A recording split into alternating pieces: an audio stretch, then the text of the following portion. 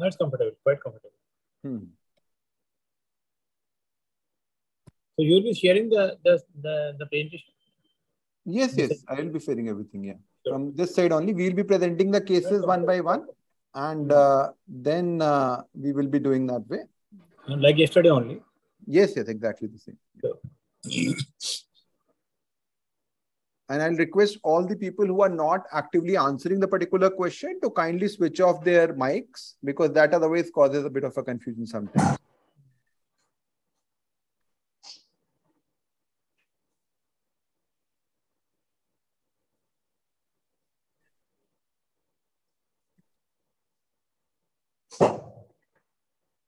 We'll start with calcium, I suppose. Yeah, we'll start with calcium. I've shared the YouTube link as well on the WhatsApp Yes. group. So if people have a problem in accessing through Zoom, somebody you can just stream from there. Yeah. It is there.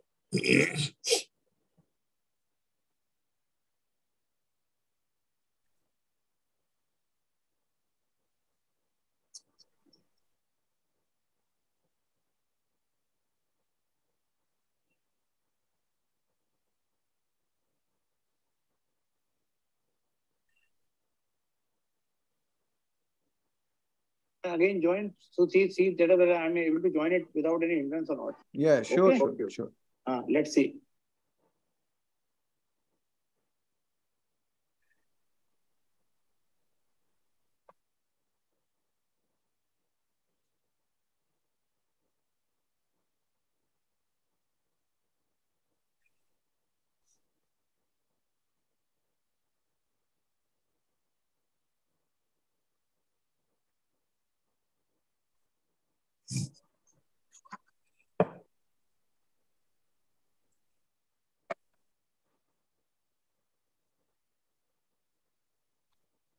Okay,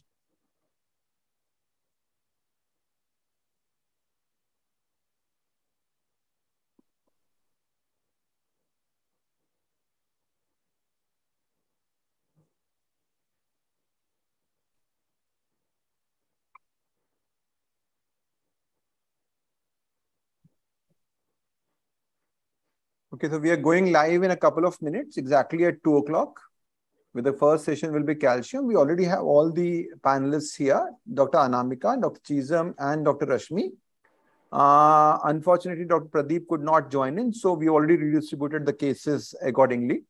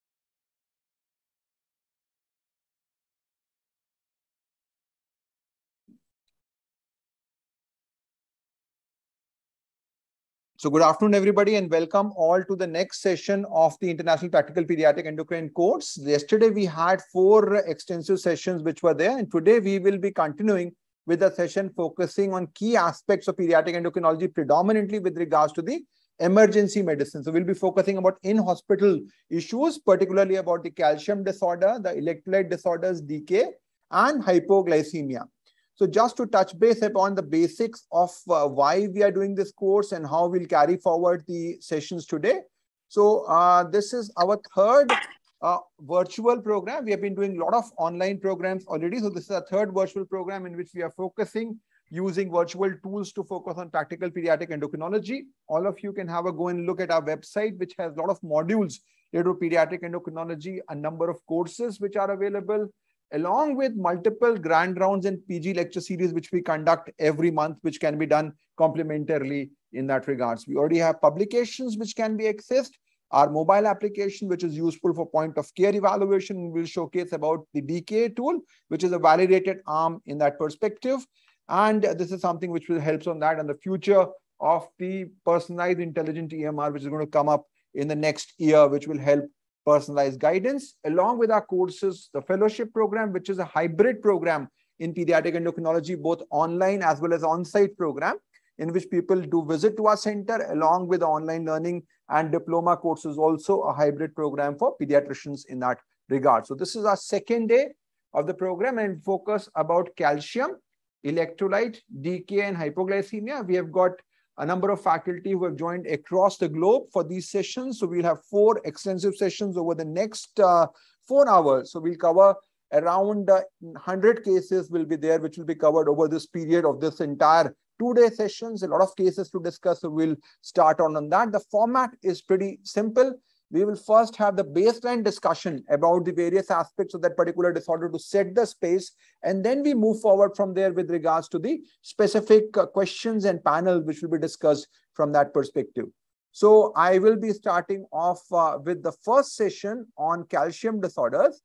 And this is basically going to focus about three major disorders, which is hypocalcemia, rickets, and hypercalcemia.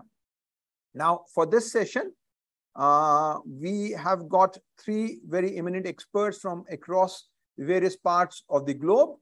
We have got uh, Dr. Anamika Saha from Dhaka, Dr. Chisholm, who is from Nigeria, and Dr. Rashmi Nagaraj from Mysore. Dr. Sayan will be joining me to discuss the various cases with the experts. Now, Dr. Anamika Saha is uh, a consultant pediatrician in uh, Bhuapur uh, in Bangladesh. She is a consultant pediatrics and in charge of the pediatric endocrine clinic. And she has done a lot of publications related to various aspects of growth disorders and vitamin D in different journals across both national as well as international journals.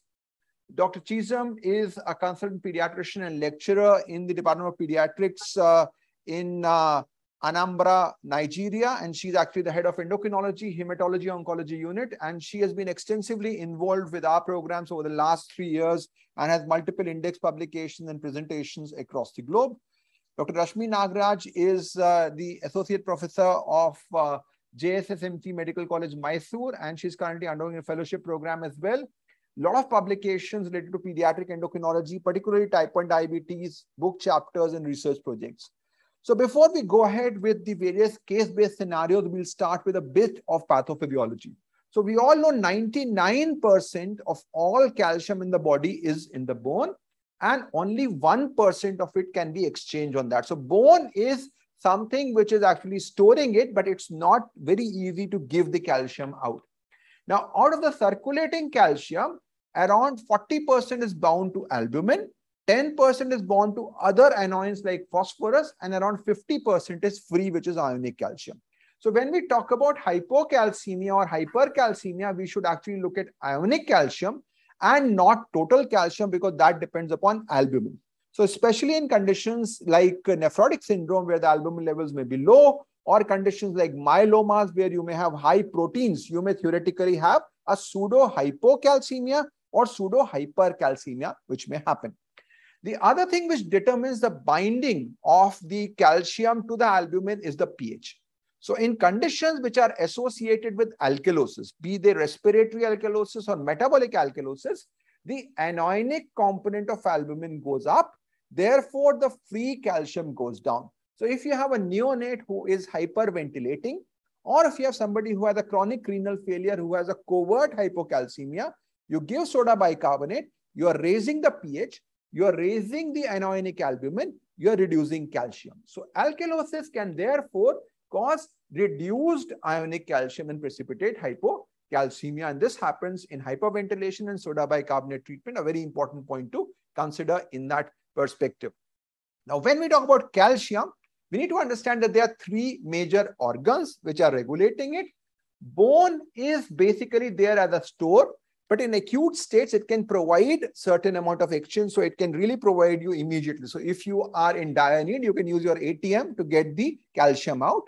The intestine is a chronic regulator. So you have long-term regulations happening through intestine and kidneys do not play a very major role in calcium metabolism, but they can bear the brunt of calcium. So if you have too much calcium, you may have hypercalciuria and nephrocalcinosis. So acute regulation is largely done through bones.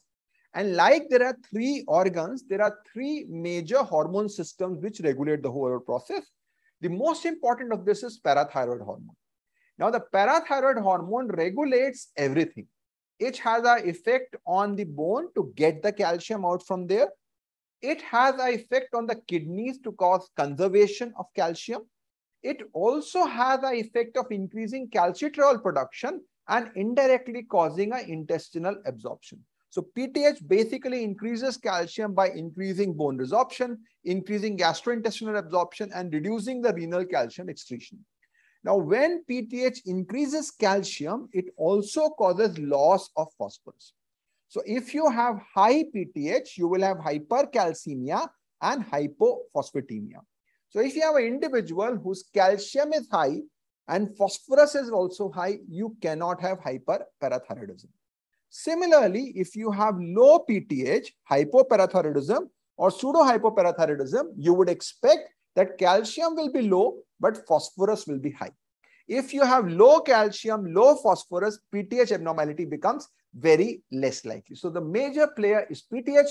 It has an opposite effect on calcium and phosphorus. Now, calcitriol is a major factor which regulates the intestinal absorption.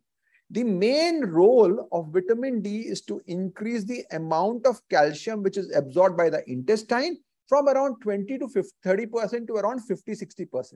So this is the only role vitamin D does and it increases the blood calcium level. Now, vitamin D also increases the phosphorus absorption. So if your calcium goes up because of vitamin D, your phosphorus also goes up. So if you have conditions which are associated with vitamin D excess, you will have hypercalcemia and hyperphosphatemia. If you have vitamin D deficiency, you will have hypocalcemia and hypophosphatemia. So the most important investigation to be done in a child with calcium disorder is actually phosphorus, which will give you a clear-cut picture. Anybody with hypocalcemia, if they have high phosphorus, look at renal failure and at PTH abnormality. Anybody who has hypercalcemia has a high phosphorus, think of a vitamin D cause. This is something you need to evaluate from that perspective. Now, all this is sensed by the calcium sensing receptor. If this receptor becomes hyperactive, body will say, okay, your calcium is very high. It will reduce PTH causing hypocalcemia, but lose urinary calcium causing hypercalciuria. So hypocalcemia with hypercalciuria. If there is an inactivating mutation, you will have the opposite picture in which the PTH will become high, but kidneys are conserving the calcium. So you will have hypercalcemia with hypocalciuria. So when you have hypercalcemia, another important investigation is urinary calcium. And we'll show all those cases today when we are discussing about that, how these all relevant physiological tools become important from that perspective. So hypocalcemia, chronic hypocalcemia is very significant. We often miss it, but anybody who has seizures, Cardiac failure, very important in the newborn period. Any seizures in the infantile period, definitely even beyond that, calcium should be looked at. One thing often missed out is ectopic calcification. So if you have basal ganglia calcification, it means there is a long-standing hypocalcemia.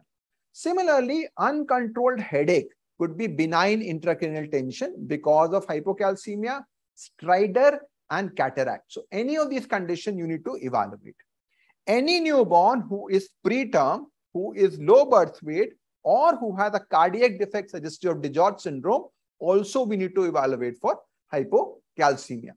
Now, how do we look for calcium levels? The calcium levels should ideally be done in a serum sample using a fasting sample. The problem, as I discussed, is if your albumin is low, you will have a falsely low level of calcium. And if your protein is high, you will have a falsely high pseudo hypo and pseudo hypercalcemia. Now, you have formulas by which you can calculate for every 1 gram decrease in albumin, you should add 0.8 milligram per dl. So this is the formula for corrected calcium or you can get a ionic calcium, which is a more reliable marker in that perspective. Now, phosphorus again has to be done in the morning in a fasting state because if you eat something, insulin will be secreted and insulin will cause decrease in phosphorus level because phosphorus will be pushed into the cells. The caution here is that do not use a tourniquet, do not squeeze because it's an intracellular ion and it will come out and cause high phosphorus in a false fashion. And very importantly, use age specific level. Often you're given reports in which you get the adult levels, but children have a higher level. So in infancy, you can tolerate phosphorus up to 8 milligram per dl, childhood up to 6, and adulthood up to 4.6. So very important, age-specific levels of phosphorus have to be looked out in that perspective. Now, very important thing to remember, we discussed yesterday about FT4 and TSH, that there is a log linear relationship. Similarly, there is a relationship which is sigmoid relationship between calcium and PTH. So what happens is that if your calcium is low, your PTH should really go up high. So anybody who has hypocalcemia should have a PTH which is very high. If your PTH is low or normal, this would mean that there is an inappropriately low level of PTH which suggests hypoparathyroidism. So always look calcium and PTH, FT4 and TSH, glucose and insulin in the corresponding level that you actually look at the right time to assess in that perspective. Now, how do we approach hypocalcemia? I've already said that if you have to look at, first of all, other things like hypoalbuminemia, phosphorus load, and very important to look at magnesium. Anybody with refractory hypocalcemia, look at hypomagnesemia you want to evaluate. Look at phosphorus. If phosphorus is high, it is a very rare scenario. You're dealing with two things, either renal failure or you're dealing with a PTH cause. So if your creatinine is high, this is chronic kidney disease. If it's normal, look at PTH. You classify into hypo and pseudo hypoparathyroidism. Now, one caveat is that if you have long-standing vitamin D deficiency, you may have a secondary PTH resistance. So if you have hypocalcemia with hyperphosphatemia and normal creatinine, particularly in a early age group, two month, three month, always do a vitamin D before you label them as pseudo hypo parathyroidism. If your phosphorus is low, then you can look at vitamin D dependent causes, vitamin D deficiency or resistance. So this is what will be the rare scenario. So we'll now start off with the cases. Dr. Sayan will now start with the grand round, Uh, thank you, sir, for the introduction to the uh, calcium disorders. Now, moving forward to the cases, this was a four-month-old boy being treated for nephrotic syndrome. Presented to us with a calcium of 7.2. Now, the child was asymptomatic on referral. Now, with the 7.2 being asymptomatic was uh, not, uh, uh, I couldn't explain these symptoms. So, Dr. Anamika, can you just help me? A child of nephrotic syndrome, 7.2, but without any symptoms. Thank you, Dr. Dr. Anamika? Sayan. Well, in this scenario, uh, a child with nephrotic syndrome having asymptomatic hypocalcemia, we should estimate the corrected calcium level and ionic calcium level first. Because we know, we already know that 40% of circulating calcium bound to uh, albumin and albumin is usually low in nephrotic syndrome patient. So in this patient, the albumin level, if we estimate the albumin level, is uh, Uh, in we this patient, that it was, it's low. Yeah, in this patient, it was two grams per liter. 2 grams is uh, uh, as expected the albumin level is low so now we uh, will measure the corrected calcium level we know the formula that is measured calcium plus normal albumin 4 minus measured albumin and into 0.8 milligram per dl so the corrected level is 8.8 which is normal at this age So the child had pseudo hypocalcemia due to low albumin level. so the key message are before initiating extensive workup for hypocalcemia, we should correct the calcium level according to albumin level. And ionic calcium uh, is preferred to uh, total calcium level to avoid the interference of these binding factors. Yeah, this is a very important message that ionic calcium should be preferred in such cases as we can uh, falsely label pseudo hypocalcemia as true hypocalcemia. Uh, moving forward to the next case.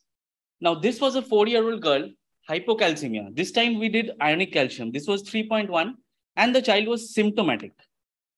Phosphorus very high. Phosphorus was 8.4. PTH was also high. So we think this case is a case of pseudo hypoparathyroidism. Do you agree, Dr. Chisholm? Um, thank you, Dr. Sayan. Now, this case is um, an interesting case because for a child with hypocalcemia, the first thing you should expect is a low phosphorus level because of secondary hyperparathyroidism. But here we are having very high phosphorus level, very high PTH level with um, a presumptive diagnosis of uh, pseudo-hypoparathyroidism. So the first thing to do anytime you get a phosphorus level that is very high is to assess the serum creatinine level to rule out CKD. So what was the serum creatinine level in this yes. child, Dr. The creatinine was 2.4. And that is very high. So this child clearly has um, chronic kidney disease and if you think about it, chronic kidney disease can give you hypocalcemia. Chronic kidney disease can lead to hyperphosphatemia. And at the same time, it can lead to secondary hyperparathyroidism. So it's more or less masquerading as pseudo hypoparathyroidism. So it's very important for any child with hypocalcemia, if you get a high phosphorus level, always check the serum creatinine to rule out CKD.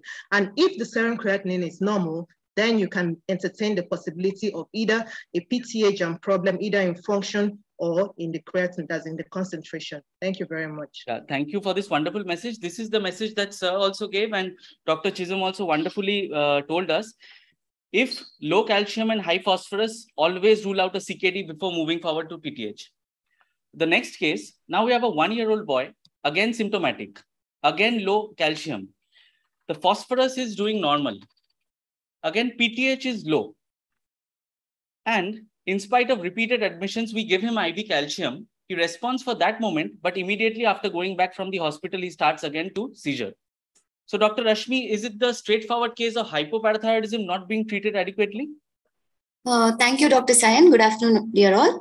Uh, actually, here uh, it's a frank case of hypocalcemia, which is not responding to IV calcium and uh, parathormone is uh, little towards lower limit of normal. So the next thing we have to think about is uh, do a magnesium because any intractable hypocalcemia or a refractory hypocalcemia after giving adequate doses of uh, calcium gluconate that is 1 ml per kg per dose diluted 1 is to 1 uh, if it's not responding always think next magnesium. So uh, what was yeah. the magnesium? The magnesium was 0.42 milligrams per deciliter in this case. So it's quite obvious that there is clear-cut hypomagnesemia and the magnesium level is uh, quite low. So in this case, uh, uh, since magnesium is important for the release of parathormone and uh, hypomagnesium, hypomagnesemia can clearly cause hypocalcemia. So we have to correct uh, yeah. hypomagnesemia in the first place by giving uh, uh, 0.2 ml per kg of 10, 50% mag sulph IM. Yeah. But uh, this seems to be uh, severely low, actually, yeah, the magnesium uh, levels. This problem started very early. Yeah, and also the problem has started very early, and the magnesium level is also significantly low. So probably we may have to think of a genetic defect here yeah. also. Yeah. And his elder brother also had same problems, and we did a genetic test, and this is what came out. Yeah, uh, this is a uh, this is actually a TRPM channel defect, six channel defect these channels, when they become non-functional, uh, they hinder the absorption, intestinal absorption of magnesium, and also uh, they increase the urine output. I mean, the urinary excretion of magnesium. So it's a permanent problem. So this requires uh, administration of very high dose of magnesium. And relieve the symptoms, we may have followed by a lifelong oral magnesium supplementation. So always the key message or take-home message would be here um, always in refractory hypocalcemia, think magnesium first rather than anything else and uh, treat it. Thank you. Uh, so, Sayan, what were your challenges in this case? So, we were giving magnesium at what dose and what is the problem in these cases? Sir, the problem initially was that uh, when we gave I, uh, IM magnesium, it rose immediately. But when we transferred to oral, it again fell. We actually had to give around 16 times the normal dose to this patient. Normal requirement maybe 22, so you need to give around 10 grams of magnesium every day. So you, we were giving using a magnesium sulfate solution for the injection and breaking it and giving it. So it's a very, very difficult, challenging condition. They are not absorbing any magnesium. They are losing magnesium. So how do you maintain it? It becomes difficult. But now the child is doing pretty well in terms of seizure free. We are able to cut down on the anti-epileptic drugs as well. So again, a big message, think hypomagnesemia in that scenario. Yeah. Thank you, sir. Uh, thank you, Dr. Rashmi. Now, moving forward to the next case, a three-month girl, again symptomatic, again having seizures, and this time again, we have a low ionic calcium. The phosphorus here is low. So a low calcium and a low phosphorus. But the PTH is low.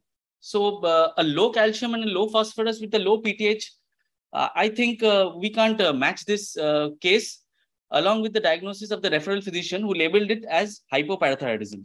So Dr. Chisholm, do you think this is hypoparathyroidism? Thank you, Dr. Sayan, for this um, case. Again, a very interesting one.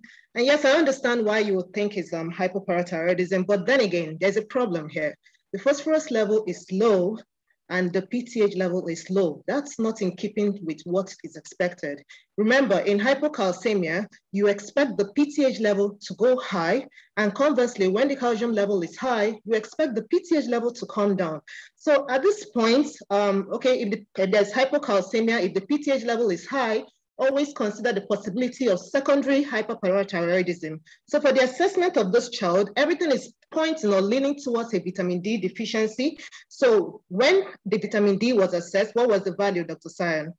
Yeah, the vitamin D was undetectable in this case. So that's very, very low. Clearly, this child has a vitamin D deficiency. But remember, the phosphorus level is low. So why is the PTH value also low? I expect it to be high. So I requested for um, another PTH value and it turned out that it was actually high. So we discovered on further investigation that the serum that was assayed or collected for PTH was improperly stored. It wasn't transported in ice. Remember, PTH is very thermolabile, very sensitive to heat. So if you must assay for PTH in any child, in any individual really, you must transport that blood on ice. Otherwise, you're going to get an aberrant result. So always remember in hypophosphatemia with hypocalcemia, it means that the PTH level is working. It can't be low. Although if it's low, you may actually think it's hypoparathyroidism if the blood is properly transported on ice. So this is the take home message here. Always transport your serum on ice. And if you get a low phosphorus level with hypocalcemia, always uh, think of uh, PTH level only when everything has checked out well. Thank you very much. Uh, thank you, Dr. Chisholm, uh, that uh, this is the most important message. If not taking care of the pre-analytical uh, issues before uh, doing the investigations, we can have such confusing reports. So thank you. Uh, moving forward to the next case, we have a one-week boy, seizures, low ionic calcium, very high phosphorus in this case. Creatinine now, as Dr. Anami, Dr. Rashmi said in the next case, we did creatinine in this case. So CKD was ruled out low calcium, high phosphorus. So Dr. Anamika, what do you think in this case? Very early onset. Well, uh, this, this neonatal boy having hypocalcemic seizure with hyperphosphatemia as and creatinine is normal, so already exclude chronic kidney disease. So next step is para, uh, measuring parathormone level. And what about the parathormone level? Yeah, PTH was so two. It's low. Yeah. It's, it's low. So the child is having uh, hypoparathyroidism. And one of the important cause of neonatal hypoparathyroid, uh, hypoparathyroidism is uh, DiGeorge syndrome. So when we get a patient with neonatal hypoparathyroidism, we should look for the important signs of this syndrome like uh, cardiac defect, dysmorphic faces, especially cleft lip, cleft palate, uh, immunodeficiency, or absent thymic shadow, although it's, it, it may be absent in stress neonate also. Now, actually, this patient did have a cardiac defect. So diagnosis is, uh, as uh, the patient has already cardiac defect, so our uh, provisional diagnosis is DiGeorge syndrome and it can be confirmed by a FISH study. Yeah. So key message is, Yeah. Hypocalcemia with high phosphate level indicates parathyroid defect. And if uh, when we get a patient with hypoparathyroidism, it's mandatory to evaluate cardiac function. Yeah. This patient, Sayan, comes to you with complaints of respiratory distress and you find that there is a pneumonia. What precautions will you take in this case? So, uh, respiratory distress can occur due to ca- low calcium and also No, he has pneumonia. Yeah. And you have admitted in the ICU. yes. What should you do? Vibha? So first of all, Immunoglobulin- we should be immunoglobulin. kept in an isolated uh, water. We should be uh, kept away from the infected children and we should be given immunoglobulins. So I think we often tend to focus only on the endocrine aspect. So we actually had lost a case like this who have been managed outside with this scenario. So Dr. Anamika was mentioning about immunodeficiency. So you have to look at the total leukocyte count. The leukocyte count actually was, I think, nearly zero in that case. So in that scenario, you have to isolate them, role of IVIG, as we were discussing. Dr. Anamika, your inputs? Yeah.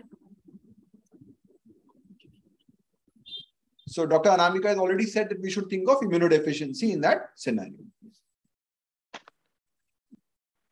Thank you, Dr. Anamika. Moving forward to the next case. This was a 10 year old boy presented with seizures.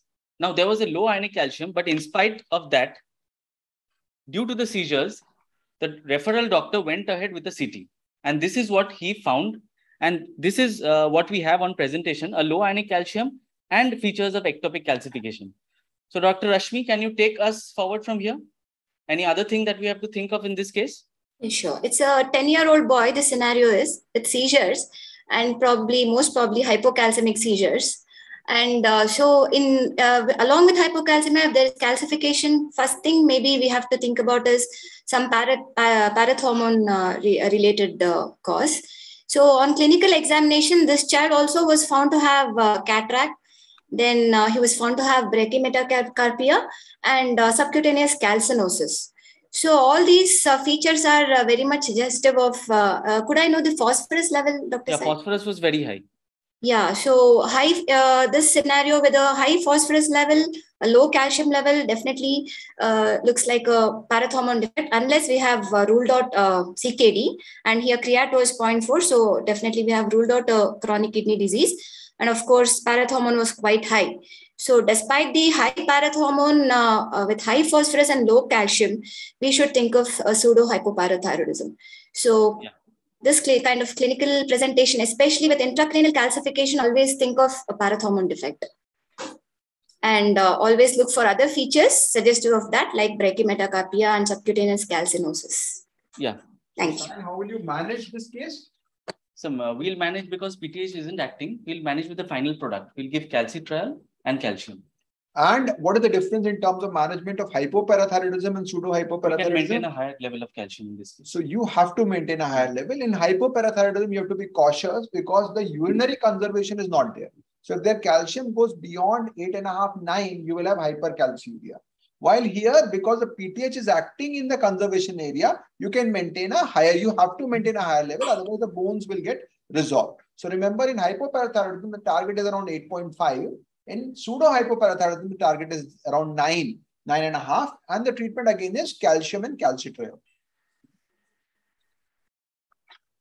Uh, we have a four week old boy now. Seizures, ionic calcium again very low.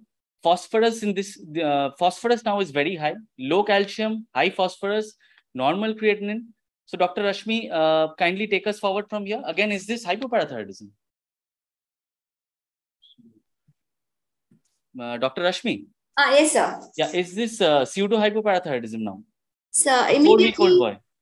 Uh, it's a, a four week old boy, almost at the end of the neonatal period, and phosphorus is towards the upper limit of normal, but creat is normal, and uh, parathormone is significantly high. Even though uh, we may think of, uh, uh, as I mean, right now we may think of uh, a pseudo hypoparathyroidism, we, we may have to think uh, more uh, uh, common cause like uh, vitamin D levels. Ha- was the vitamin D level done in this? Yeah, vitamin D levels were very low in this case. Yeah. Uh, so in view of the uh, almost normal phosphorus levels and phosphate level and uh, low calcium, uh, yeah, vitamin D level is expected to be quite low, and it, it was significantly low in this case. Yeah. And uh, but uh, Despite the secondary hyperparathyroidism here, calcium level is significantly low. So we may also have to think of a parathormone resistance here. Uh, because uh, uh, phosphorus level still remains on the higher side and uh, calcium level continues to be low despite the secondary hyperparathyroidism. So this is a combination of vitamin D deficiency with a likelihood of parathormone resistance. So the key uh, messages here would be uh, always check uh, vitamin D levels before diagnosing a pseudo hyperparathyroidism. And uh, despite high parathormone levels, if the calcium is still low and uh, relatively high phosphorus, always think of a parathormone resistance. Yeah, wonderful message by Dr. Rashmi. And this is what CERT always tells us. PHP won't present this early. When a child presents this early, always think of secondary uh, vitamin, uh, secondary PTH resistance due to vitamin D deficiency and always do a vitamin D before labeling a child with PHP. Moving Why forward, does vitamin deficiency cause resistance, PTH resistance? so, uh, post-cyclic AMP problems. Why? What is the concept behind it?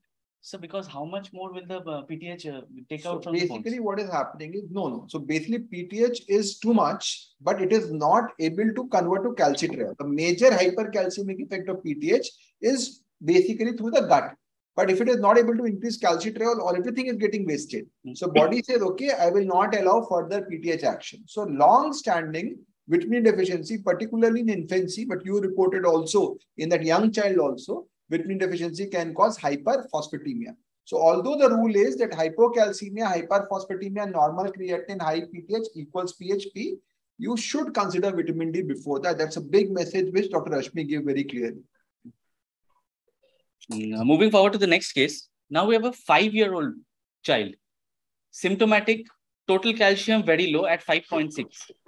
Phosphorus is very high. Creat was normal. So Dr. Chisholm, is this case different from the previous one? Yes, yes, Dr. Sayan is actually very different because if you look at the creatinine level, it's within normal. So I would like to know what the PTH level is right now. And PTH the was PTH very level, yes, I can see that. So this is indicative of um, hypoparathyroidism. So at this point, I would like to start the child on calcium calcitriol. And was the child started on calcium calcitriol? Uh, I'll just add one thing. When this child presented to us, we also saw this. The child was uh, much more pigmented than his family members. And this was Oh, actually wow. increasing over time. Oh, I understand. So um, I think at this point, I would like to point out that if you find a child that you suspect or you've confirmed to have hypoparathyroidism, it's very important to rule out cortisol deficiency, adrenal insufficiency, because that will be one of the most likely cause of hyperpigmentation in this child due to an increase in ACTH. So at this point, when you're giving the child um, calcitriol and calcium, before you commence treatment, it's very important to rule out cortisol deficiency. So what was the Now, now, Dr. Chisholm, when this child was actually treated by the referral physician, uh, he gave him calcium and calcitriol. And what when was the this case? child was the presented to cortisol us, deficient in this child? Pardon? Hello? yeah, Can you hear me? yes, yes. Yes, when the calcium and calcitriol was started, so what, what was the response? Uh, when this child presented to us, he was very sick. And we, when we did the calcium levels, it was actually found to be high, very high. Oh, interesting. So at this point, it's possible that we should do um, a serum electrolyte value. And what did we get after doing the Yeah. serum electrolyte? There was actually salt wasting, and cortisol was very low, as you were mentioning. Exactly. So it's indicative of um, a likely disease called autoimmune polyglandular syndrome, because in this disease, you have multiple endocrine um, abnormalities. In this case, we have hypoparathyroidism, there is adrenal insufficiency, which is in keeping with hyponatremia, hyperkalemia, hyperpigmentation. So the key message here is that if you're suspecting hypoparathyroidism in a child, it has been confirmed really. Always rule out autoimmune polyglandular syndrome because cortisol deficiency must hypocalcemia. So if you start treatment without ruling out cortisol deficiency, you're going to end up with hypercalcemia. So it's very important in any child with hypoparathyroidism to always rule out cortisol deficiency before commencing treatment. Thank you very much. I think that's a very, very important message because the most common cause of uh, older children who present to us with hypoparathyroidism is actually APS. If you look at it, most of us between one to five years of age turn out to be APS. Beyond five, they look like more like idiopathic hypoparathyroidism. The other big message that Dr. Cheesan gave is that if you have cortisol deficiency, it will basically cause hypercalcemia. So if you have reduced calcium requirement in the setting of hypoparathyroidism, if you have reduced AVP requirement in the setting of central DI, if you have reduced insulin requirement in the setting of type 1 diabetes, you should always exclude cortisol deficiency because cortisol deficiency causes hypercalcemia. It causes a SIADH-like picture. It causes a hypoglycemic picture. So cortisol deficiency should always be considered in this scenario and that becomes important in that regards. So we have discussed a lot about hypocalcemia. I'll go a bit about rickets because that's very important. And we all know that rickets is basically a disorder in which you have a effect of the growing plate. You have got cupping, fraying, as well as playing. Now, all this is because of a problem of growth plate apoptosis. Your growth plate is not apoptosing, and the agent which causes growth plate apoptosis is actually phosphorus. So everybody who has got rickets has a phosphorus deficiency. This is what you need to understand. Now, once you see rickets, you can then need to start treatment. Regarding treatment, there are various guidelines available, the global recommendations. These are from the Indian Academy of Pediatrics recommendations. Remember, we are not talking about very, very high doses. We are typically talking about more like weekly doses at the maximum of 60,000 international units. No role of injections. The injections are only indicated if you think of malabsorption or if you think of celiac or something like that scenario. Very importantly, whenever you give vitamin D, give calcium because otherwise the bones will take all the calcium and the you will have hypocalcemia that is known as the hungry bone syndrome in that regards. Now, once you start treatment, remember calcium may go down, as I said, because bones are using the calcium now. ALP may go up because ALP is a marker of bone formation. You may have more bone pain because bone is being formed. So all these are not markers of inadequate response. So what is most important is the line of healing. So you have to show that the lining healing is there. If it's not there, it is a refractory rickets. So how do you define refractory rickets? Of course, you need to prove that this is a metaphyseal involvement. You may have skeletal dysplasia, which looks like rickets, and you may conclude that, okay, this is refractory rickets. Adequate treatment, two courses or at least six to eight weeks of uh, vitamin D has been given, and there is no line of healing which is there. However, if a child is polyuric, has seizures, fractures, and severe growth failure right at the beginning of presentation, you may consider, okay, this may be a refractory rickets right in the regards. Very importantly, you may misdiagnose refractory rickets if there is skeletal dysplasia, if you do not give enough calcium or vitamin D, or if the alkaline phosphatase levels goes up and you say it is refractory rickets in that regards.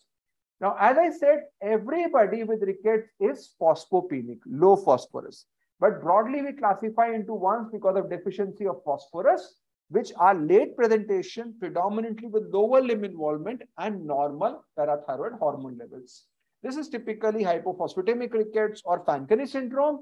You can have problems of either the vitamin D, the entire axis are known as calciopenic rickets. Now in calciopenic rickets also the phosphorus levels will be low because you have secondary hyperparathyroidism, early onset with tetany and hyperparathyroidism. Now, you can have vitamin D deficiency, you can have calcium deficiency, you can have liver disease, anti-epileptics, kidney disease, and VDDR. The most important investigation, therefore, in a child with rickets is phosphorus. If your phosphorus is high, you are dealing with either a kidney problem or you're dealing with a problem of pseudo-hypoparathyroidism, which may resemble right rickets in that regards. And finally, you can have acidosis, which is not really a disorder of the bone. It's basically eluting the bone. And their RTA can be the cause. You will have failure to thrive, polyuria, and nephrocalcinosis. So the investigations to do is phosphorus. If phosphorus is high, think of renal failure and PHP. Urinary calcium. Everybody with rickets should have a low urinary calcium. If you have a high urinary calcium, you're dealing with renal tubular acidosis. PTH, again, should be high in everybody who has rickets. If it's normal, this is hypophosphatemic rickets. ALP should be high in most. If it's normal, think of RTA or chronic kidney disease. If you have low alkaline phosphatase and rickets, that is a very rare scenario of hypophosphatasia. You will have 20, 30, that level of ALP. And acidosis, of course, will be there with RTA or chronic kidney disease. So the most important investigation is phosphorus high phosphorus, renal failure or PHP. Then calcium, if it is low, along with hyperparathyroidism, you are not dealing with hypophosphatemic rickets. So a low calcium or a high PTH excludes hypophosphatemic rickets. That will be an easier way to understand. Everybody else should have hypocalcemia or hyperparathyroidism. Hypercalciuria suggests a renal tubular acidosis and acidosis, of course, discussed about RTA as well as renal failure. So the key investigations are phosphorus, calcium, PTH, and pH. These will give you the major picture, plus you add urinary calcium. So you look at the phosphorus. If phosphorus is high, most likely kidney disease, rarely PHP. Otherwise, give an adequate trial of calcium and vitamin D. If there is no response and phosphorus is low, blood gas will diagnose RTA. If calcium and PTH are suggested are normal, it is hypophosphatemic rickets. Otherwise, they are VDDR1 and 2. So phosphorus, blood gas, and PTH. These three will give you the diagnosis. So we'll start there from their side. Uh, thank you, sir, for your brief on rickets. And moving ahead, now we have a three-year-old boy presenting to us with rickets. We had given him three doses of vitamin D weekly, 60,000 international units. Now the child presented to us after three weeks with complaining complaints of increasing bone pain. Now, when we repeated the ALP, it had gone further high. Calcium came out to be normal, and we were suspecting refractory rickets in this case. Uh, Dr. Anamika, do you agree that this is refractory rickets now? Uh, no, Dr. Sayan, because we uh, just learned from lecture of uh, Anurag sir that bone pain and high alkaline phosphatase can be normally present during treatment of vitamin D. So they are not uh, gold standard uh, marker for the uh, response to therapy. So to see the response to therapy, we should go for uh, X-ray of left wrist to find out the line of healing. Yes, there is a present, there is a thick white line at the metaphyseal in the, the long bone. So there is a normal response to treatment. So this is wrongly diagnosed as refractory. Yeah. And this is how sir also corrected me at that point of time. And uh, so, hi, anything else you want to mention? Do you, well, uh, do you need any correction in this case? Because the child was also having deformities. Uh, although uh, bony deformity usually correct with treatment with vitamin D therapy, if it's not happen or child is getting older, in that case, we can refer uh, to orthopedics for orthopedic correction. Yeah. Yeah. Thank you so much. Uh, very so important point, as you mentioned. Yeah. Now the key messages you want to deliver. So key messages are uh, that is uh, um, line uh, sorry line of healing is the uh, best marker for uh, identifying the response to treatment and not confused with bone pain or increased ALP uh, as a marker of response to treatment actually. Thank you. thank you for this message, Dr. Anamika. Moving forward to the next case, we have a four-year-old girl with rickets. Now, I had given her Uh, adequate calcium 5 ml BD, that comes out to be 500 milligrams per day. But after recalling the child, I found no improvement, even after 30 days. I repeated the x-ray. There was no line of healing. So I thought of refractory rickets in this case. So Dr. Anamika, do you think this is again a correct diagnosis or am I missing something? Well, to identify refractory rickets, we should uh, uh, focus on uh, treatment with adequate dose and duration of uh, treatment with vitamin D. You you have only given calcium and no vitamin D. So, uh, so first of all, we have to give vitamin D in adequate dose and duration. And according to the global recommendation, the daily uh, dose of vitamin D is 2000 unit per day for infant and 3000 to 6000 thousand units per day for uh, children, along with calcium supplementation. And the treatment should be given minimum three months. So we can say that the child is inadequately treated. So to you identify parenteral vitamin D in this case. Sorry. Would you prefer any IV or uh, IM uh, vitamin D in this case? Well, uh, there are different modalities of uh, treatment of rickets. There is a weekly uh, therapy can be given, but single dose or weekly therapy is uh, uh, discouraged to prevent vitamin D toxicity. In that perspective, uh, oral therapy is more encouraged. Yeah. And So- uh, parenteral would be given only in case of malabsorption. And would you In think case of malabsorption, yeah, in case of malabsorption, we can prescribe weekly IM therapy. In that case, the dose will be sixty thousand unit for six, uh, six weeks, actually. would you be considering Dr. Sayan calcitriol in this case? So calcitriol, I haven't treated him adequately. If the if the child had seizures, then Hmm. I would have thought of it. So the you need to remember that the uh, analogs of vitamin D are very, very toxic because they have got a very high potency and a short half-life. They can cause hypercalcemia. The only role, as you said, is hypocalcemia, otherwise no role. So don't give all the preparations which contain calcitriol in this scenario. So the key messages, Dr. Anamika? So the key messages are uh, to diagnose refractory recurrence. First of all, we should ensure completion of treatment with adequate dose and duration of vitamin D along with calcium for three months. Yeah. Thank you. Thank you. Uh, moving ahead to the next case. Uh, now we have a four-year-old girl with rickets. Vitamin D, we had given her two courses, but there was no improvement of the same. Now, when we were suspecting refractory rickets in this patient, we also asked her about the associated symptoms. And in this case, the child had abdominal pain and anemia. So, Dr. Rashmi, does this give any clue to other causes of rickets in this case? Yeah, this is a four-year-old child who has not responded to vitamin D uh, to uh, D courses, uh, of course, two complete courses, and uh, she also complains of abdominal pain and anemia. So we we may have to think about malabsorption syndromes here, and uh, since she has uh, abdominal pain, probably we may have to think of conditions like celiac disease. So in such cases, uh, uh, we may have to dig into the history further, asking for any other GI symptoms, look for growth failure, and uh, look for uh, healing line on the X-ray. If uh, there is no healing line, then it is probably not responded to the uh, oral Now, vitamin Dr. D. Rashmi, this patient was given parenteral vitamin D. So, do you agree with this line of management?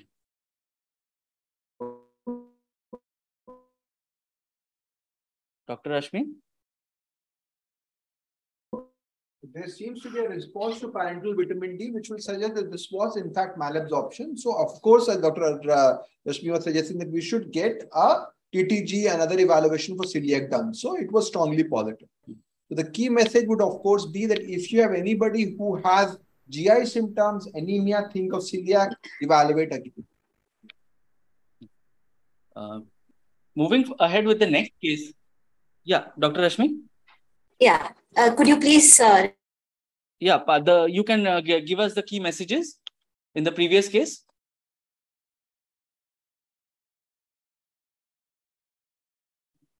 Yeah. Yeah. Moving ahead with the next next case. Now, this was a five-year-old girl, had rickets, had complaints of polyuria along with. Weight and height was very low. Height age and weight age what, uh, was around two years. Now, on uh, a VBG, she had metabolic acidosis and a urine pH, which was very inappropriate for the level of blood acid. Now, this was diagnosed to us as a case of RTA. Do you agree with this preliminary diagnosis, Dr. Chisholm, based on this report? Um, yeah, um, Dr. Sayan, before I can agree with that diagnosis, I would like to check the phosphorus level. Can you tell me what it is in this child? Yeah, the phosphorus level was nine. Okay. And what was the serum creatinine level? Uh, the serum creatinine was two. Okay, so it's two milligram per DL of creatinine suggests chronic kidney disease. So I'll walk along those lines, manage this child with chronic kidney disease. Again, like I mentioned earlier on, chronic kidney disease can give you a picture that is similar to um, hormonal uh, problems related to calcium metabolism, like P- reduced PTH and whatnot. CKD in this case can give you metabolic acidosis. It can give um, hypocalcemia, high phosphorus levels. So address the CKD and then everything will work out fine. So the key message here is that for a child with hypocalcemia, failure to thrive, um, high phosphorus level particularly, always rule out chronic kidney disease because that will help save um, that child from doing a lot of unnecessary investigation. It will also save costs. So high phosphorus level with features suggestive of rickets, hypocalcemia, always think chronic kidney disease. Thank you very much.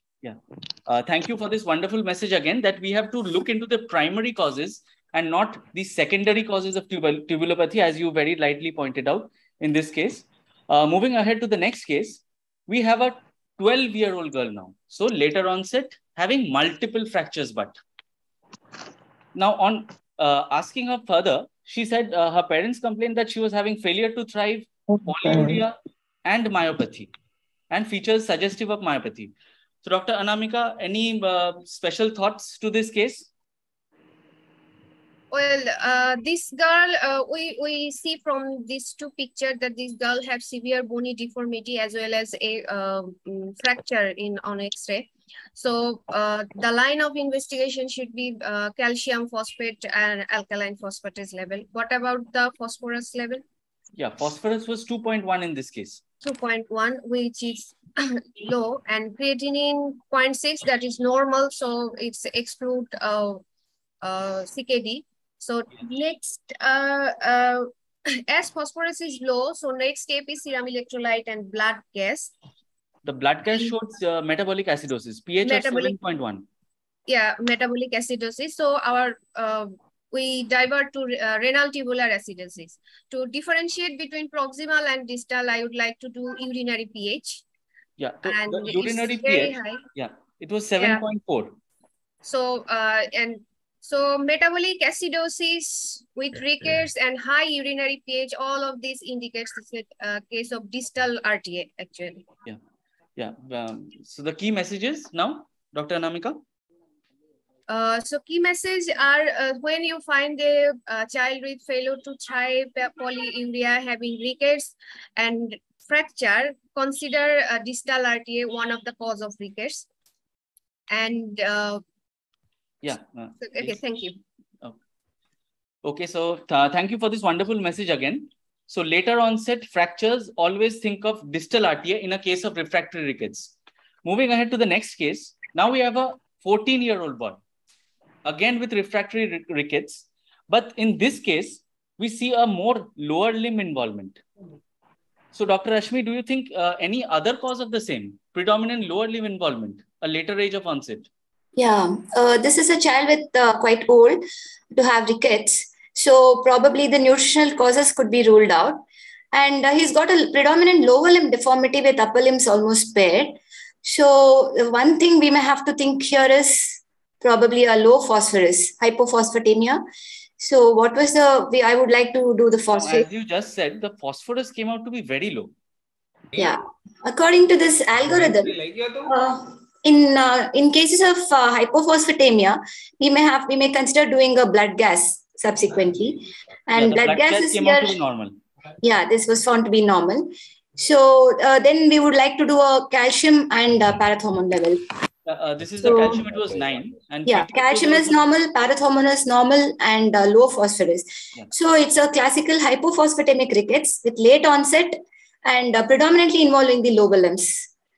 Yeah. Um, so the So- diagnosis, the so the take home messages would be whenever there is normal parathormone levels, normal calcium levels, and predominantly lower limb involvement and late onset, always think of a hypophosphatemic rickets. And um, um, so treat accordingly. Yeah, thank you for this wonderful message again. Ki, uh, if there is only low phosphorus with normal PTH and normal calcium, we always have to consider hypophosphatemic rickets. So now we'll go to the final aspect of hypercalcemia. Now, hypercalcemia should be suspected, especially in neonates. It's a sick scenario if you have severe dehydration, polyuria, and hypotonia and encephalopathy. So, any sick child, check calcium. That is a big message. And in children, again, with abdominal pain, uncontrolled hypertension, and if you have calcification at any point of time, or of course, if you have metabolic bone disease. Now, hypercalcemia theoretically can be because of two disorders, as we discussed, either if your bone turnover is more because of hyperparathyroidism primarily, or you have increased absorption that is largely because of vitamin D related causes. So, if you have hyperparathyroidism, typically your phosphorus will come down. If you have a vitamin D related cause, your phosphorus will be high. So, again, phosphorus is the key investigation to look at. You can rarely have decreased excretion, which is not very common. Calcium sensing receptor defect, which is causing an inactivating mutation, will have a scenario in which you have hypercalcemia with hypocalciuria. So phosphorus and urinary calcium will give you a diagnosis and hyperparathyroidism is classically the most common cause to look at in this group. While if you have uh, other thing very important to remember is a lytic lesion. So in children, if you have acute lymphoblastic leukemia, you can also have hypercalcemia, which may happen. If there is immobilization also, you will have less amount of bone turnover as also happens with hypophosphatasia. So if your alkaline phosphatase is less, you are not using your phosphorus. You will have in that scenario, hypocalcemia will happen. And if your vitamin D absorption is increased, and if you have increased uptake, you will have a similar scenario.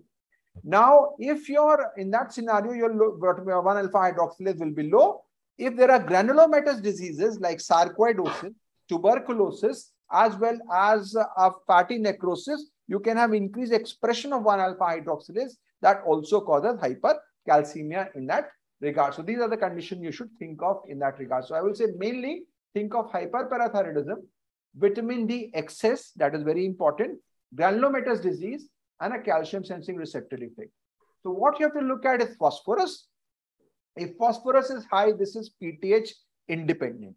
As I discussed, and of course, PTH in somebody who has hypercalcemia, PTH should actually be low. If your PTH is about 20, that is high. So this is inappropriately high. You start thinking of a hyperparathyroidism Urinary calcium, everybody with hypercalcemia should have hypercalciuria. But if your urinary calcium is low, this is a calcium sensing receptor defect. And again, vitamin D will also give you a clue. If it's very high, it is vitamin D excess and calcitriol in that scenario. As discussed, calcemia, your PTH should be less than 20 if the PTH Oppo આવે Oppo A57 એવું લખેલું uh Heman can you mute it please So if you're if you have hypercalcemia your PTH should be less than 20 if your PTH is more than 20 it is suggestive of hyperparathyroidism so approach is if PTH level is below 20 look at vitamin D if it is high this is vitamin D excess if it is normal you look at calcitriol if calcitriol is high, it is granulomatous disease. If it's normal, this is hypophosphatasia. If the PTH level is about 20, so even if it's normal, you look at fractional excretion of calcium. If it's high, this is hyperparathyroidism. It is less, it is calcium sensing receptor defect. So essentially, the main message is to look at phosphorus levels and then based upon that, you look at vitamin D level, which will give you a diagnosis hyperparathyroidism, do urinary calcium, which will give you a, a clue. So, sign you can now carry it forward with the calcium issues. Uh, thank you, sir. Uh, moving forward to the next case on hypercalcemia. So, this was a 12 day old girl presenting to us with irritability. She was very dehydrated. Now, just look at the calcium levels. Calcium was 18 in this case. Dr. Rashmi, what do you, do you think of a girl presenting so early with such a high calcium level? Yeah, this is a newborn baby uh, with uh, severe hypercalcemia. So uh, we must think of uh, uh, most commonly genetic defects here. And she has uh, very well presented with dehydration because polyuria is one of the manifestations. So I would like to do a parathormone level in the first place. Yeah. And yeah, it was 120 yeah it was found to be sky high actually it's quite elevated and uh, so uh, next thing would be uh, to do a, urinary calcium as uh, very clearly mentioned yeah. so uh, urinary calcium creatinine ratio of 0.3 is uh, uh, reasonably okay that is i mean there is no hypercalciuria at least so if it is a, like in hyperparathyroidism, if there is hypercalcemia, as sir mentioned, there should be hypercalciuria also. But here, uh, calcium excretion in the urine is almost normal. So this must be something to do with the calcium uh, sensing receptor uh, defect. So uh, th- the thing is, uh, it's not sensing it. It's uh, assuming that the calcium levels are normal. So urine, I mean, calcium is not excreted in the urine. So it's it this causes uh, severe neonatal hyperparathyroidism, and uh, which is an acute emergency. In fact, it has to be addressed immediately surgically, probably. Otherwise, we are going to lose the baby. Yes. so the take-home messages would be whenever we uh, generally always think of hypocalcemia in a newborn baby and we generally never consider hypercalcemia. So whenever there is a polyuria, irritability, dehydration, seizures, encephalopathy, always think hypercalcemia. And in this, a very young age presentation like this would be always would prompt us to think about a genetic defect, especially the calcium receptor. Uh, I mean, the sensing defect of the calcium receptor. Yeah. So Thank you, yeah, thank you, Dr. Rashmi, for this wonderful message. So we can also consider you uh, um, uh, blood investigation in the parents also. Yes. So that will give you a Yeah. Sure. So moving forward to the next case, we have a two-year-old girl now with complaints of abdominal pain. Now the ultrasound was done due to abdominal pain, showed nephrocalcinosis. Calcium was then done. Calcium came out to be high, 13.6. Now the phosphorus here is also high. So Dr. Chisholm, is this a PTH problem? Dr. Chisholm? This is a scenario in Can you hear me? Hello? Yes, yes. Yeah. Okay, so thank you for that um, presentation. So I would like to point out quickly that this is like a reverse of what we've been doing so far. This is a child with hypercalcemia, hypophosphatemia. So it inevitably means that the PTH level is appropriately low. Otherwise, you would have been thinking that there's a problem with the PTH. So at this point, the PTH level, what was it in this Yeah, child? PTH was undetectable in this case. So that's what it should be. It should be low in a situation of um, hypocalcemia. At this point, I would like to check the vitamin D. What was it? Yeah, the vitamin D was very high at 200. Yes. Yeah, that goes without saying. This vitamin D level is so, so high. And at this point, I'd like to make a diagnosis of vitamin D toxicity. So at this point, I would like to point out that in a situation of hypercalcemia, remember, in hypercalcemia, the PTH level should be low. And the one way of noticing this is that the phosphorus level should also be high. And that was what was in keeping here. So the next thing that we should do is to check for any vitamin D excess. So in this um, case, the vitamin D was equally high, giving room for vitamin D toxicity. So at this point, I would like to counsel the mother to stop um, intake, giving this child vitamin D. I would also like to point out that the key message here is to always remember that once there's hypercalcemia, hyperphosphatemia, always think of a problem with vitamin D. In this case, an excess. It can be PTH problem. It's unlikely to be. So for the hypercalcemia, hydration with um, to enhance excretion, and of course, steroid treatment is necessary here to achieve normal calcium level. Thank you very much. Yeah, thank you for this wonderful explanation. Again, which sir also mentioned, high calcium, high phosphorus, think vitamin D. High calcium, low phosphorus, think of PTH problems. Moving forward to the next case, we have a 15-day girl, preterm, 28 weeks of gestation. Calcium, again, very high at 14. Now you check the phosphorus here, it came out to be pretty low for this gestational age. PTH we did, considering the primary PTH problem. It was here undetectable. So Dr. Anamika, any other cause of this? Could you please guide us here? Well, this uh, preterm baby having hypercalcemia with hypophosphatemia and parathyroid is also low. So my next uh, step of investigation is vitamin D level. What about the 25D or calcitriol level? Yeah, 25 uh, hydroxy vitamin D was 20 nanograms per ml. Yeah, it's a lower end and calcitriol 125 is a higher end. Is Yeah. there any history of taking uh, total parenteral nutrition? Yeah, uh, the child is very sick and on TPN. Okay, it's a common uh, scenario of a preterm baby having uh, TPN, uh, uh, having this low phosphorus level due to decreased supplementation of phosphorus. And this low phosphorus level increase 1-alpha hydroxylase ac- action, which increases calcitriol production, ultimately increasing hypercalcemia. So that these baby having hypophosphatemia.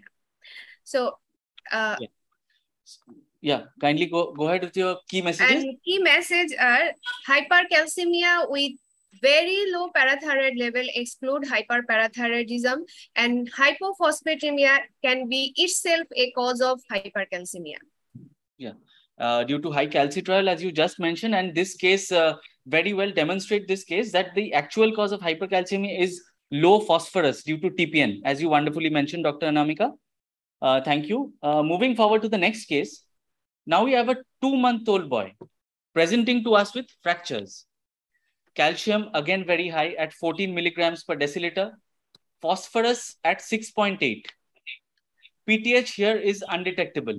So Dr. Anamika, any other thing that you would like to consider in this case?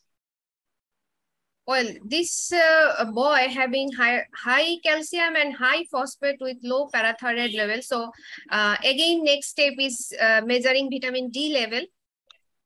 Yeah. And vitamin D both are uh, low. So as parathyroid, uh, vitamin D also low. So uh, my here my provisional uh, sorry sorry my, my diagnosis it may be a disorder of bone turnover as patient has already high calcium and high phosphate high phosphate and So, uh, Also did an. ALP. It was Uh, yeah. 24. So next to uh, diagnose the disorder of bone turnover, my next step will be alkaline phosphatase level measurement. And as it's low, so it indicates it's a uh, case of hypophosphatasia.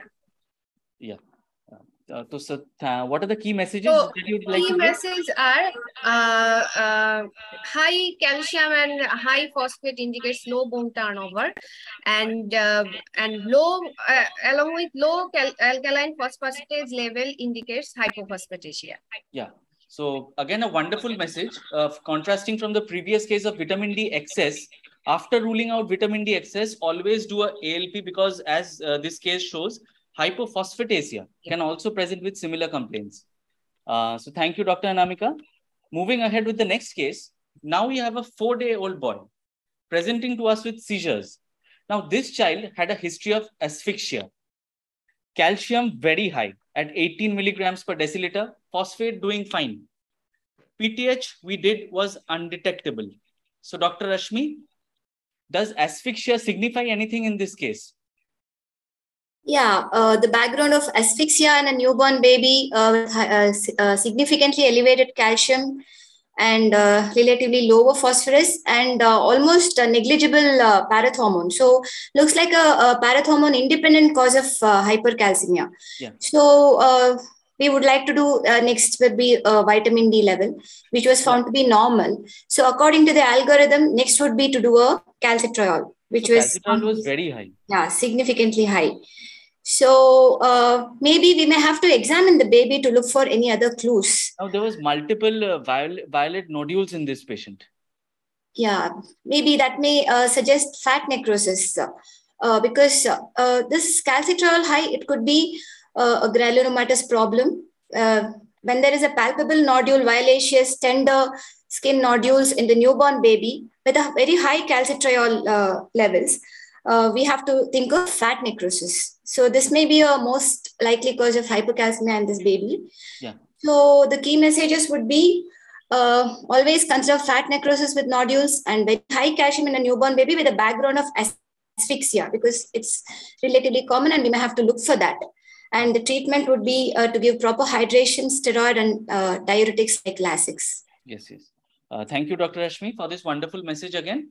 Thank so, moving forward to the next case, uh, this is a three year old boy presenting to us with complaints of bone pain. Calcium was done very high at 14.4, phosphorus doing fine again. Again, PTH is undetectable. Now, vitamin D of cal- and calcium, as the uh, protocol shows us, these were again normal.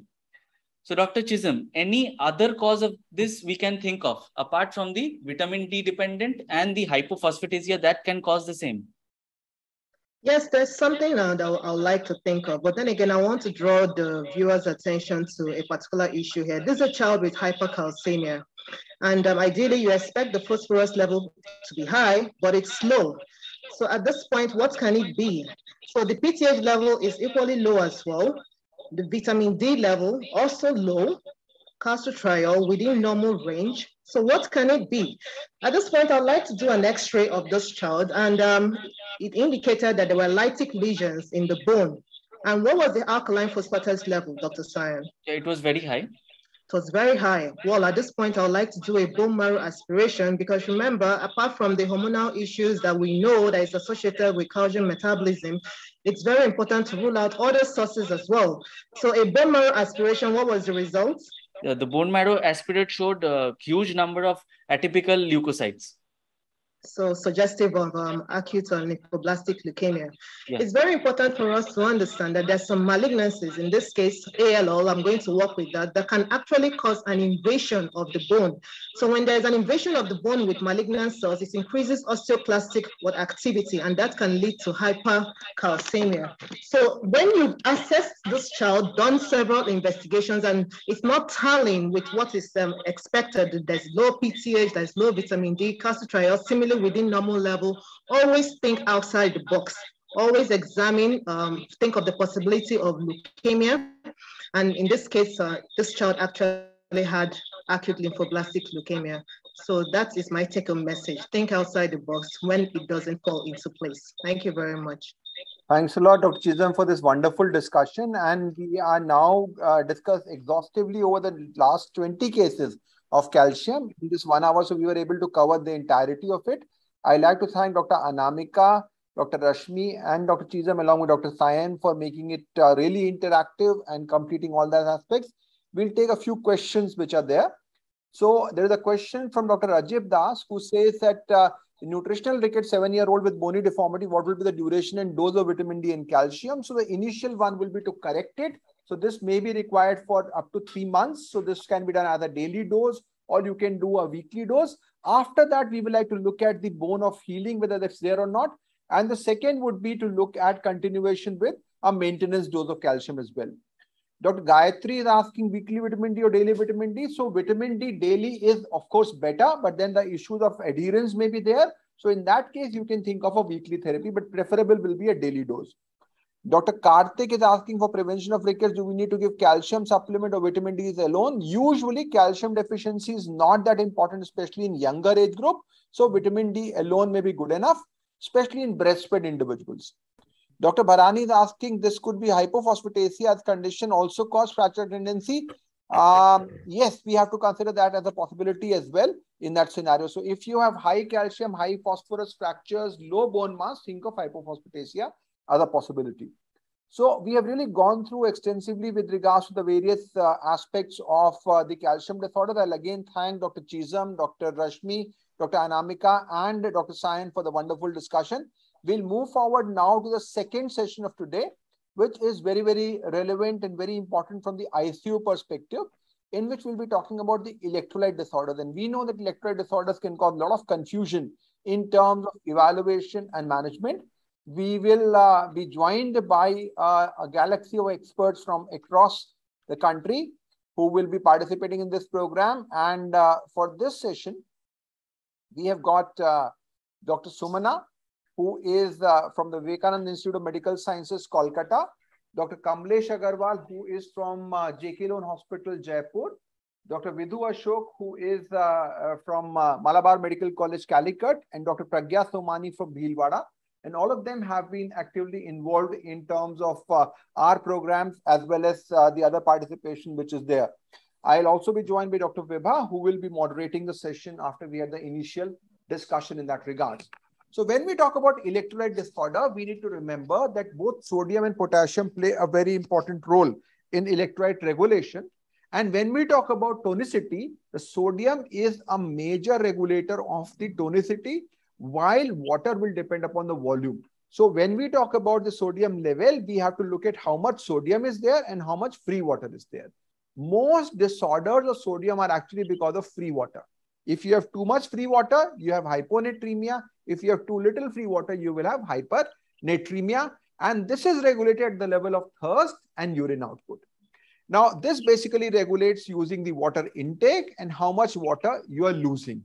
Now, in conditions where your tone increases, the body will then start to have stimulation of the secretion of vasopressin because that will be sensed by the osmoreceptor and this vasopressin will then cause conservation of water, free water, and this will restore the status. So AVP is a highly sensitive hormone which works at a very 1% change, you will have a modification which are there in that perspective.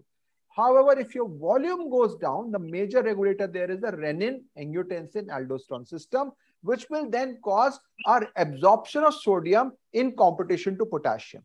So RAS basically causes high sodium and low potassium. So if you have a RAS deficiency, like any form of hypoaldosteronism, pseudo-hypoaldosteronism, adrenal insufficiency, you will have hyponatremia with hyperkalemia. That's a predominant finding that you will find on that. However, if your volume becomes too much, the atrial natriuretic peptide comes into the picture and that will cause a loss of sodium. And therefore, anybody who has a long-standing hyperaldosteronism will not have hypernatremia. Main presentation will be hypokalemia and alkalosis in that perspective that becomes important. Now, potassium is not only in the extracellular fluid, predominantly it is in the cell. So conditions which cause exchange of potassium with the intracellular homeostasis can cause a hypokalemic picture, particularly with hyperinsulinism that we will discuss in treatment of DKA along with the use of beta agonist in that regards. Now, serum sodium, when we are assessing it, should ideally can be done any time of the day. But remember that if somebody had seizures, you will have a lot of muscular activity and the sodium may falsely go up. So you have to be careful. Don't use that particular arm. Very importantly, if you have a hyperproteinemia, hyperglycemia, or hyperlipidemia, you will have pseudo hyponatremia. Now, in hyperglycemia, this will persist even if you are using an ion selective electrode because it is not pseudo in the truest sense, it is dragging more water out. You will have high levels if the albumin level is on the lower side in that regards. Normal sodium is 135 to 145. And if it's less than 130, we consider worried about hypo. And if it's more than 150, about hypernatremia. Now, potassium is typically an intracellular ion. Again, you can do any time of the day. But remember, don't use a hemolytic sample. So don't squeeze it and avoid using syringe.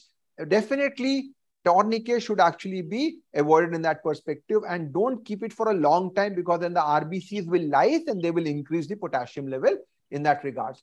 You may have pseudo hyperkalemia if there is hemolysis or if you have a high count like leukemia, they will all consume the potassium and you may have falsely low level of potassium. So all this becomes important in terms of evaluation. The blood gas as discussed is not a very reliable marker. It will typically lower by 0.4 millimoles compared to the serum sample that we are using in that regards. So be cautious about tourniquet, squeeze sample and high cell count in that regards. Now this is very interesting. Normally, we talk about this interplay. We said calcium and phosphorus. We said if calcium goes up, phosphorus should go down. If calcium goes down, phosphorus should go up. Similarly, when we talk about sodium and potassium, generally, if the sodium goes up, like aldosterone is high, potassium should come down. When sodium comes down, potassium should go up. But if you have hypernatremia with hypokalemia, this is a typical scenario this is a RAS excess. Now, as I said, the sodium excess is not going to be huge because atrial natriuretic peptide will come into the picture. It will wash off the sodium. If you have hyponatremia, you will have hyperkalemia. This is typically a scenario of a RAS defect. This is pseudo-hypoaldosteronism, hypoaldosteronism, adrenal insufficiency, all those phenomena will be there. But if you have a rare situation of high sodium, high potassium, only one condition, remember, is Gordon syndrome rare scenario. If you have low sodium, low potassium, you're losing it either via the gut, so you have diarrhea, or via the kidney because of tubulopathy or diuretic use. So if you want to really look at the sodium potassium together, you will get a lot of information in that perspective. So hyponatremia can usually be because of excess free water. In that scenario, the individual will be you or hypervolemic and uric acid will be low. Now, uric acid excretion depends upon the amount of water in the body. If you have more water, more uric acid excretion, less uric acid. So uric acid is a good marker of hydration. If you have a sodium loss, on the other hand, you will be hypovolemic with high uric acid. Now, excess free water can be because of overload. You will have edema, cardiac, renal, all those causes will be there. And you will have a low urinary sodium. Or if there is a reduced loss of free water, typically because of SIADH, you will have a situation in which the urinary sodium will be high. Now remember, SIADH-like picture can also be caused by cortisol deficiency and hypothyroidism. So SIADH is a diagnosis of exclusion. Don't rush anybody with euvolemic hyponatremia. Don't call them SIADH. You have to look at other possibilities. Now, if you talk about sodium loss, it can be extra renal In that scenario, the body will conserve the urinary sodium or it could be renal where your urinary sodium will be high. The scenario could be again with tubulopathy like diuretic use or other scenario versus RAS defect. To differentiate this, you will have hypokalemia in this scenario and you will have hyperkalemia in RAS defect. So basically, if you look at the key things, fluid status, the potassium status, and urinary sodium, you will know entirely everything about hyponatremia etiology. So if uric acid is low, which means you have fluid overload, it is either SIADH or fluid overload. If you have a low urinary sodium, it means it's a extra renal cause which you have to worry about. If the potassium is high with hyponatremia, you are dealing with a RAS defect or renal failure. And if hemoglobin again is a marker of volume status. So if you look at these parameters, you will make a correct diagnosis. So to approach hyponatremia, first rule out hyperglycemia, hyperlipidemia, hyperproteinemia, and renal failure. Then look at volume. If volume is more, this is fluid overload. If volume is normal, look at thyroid and cortisol. If that is normal, this is SIADH. If there is hypervolemia, look at urinary sodium. If the urinary sodium is low, this is extrarenal loss like GI loss, cystic fibrosis. If it's more, look at potassium. You have hypokalemia, this is tubulopathy or diuretic use. If you have high level, this is a RAS defect. So first look at volume. If volume is euvolemic, look at thyroid and cortisol. If volume is low, look at urinary sodium and potassium. You will basically get the diagnosis pretty much in that scenario.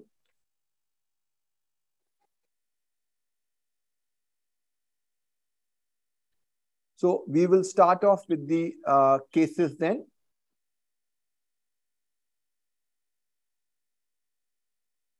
So, uh, so basically, as we have discussed, the main scenario to look at in this situation is to look at the urinary sodium and other parameters. So I'll invite uh, Dr. Vibha to come up and she will be presenting the first case, which is going to, and we'll start off discussing the cases initially about the uh, scenarios of predominantly in the setting of uh, hyponatremia first.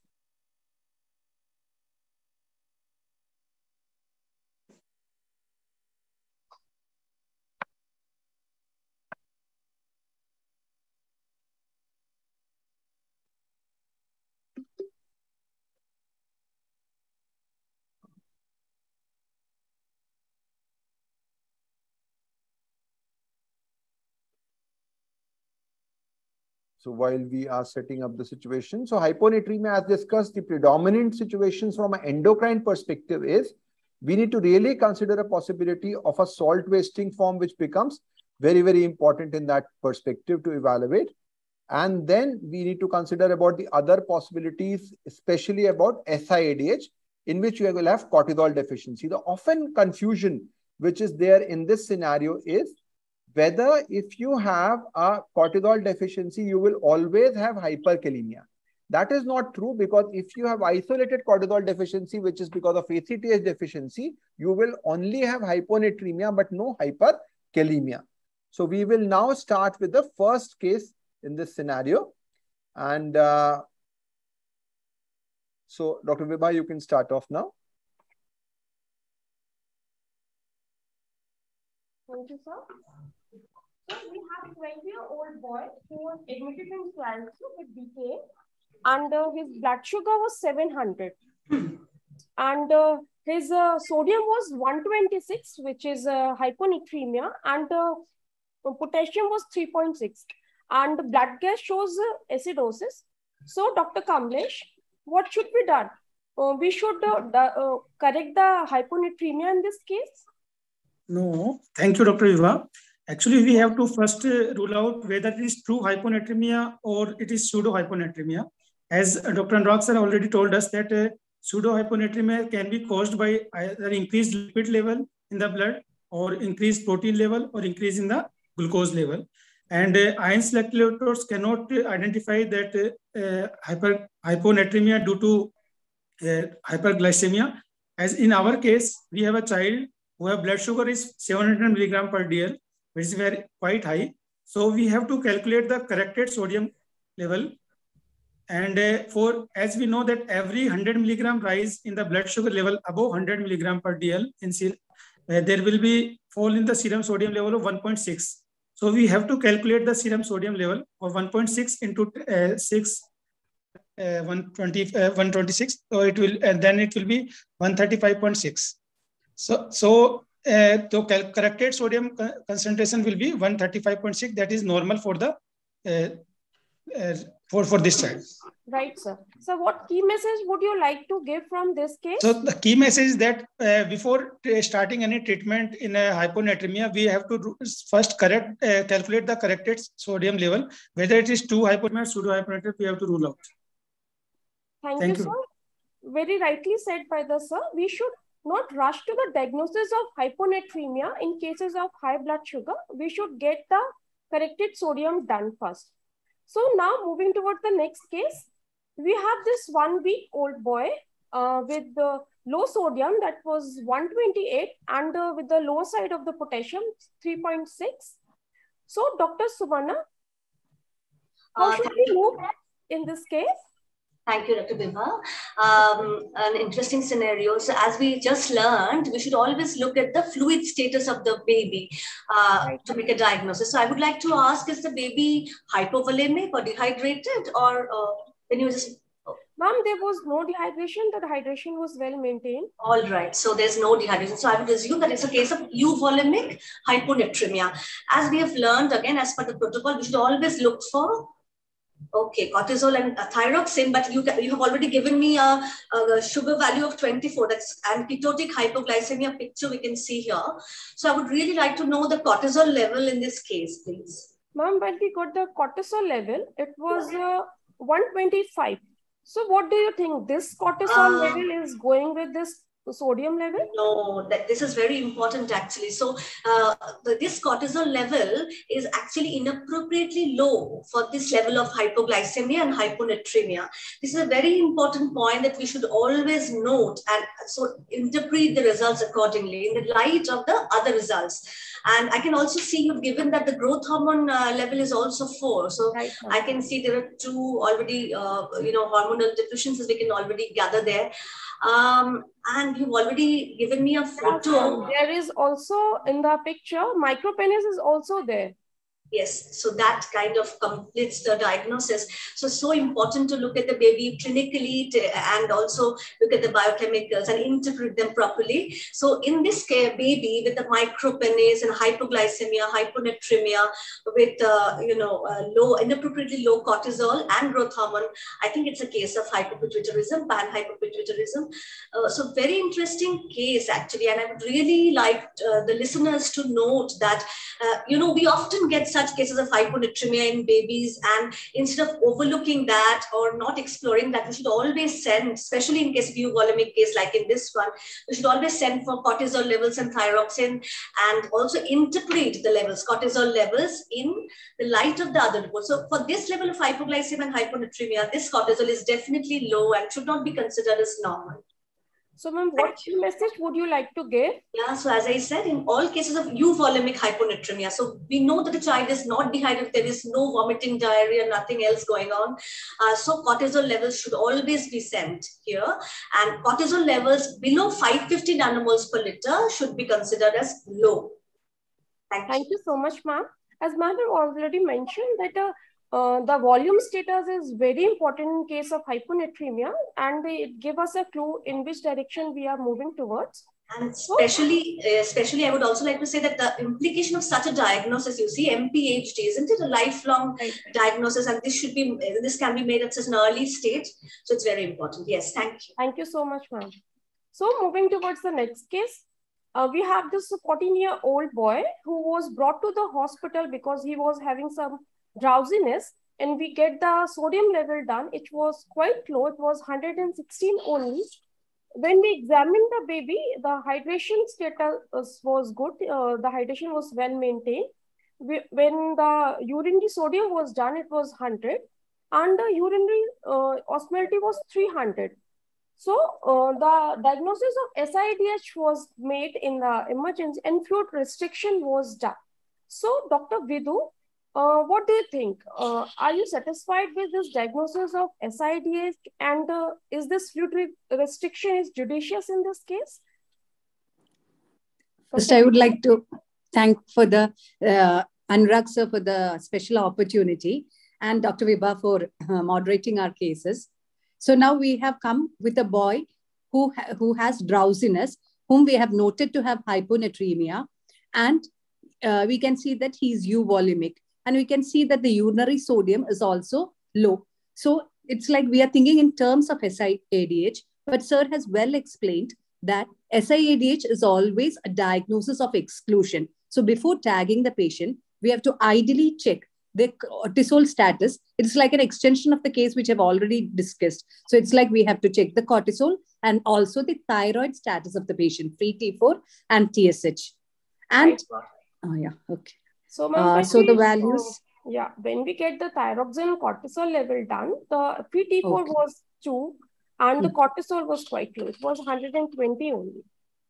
So again, this is another case like uh, there is multiple uh, pituitary hormone deficiency uh, like the before case, even in this case, what we have to understand is that SIADH is a case, it's a very, it is a diagnosis of exclusion. So before tagging or doing fluid restriction, we have to look into when it is euvolemic, you we have to look into the cortisol levels as well as the uh, thyroid status. So that is almost like the key message for this uh, question.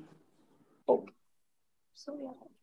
Okay. So the key messages ma'am have already given that uh, SIADH is a diagnosis of exclusion and uh, we have to always uh, uh, get the cortisol and free T4 level done in the patient of euvolemic and hyponatremia. Thank you so much, ma'am. Now you. moving towards the next case. We have a three-week-old uh, child and he came to us for the failure of thrive, failure to thrive. Uh, when the sodium level was done, it was 110 only and uh, he has only gained 100 gram in three weeks. Uh, was severely dehydrated. Hematocrit was 62. Urine sodium was 100. And potassium, hyperkalemia. There was 8.4 potassium was there. So Dr. Pragya. Hello, ma'am. Hello. Dr. Pragya. Okay. Yeah. So, ma'am, uh, can you uh, how should we proceed this case? So as we can see uh, in this case, uh, it's it's a hypovolemic child. No? Is raised, so this is a hypovolemic child with a urine sodium which is on higher side, right. and uh, and there is hyperkalemia. So this would uh, point toward a RAS defect.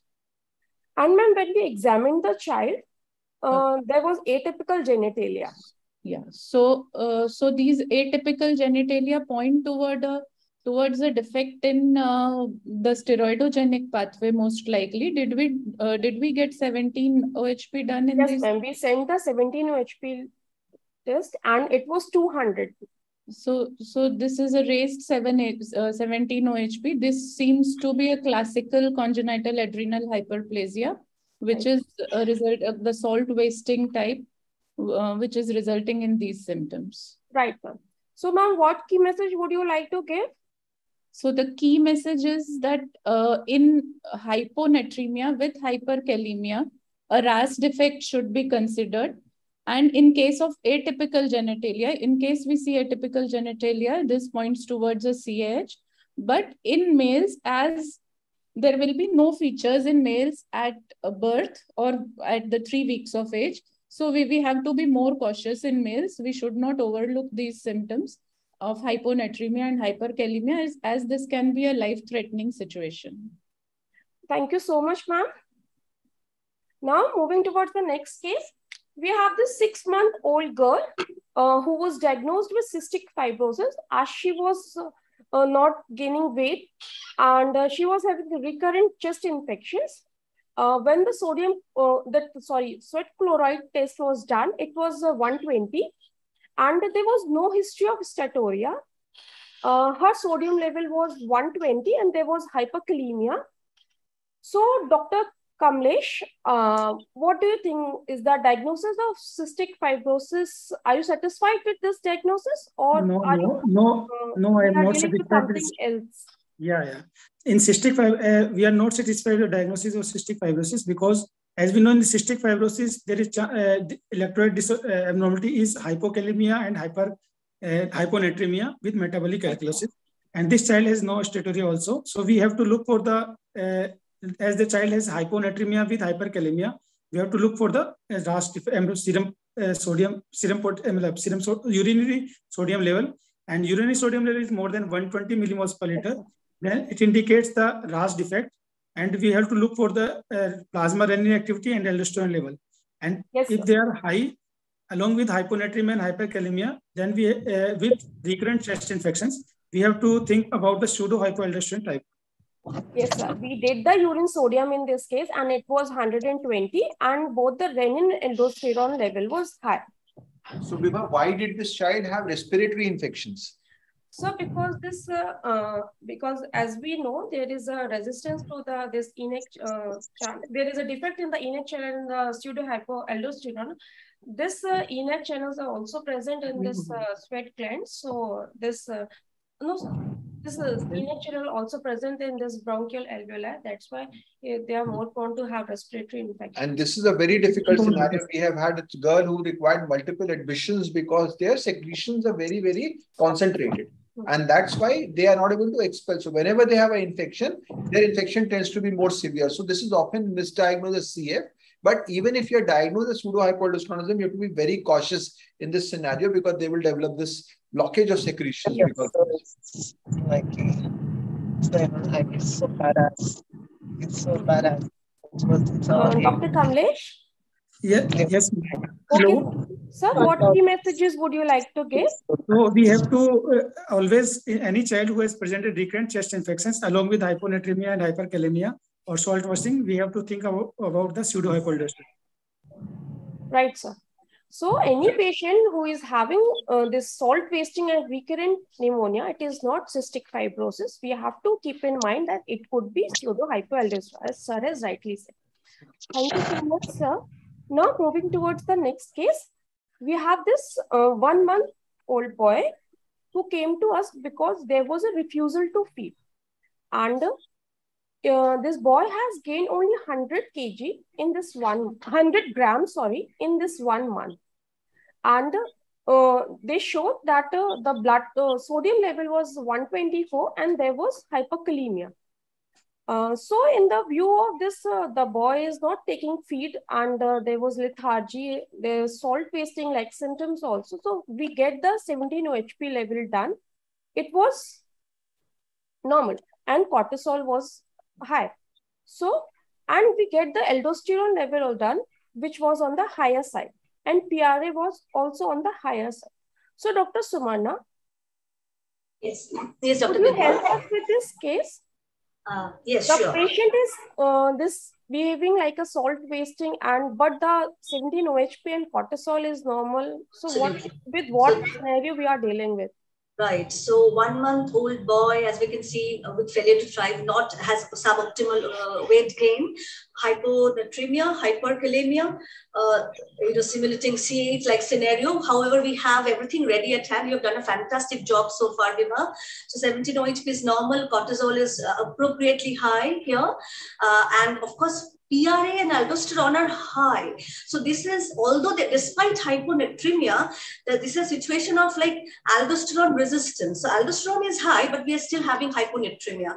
So I think there is something else going on. With the history that you gave, it seems the baby is having some sort of an infection because of reduced feeding and lethargy. Can you give me some more uh, information in terms of yes, any yes. other urine test that you did or anything yes, like that? Considering this infection, we sent the urine routine and we found that the it showed a greater than 100 uh, pus cells in the urine. There and, you go. So we have a full-blown uh, urinary tract inf infection there. Very common uh, scenario that we get in the neonates, actually. I mean, not too uncommon, I must say. Uh, did you do an ultrasound too? Yes, ma'am. Uh, the ultrasound showed there was an obstruction in the urinary tract also. Right. Uh, so a very, very interesting scenario and should not be forgotten that uh, in this kind of uh, situation where we get pseudo uh, like aldosterone high but hyponatremia, uh, we should, uh, in, in this kind of age group, we should always rule out tubulopathies and obstructions, anomalies, and rule out UTI because it has been seen that in these cases, there is a transient hypo, pseudo hypoaldosteronism like picture which responds brilliantly to the treatment of the primary cause, that is the infection infection. So here I, because there is an urine infection going on, once the baby is treated for urine infection, this thing will totally, uh, the dyselectrolytemia will be corrected and the baby will uh, get better in no time. This is very, very important. Uh, I mean, uh, we have got many articles. If you look at them, they have shown that very typically um, posterior urethral valves, vesicoureteral reflux, and all those things have been seen to be associated with this kind of transient uh, PHA3-like picture, actually. So, ma'am, what key messages would you like to give? Yes, so again, uh, we should always rule out the common causes like infection, UTIs, and sepsis, uh, which, which might cause a transient pseudo hypoaldosteronism like picture before embarking on further management, because it is a very, um, it has a good prognosis and re uh, response promptly with treatment. Thank you. Thank you so much, ma'am. Um, uh, it, um, like ma'am has said, sometimes a very simple investigation like urine uh, routine microscopy can help up, can help us very much. So now moving towards the next. So just before we start with regards to the further aspect of hyponatremia, just the treatment of hyponatremia, it depends upon the duration and the symptoms. So if you have somebody who has got a recent onset scenario and the child is symptomatic, you can then give a rapid correction. Remember, if you raise the sodium levels very rapidly, you may cause cells to shrink.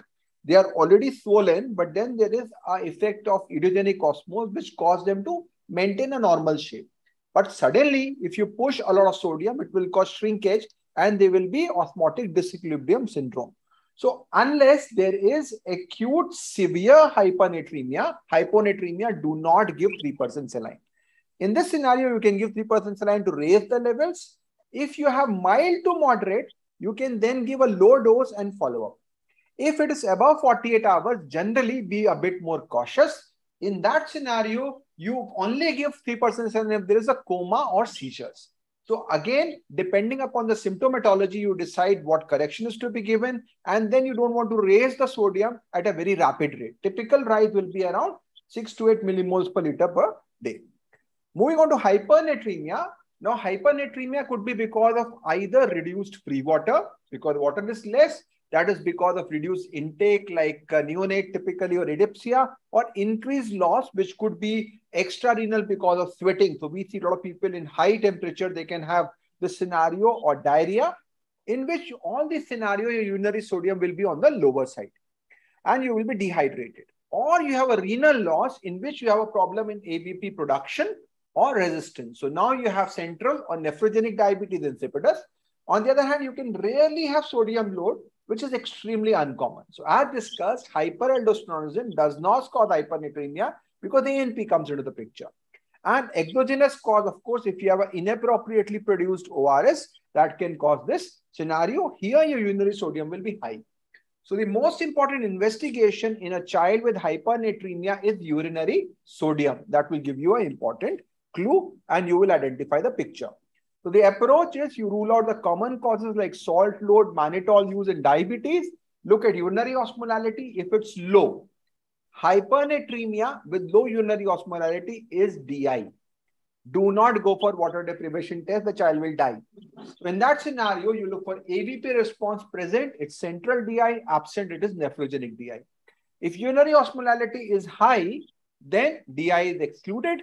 Look at urinary sodium. If it's high, you are dealing with a load. If it's low, you are dealing with an extra renal cause, or you can have osmotic diuresis. So again, urinary osmolality and sodium will give you a classical clue in that scenario. So Dr. Vibha will carry forward with the cases in this regards.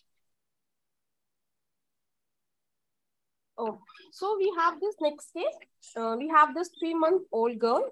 Uh, she was brought to the hospital. Uh, she has an altered sensorium and her uh, sodium level was 140 170 sorry and potassium was 4.2 Urine osmolality was on the lower side, 110. So I advise the water deprivation test. So Dr. Vidhu, do you agree uh, with this water deprivation test at this level of sodium? Thank you for the question. So now we have a three month old child, and it is said that the baby has altered sensorium. And we look on to the sodium, it is very high. So whenever the sodium is very high, altered sensorium, we have to correct the sodium. We shouldn't go for a water deprivation test. In case we went for that, we would get a bad prognosis. The child would again become bad, may throw seizures or go into coma or become unstable, and it can even have a Yes, bad outcome. Yes, so first we have to, uh, uh, uh, so that is what, uh, we- uh, ideally we are not supposed to do the water deprivation Yes, test. ma'am. The water deprivation test triggered seizures in this case. Okay. So, ma'am, what should Uh. be the ideal approach uh, uh, in this case when the, we have this uh, high sodium? Uh, so when high uh, sodium is there, we have to ideally correct the sodium. And coming to the diagnosis part, since uh, the urine, urinary osmolality is low, and the urinary sodium value we have to see, so then we have to distinguish between the whether it is a central di- uh, diabetes insipidus or it is a so if it's central, then we have to know to uh, know the AVP response. Uh, when we give the AVP and uh, the AVP response was present. Uh, So uh, now it comes to it is a central DI. Right. So, ma'am, what key message would you like to give from this case? So it's always like whenever we approach a case, we should first say that whether the patient is stable or not. So in this case, we are just going into seeing whether the child, how is the child's uh, uh, CNS uh, general condition. So now we understood altered sensorium. Then we point on to the sodium. We already know that hypernatremia is there. So first we are going to correct that. And once the patient is settled, uh, is out of danger, then we can go into the diagnosis part. And as the flow, uh, flow chart shows, we can correctly diagnose the child. Thank you so much, ma'am. Uh, as ma'am has correctly said, that at this high level of sodium, like uh, 170 level, uh, this uh, advising the water deprivation test could be harmful to the patient as in this case, it has triggered seizures. So in these type of cases, we should not go for water deprivation tests directly. We should go for the AVP response. And if the by giving the AVP, the osmolality has increased, it means there is a central DI. If there is no response, then we are dealing with the nephrogenic DI. So now moving towards the next case, we have this 14 day old girl uh, who came to us uh, with the failure to thrive. She has lost weight, uh, 300 grams from her birth weight. She was born to a primary gravida and she was exclusively breastfed according to her mother. Her serum sodium was 182, which was quite high. And when we did the urine osmolality, it was 1000. So, Dr. Pragya, uh, what could be the cause of such a high sodium in this 14 year, 14 day old girl? Uh, so as we can see, this was a 14-day girl born to a primary gravida mother and was exclusively breastfed, right? Yes, sir. And uh, serum sodium was 182. The urine Right. osmolality was 1000, which was a this this is a hyperosmolar urine with a sodium load, as we can see. Yes, So urine sodium was 110. urine sodium was also very high. So this this is most likely a case of breast milk hypernatremia, which usually occurs in a prime uh, in primary gravida mothers due to inadequate milk secretion. And as the babies are exclusively exclusively breastfed, they uh, they suffer from a sodium load. It's not that breast milk has a very high sodium concentration, but just due to inadequacy of uh, feeding, uh, they suffer from this condition. This is a potentially lethal condition, and the prevention from this condition is the best modality. So every primary gravida should be properly uh, trained and educated regarding this condition. Ma'am, what key messages would you So like to key give? message I would I would like to give is that high ser- high serum and urine sodium indicate a high sodium load, and as I said, breast milk hypernatremia is a condition that that is seen in primary gravida mothers due to inadequacy of milk secretion and they should be uh, well, uh, they should be trained well in advance regarding this condition so that, that, that it could be prevented as it is a potentially lethal condition. And this is a very, very dangerous condition. So it is recommended that at day 14, we should ideally measure all children with their weight. They should have regained weight by that time. And if you have a child who presents you with this severe hypernatremia, go for a dialysis. Don't wait and watch because otherwise there will be acidosis and the whole scenario will really spiral out. So such severe hypernatremia, dialysis, be ready, seizures will happen because you're cutting down sodium quickly. You will have hyponatremic seizures, but don't worry, you give 3% saline, bring it down because otherwise the child will die. So this is something which is a very, very dangerous. Parents are happy because child is sleeping. They feel the child is sleeping and urine output, they don't know how much they are passing. So this is a true method. They should look at birth weight and weight at 14 days and whether they are passing enough urine. This is a very, very preventable cause of hypernatremia. Thank you, sir. Thank you, Dr. Pragya. Now, moving towards the next case, we have this 13-year-old boy who was admitted for encephalitis in the PICU, and he was uh, on the ventilator, and we got a, PI, a call from the PICU because he suddenly started pass, passing lots of urine. There was polyuria with the 10 ml per kg per hour, and the sodium serum sodium level was 180 uh, 180 millimole and urine osmolality was 120 that is uh, quite low. And when the avp was given it uh, the urine osmolality increased. So dr kamlesh what do you think? What has happened suddenly in this child? What uh, causes the polyuria in this patient. Thank you dr Vibha as a child is uh, having the encephalitis and is on ventilator and we are seeing that he has developed hypernatremia with polyuria and urine osmolality is less than 600 milliosmoles so uh, we have uh, as the dr Doctor already told that we look for urine osmolality if it is less than 600 then we uh, we have to look for the avp response. And the avp response is uh, there is increase in the urine osmolality so the child is suffering from the brain, DI, uh, brain death, diabetes, central diabetes insipidus. That has caused the polyuria in this child. Right. So very well said. And uh, how do you, uh, Dr. Vibha, why do you think that if somebody develops DI because of brain damage, why is it diffuse? You why is it not focal? Um. So. I'm not getting the question. Because the AVP neurons are, uh, the, um, are very widely, widely separated. Dr. Kamlesh, yeah. Sir, actually, the uh, neurons in the AVP secreting neurons are the diffusely uh, located in the different one centimeter apart in the uh, cortex, and they converge in the pituitary stalk. And if the diffuse involvement is there in the encephalitis, that one can cause the DI. Otherwise, small uh, lesion will not cause the one or two infarcts or other hemorrhages will not cause the problem. You need to have a much bigger insult. Bigger so a sick child developing DI earlier we used to say brain death DI. The child is this is a marker of a very serious disease. Yes. Thank you, sir. So I think that's something which is yes, the key sir. message is consider brain death with severe in, and you have to options are fluid replacement. We don't want to go into too much into that yes. in that way. So when we correct hypernatremia, again the message is you need to have a slow correction. Over 48 hours, you use maintenance, which is 4 to 1, followed by free water deficit, for every 1 millimole per liter rise in sodium, there is a 4 ml per kg free water deficit. So then you calculate it accordingly by 4 ml per kg and then you look at the ongoing urinary loss. You add all of that, give it evenly, you will get the right formula. Now, remember, you don't want a rapid fall. If it's an acute condition, you want 9 to 12 millimoles per liter per day.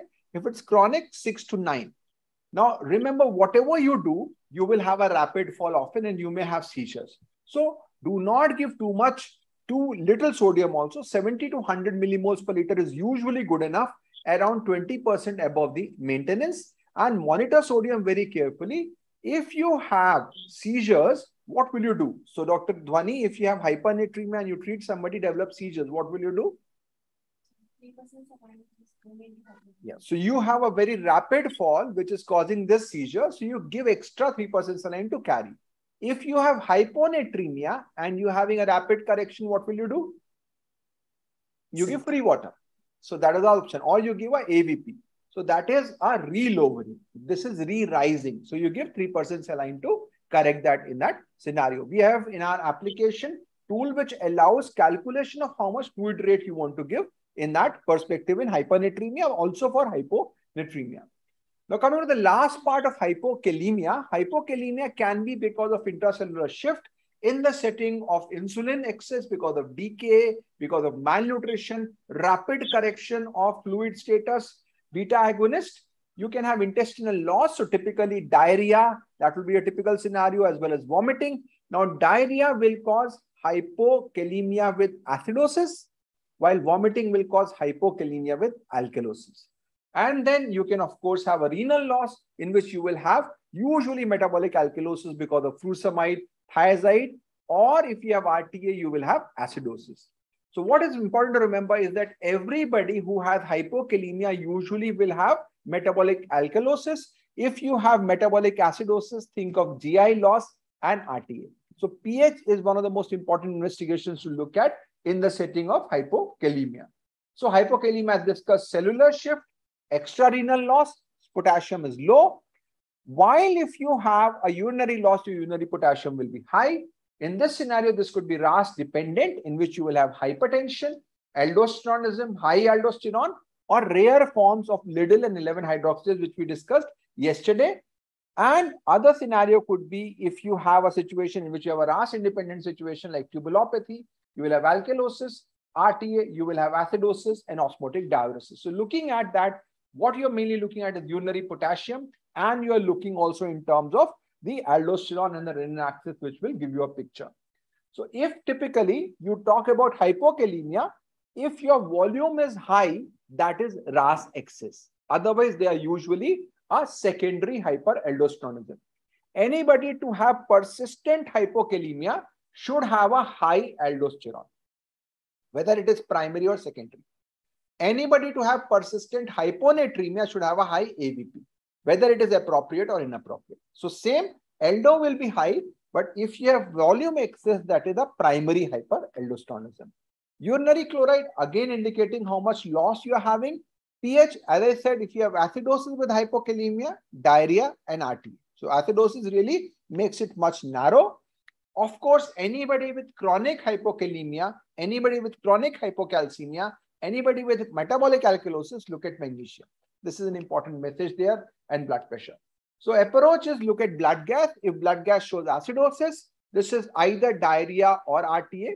Look at urinary anion gap. If it's positive, it is RTA. Negative, it is GI loss. If there is alkalosis and you have got hypotension, you're thinking of tubulopathy or the BP is normal, not high, look at hypercalciuria. That will be Bartter syndrome. Otherwise, it will be Gitelman syndrome. If your blood pressure is high, so you have hypertension along with hypokalemic alkalosis, you're dealing with aldosterone excess. What is aldosterone? It's high. It's primary hyperaldosteronism. Aldosterone is low. Look at DOC dependent causes, which will be the CH variants, 11 and 17 hydroxylase. And if they are both normal, so you have got a aldosterone which is low, DOC which is low, renin which is low. So what is happening? You look at aldactone response. If the child responds to aldactone, that is a apparent mineralocorticoid excess. No response is Liddle syndrome. So hypokalemia approach is blood gas, acidosis, diarrhea versus RTA. If you have alkalosis, look at blood pressure. Hypertension, you look at low renin causes of hypertension. Normal tension, look at diuretic versus Bartter and Gitelman syndrome. So we'll carry forward from there, Dr. Vibha, with the next case. Thank you, sir. We have this two-month-old boy with hypokalemia and uh, the blood gas shows acidosis and the base excess was minus 16. And when we did the, well, calculated the anion gap, it was 12. So uh, we are in dilemma whether it is diarrhea or RTA. So Dr. Suvarna, could you help with this condition, ki whether it is diarrhea or RTA? Thanks, Dr. Vibha. That's an easy one because sir just explained to us, as per the protocol, if the blood gas shows that rare combo of normal anion gap acidosis with hypokalemia, very rare one, then we should uh, think of either diarrhea or RTA.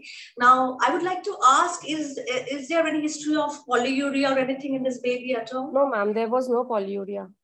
Okay, so I would next uh, like to go on to the urinary anion gap then. Do you have any reports for me? Right, ma'am. uh, it was urine sodium was 120, potassium was 20, and chloride was uh, 220. So the urine anion gap was minus 120. Correct. So that's a negative uh, urine anion gap. So uh, this again, so going back to the protocol as Sir has been explaining all this while. So normal anion gap uh, acidosis with hypokalemia with a negative urinary anion gap um, indicates probably it's a case of uh, um, diarrhea. We would like to uh, instead of RT, we would like to know about the urine potassium creatinine ratio if you have that. Yeah, ma'am. It was uh, normal. It was not very raised. So yes, so that is another point that is the, the loss of potassium is probably extrarenal and not renal. So we have the diagnosis of diarrhea here instead of RTA. Ma'am, what are the key messages from this case? Right. So, um, uh, like we discussed, uh, that um, in any case of uh, acidosis with hypokalemia, we should think about the two diagnoses, RTA or diarrhea, diarrhea being of course more common. Uh, but then we should not, uh, we should always do the urinary anion gap uh, to come to the diagnosis. That's a clue. Mm, thank, you so much, ma'am.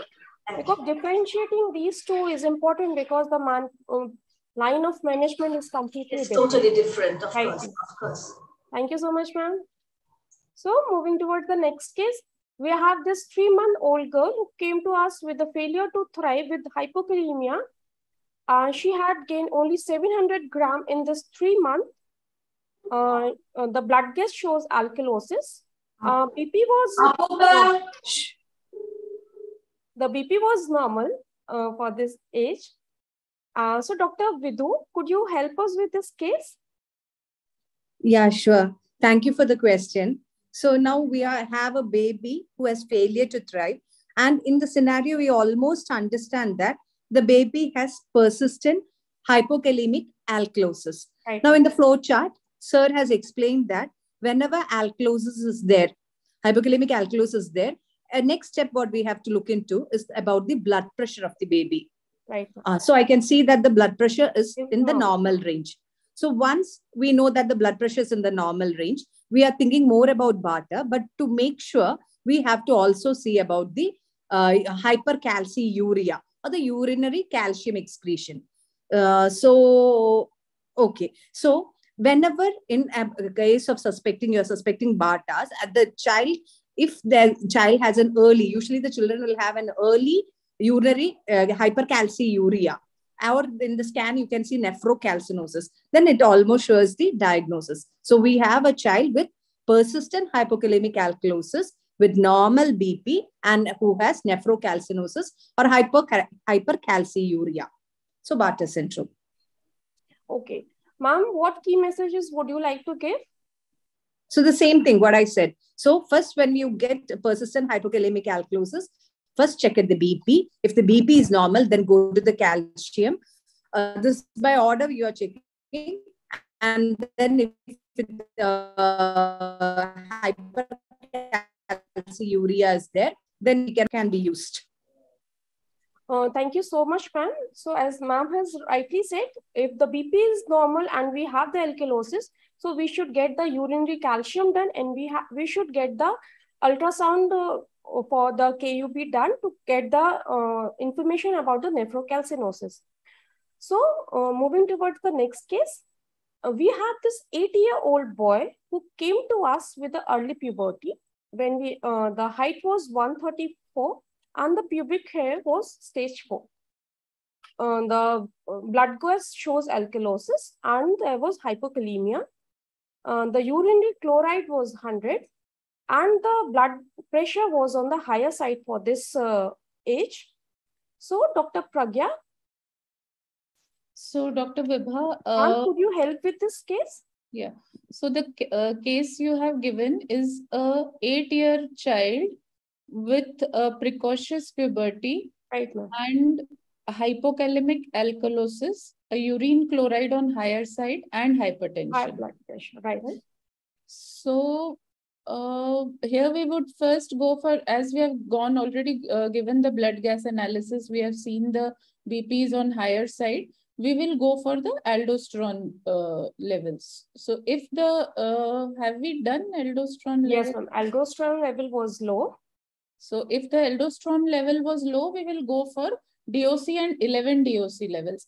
Can you tell me more about external genitalia, Dr. Vibha? Because Yeah, as ma'am. there is Uh, when we did the examination, it was quite surprising. The uh, gonads were not palpable. Okay.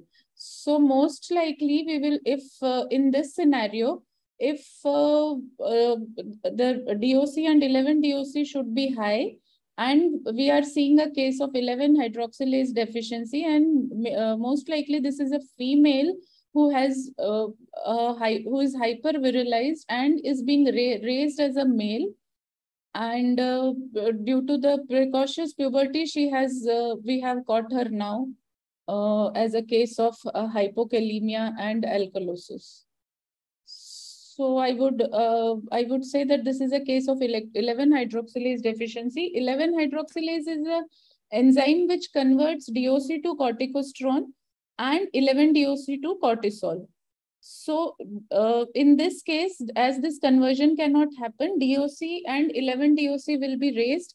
These have a weak mineralocorticoid activity due to which these cases are uh, many a times missed in earlier age group and present later with a hypervirilized uh, like, uh, condition and hypertension along with electrolyte imbalance, hypokalemia and uh, alkalosis. So, ma'am, what key messages would you like to give? So the key messages in this case would be, Dr. Vibha, that hypertension with alkalosis, we should rule out CAH as uh, this is a very treatable condition and could be uh, uh, and uh, could be treated easily. And in a XX DSD, 11 hydroxylase defect should be ruled out everything. Thank you so much, ma'am.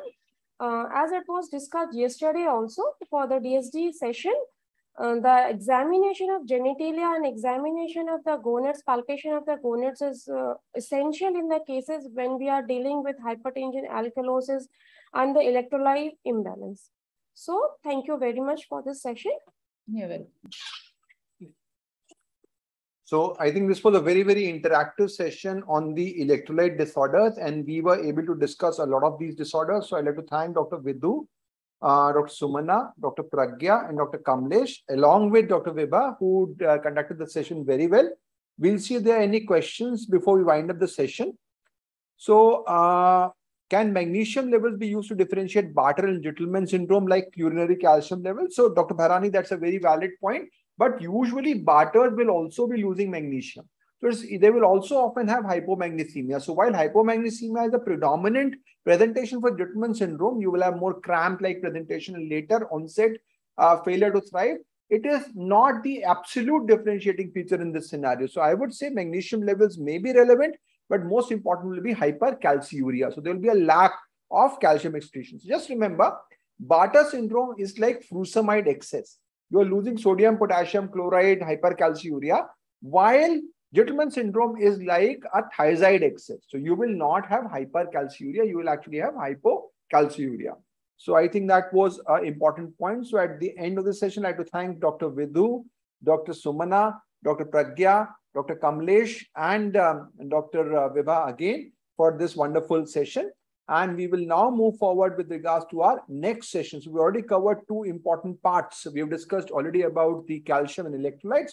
Now we move towards the third part, which is glucose. And we will be discussing in uh, regarding two different modules. One would be about decay, which is of course a very important acute emergency. The second will also be with regards to the management of hypoglycemia because that itself is again an important thing to remember in that perspective. So we will be starting our first session, which will be there with regards to the DKA. And again, we have got uh, a wonderful team of experts which will be working with regards to us on DKA, which is one of the most important uh, treatable causes of death as far as pediatric endocrinology is concerned. So for this session, uh, I am honored to have with me four stalwarts and uh, they are from different parts of the country. Dr. Anjali, who is there from Calicut again. So we have got two people from the same medical college. Uh, Dr. Vidhu was there in the last session and now we have Dr. Anjali. Dr. Vikas from Aligarh, who has been working a lot with regards to pediatric endocrinology. Dr. Hemang, I am specifically taking his name as uh, a stalwart because he has developed a validated mobile application which guides each and every step of management of DK. And we'll talk a bit about how he developed that. And Dr. Naveen, who has just recently passed out, and uh, he is currently in Lucknow. I'll also be joined by Dr. Sayan regarding the case presentation in the grand round. So we will start with this unfortunate case, four-year-old girl who received fluid and insulin from outside, had hypokalemia, was given normal saline and then was given insulin. Now what happened is suddenly she developed hypokalemia and arrhythmia. So the problem here is that there was significant hypokalemia which was missed and that had a lethal consequence. So we need to be wary that DK is common. We have always been told that India is a country with low prevalence of diabetes. So it's actually not low prevalence. It is basically not picking up at the right time. So this is something which is very, very important and we are missing a large number of children in that regards. So just to touch base on, DK basically is insulin deficiency and counter-regulatory excess.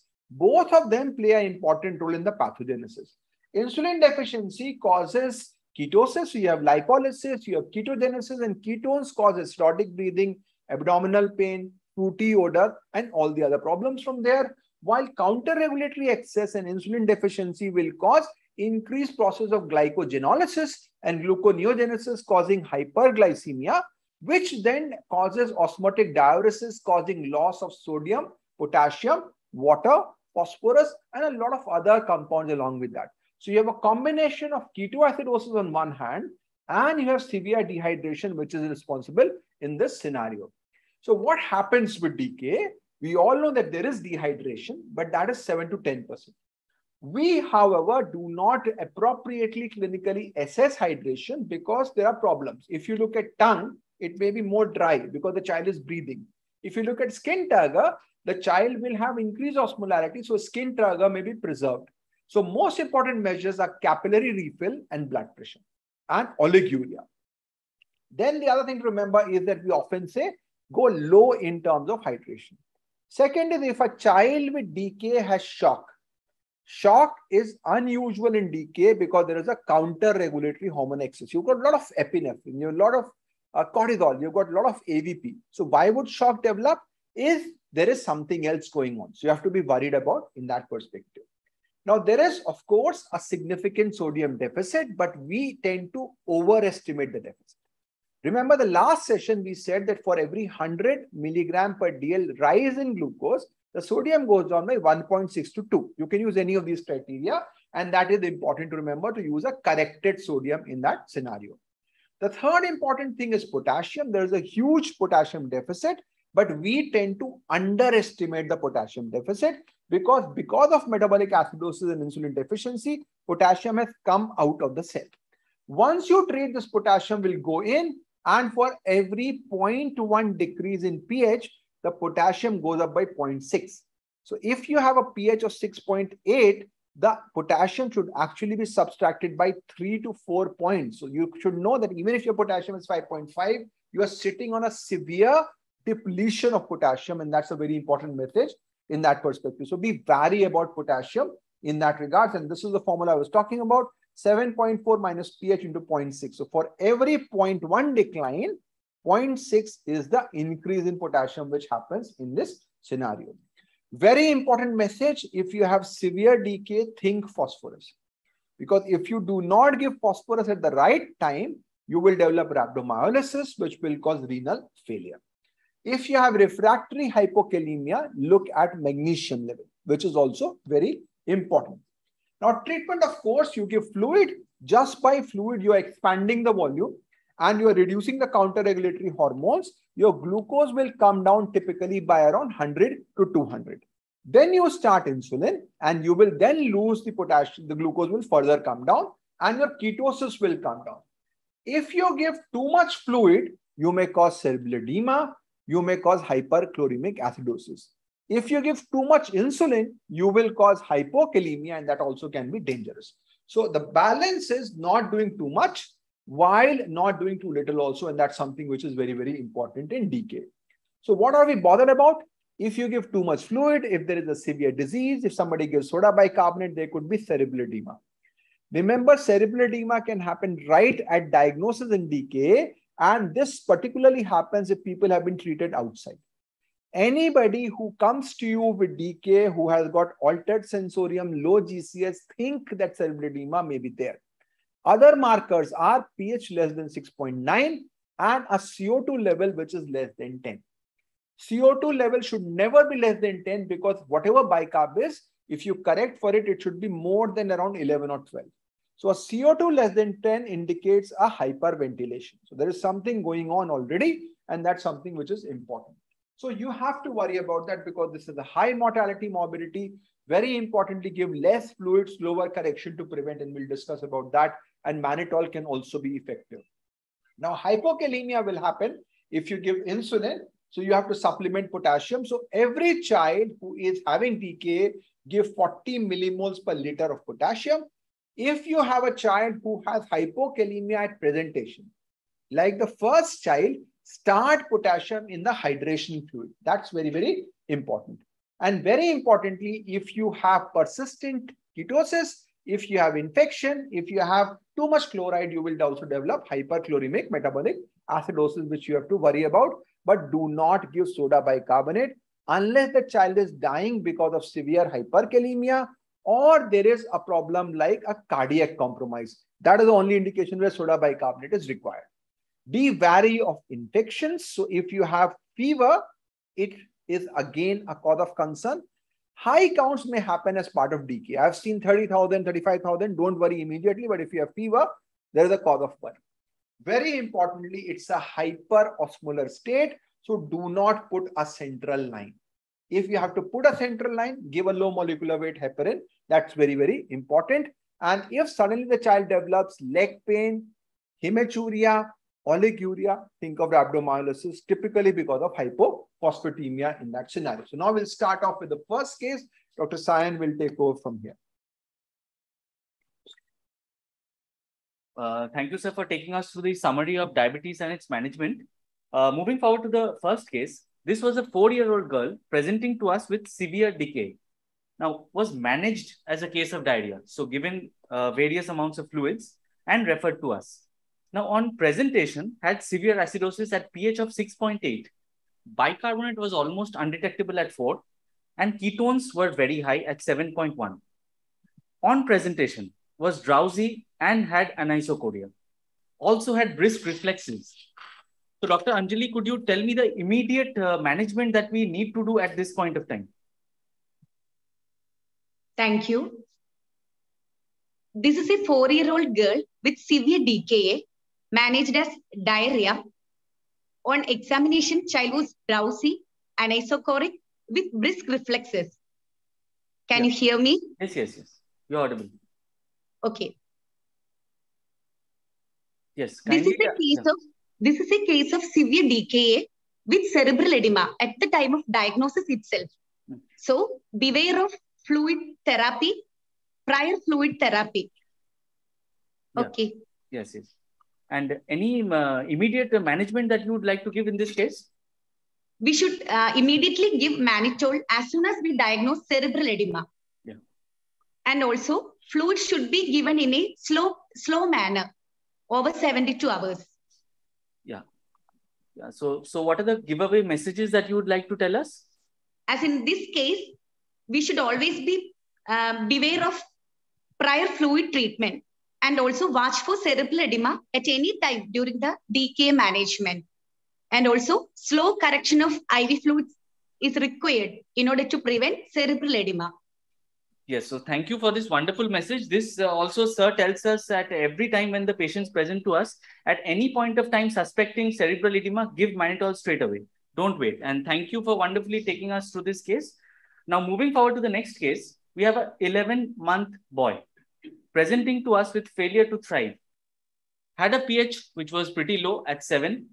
Ketone was high at 4.4. Had a random blood glucose of 440 so, doc, Dr. Vikas, is this decay and how will we manage the same? Dr. Vikas?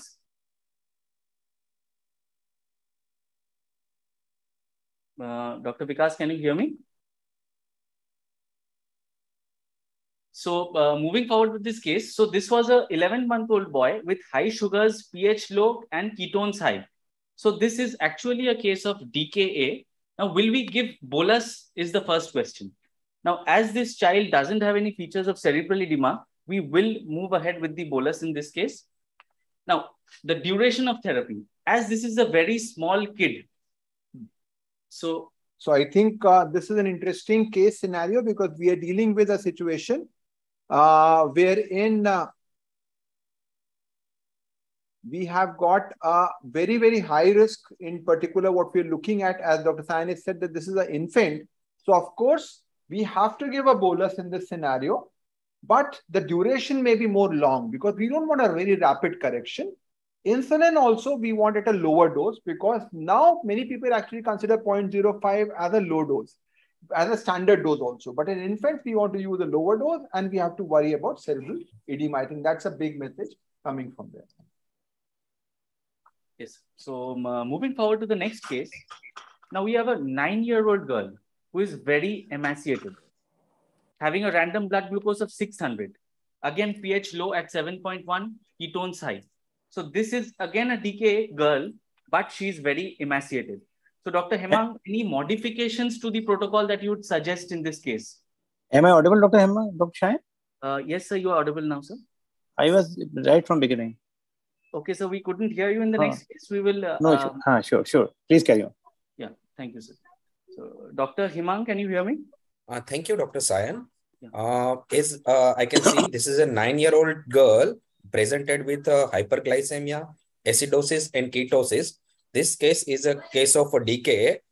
Uh, so yes, we will start uh, management with fluid boluses, and uh, duration should be over 48 hours. But the child is emaciated, so we should start uh, low dose insulin to uh, because this child might have a low potassium reserve. So, so uh, to check for hypokalemia is the first thing, and we should start with the low insulin dose, and uh, we should aggressively look for the hypokalemia as well as sir says as hypomagnesemia could be one of the cause.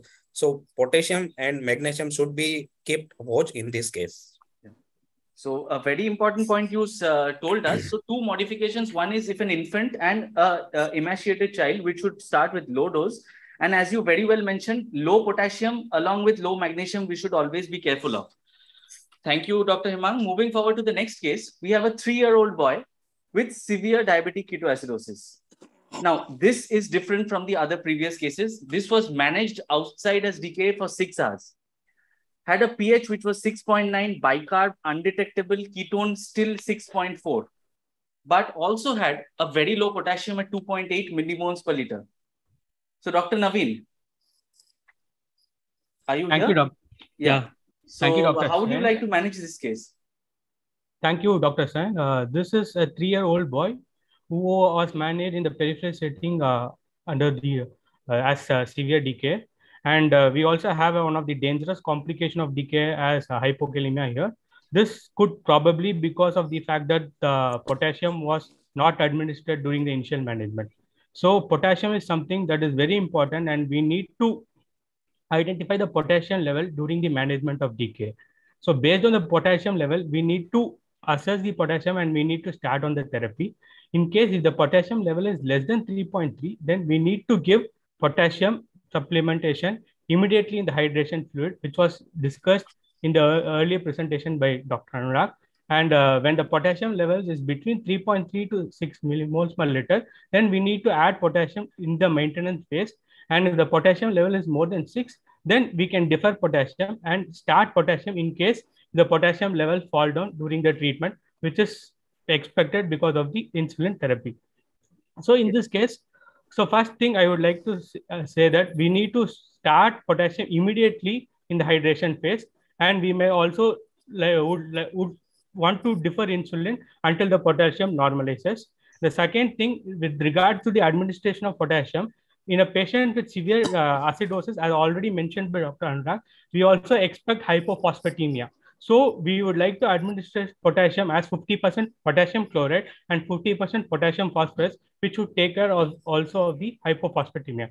And third thing, in a condition of insulin deficiency and metabolic acidosis, the most common thing which we encounter is hyperkalemia.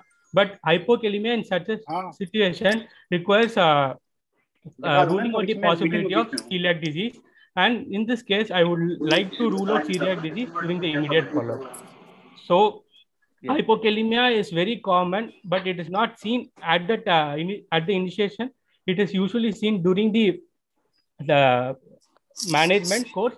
And uh, case the patient is having hypokalemia, a diagnosis, it can result in fulminant arrhythmias and uh, sometimes possibly disastrous consequence. So based on the high potassium levels, we need to start potassium immediately in the hydration phase if the potassium levels are less than 3.5. And this being a very common scenario, how can we improve the quality of care? I would like to uh, request uh, Dr. Hemang to emphasize on improving the quality of care.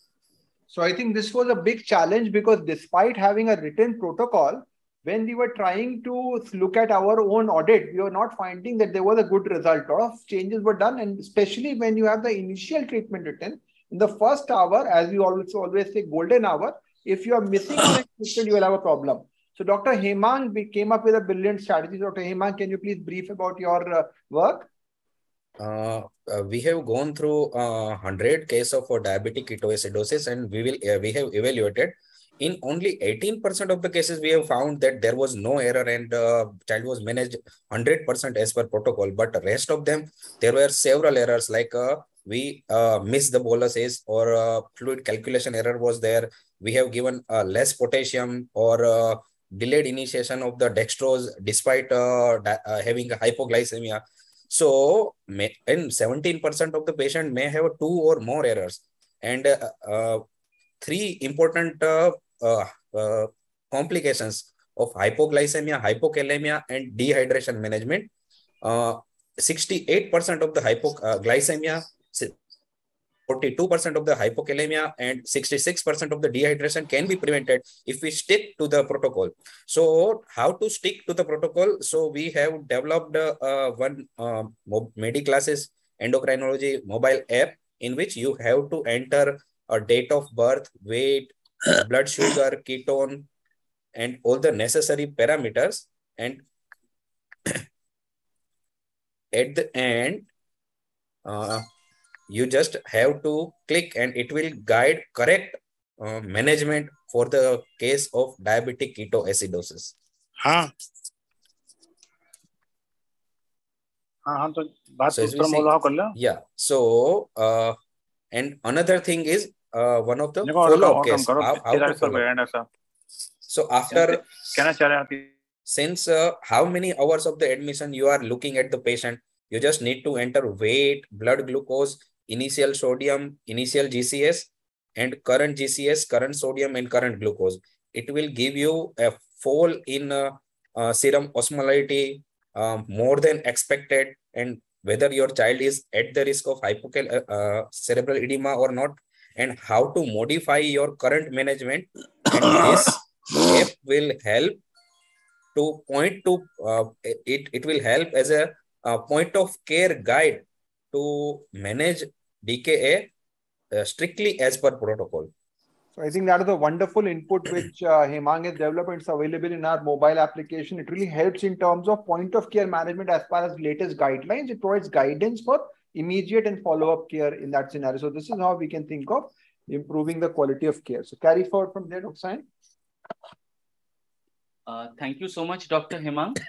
Uh, moving forward to the next case now. This was a 10 year old girl, very high blood sugars at 540, body weight of 30 kgs at presentation, had metabolic acidosis, pH of 6.9, dehydration at 10%. So, Dr. Anjali, uh, kindly tell us how to manage this case from here on. A fresh case presenting to us with DK, severe dehydration. Thank you, Dr. Sayan. This is a case of severe DKA with dehydration 10%. Here, pH is less than 7, bicarbonate less than 5. This should be treated in an ICU setup. The markers of severe DKA are low CO2, high lactate, high anion gap, high blood urea nitrogen. ICU admission is indicated in pH less than 7.1, age less than 5 years, with altered sensorium and low CO2. And also fluid should be given uh, during the next 48 hours according to ISPAD guidelines. We should calculate maintenance plus deficit. Maintenance should be calculated according to 421 formula that is 70 ml per hour and deficit by uh, from dehydration. We, we are considering dehydration as 10 percentage, then 62.5 ml per hour. Yeah. Then the total uh, fluid should be 135 ml per hour should be corrected in a in 48 hours. Yes. We should cor- correct slowly in order to prevent cerebral edema. Uh, yes, Dr. Anjali, thank you so much for taking us through the uh, calculations.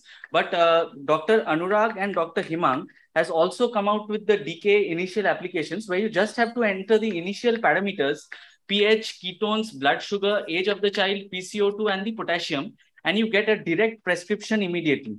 And this is how they also showed via their research that this can cut down on the errors that we are committing and taking the patient to complications.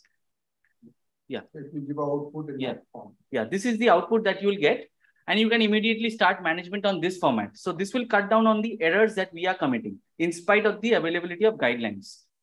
Yeah. So, uh, so, uh, so, so, sir, so Dr. Vikas, we have now started the initial management of the child. Now, coming to monitoring, what are the things that we should keep in mind during monitoring this child with severe DK at presentation? Thank you, Dr. Sayan. Basically, DK is a situation where you cannot have a morning and evening round. You have to have a very close monitoring even after the initiation of the initial treatment plan. And as we can always see that uh, monitoring is are of two parameters. One is clinical monitoring, other is lab monitoring. Clinically, you should look for the sensorium, you should look for the heart rate, you should look for the blood pressure, you should look for the you should look for the hydration phase. So always have a close watch on the sensorium of a child. Is your child is irritable? Is your child is very well oriented in the time, space, and person? Any any sudden deterioration in the neurological sign?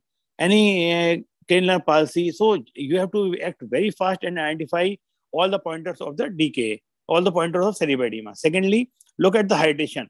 Hydration you can see about the if you if the child is passing urine adequately around 1 ml per kg per hour, you can be assured that your child is very well dehydrated, very well hydrated because you cannot afford cerebral edema, dehydration, and uh, oliguria. Now, apart from your clinical assessment, watch for tachycardia again, watch for blood pressure again, because blood pressure is the only sign of hydration state of a child. Think about the lab parameters. And as far as lab parameters are concerned, there are three lab parameters which is very, very important. Your pH, your sodium, and your potassium. You should at least, by initially, you can have at least hourly watch on your sodium, potassium, and, and uh, pH part. What is expected and what is, uh, what is going to happen with the child. The moment you start the treatment, you are expecting your sodium will go up. But you have to be very, very careful that any rapid incline in the sodium in a setting of polyuria is again, you are going for cerebral edema. So watch for sodium. It should not go very high. It should not go very high, very high and very early. So watch for your sodium and always use corrected sodium as talked by Dr. Anurag Bajpai sir. Always interpret your lab report with the clinical setting. Secondly, your potassium. What is happening is the whenever you receive a child in the DKA, initially only after hydration, proper hydration can reduce your hyperglycemia and acidosis. So always, uh, you know, uh, think of twice before adding insulin to start with, and always start your treatment with potassium. Monitor potassium. What is expected is that the moment you start insulin, your potassium will go down.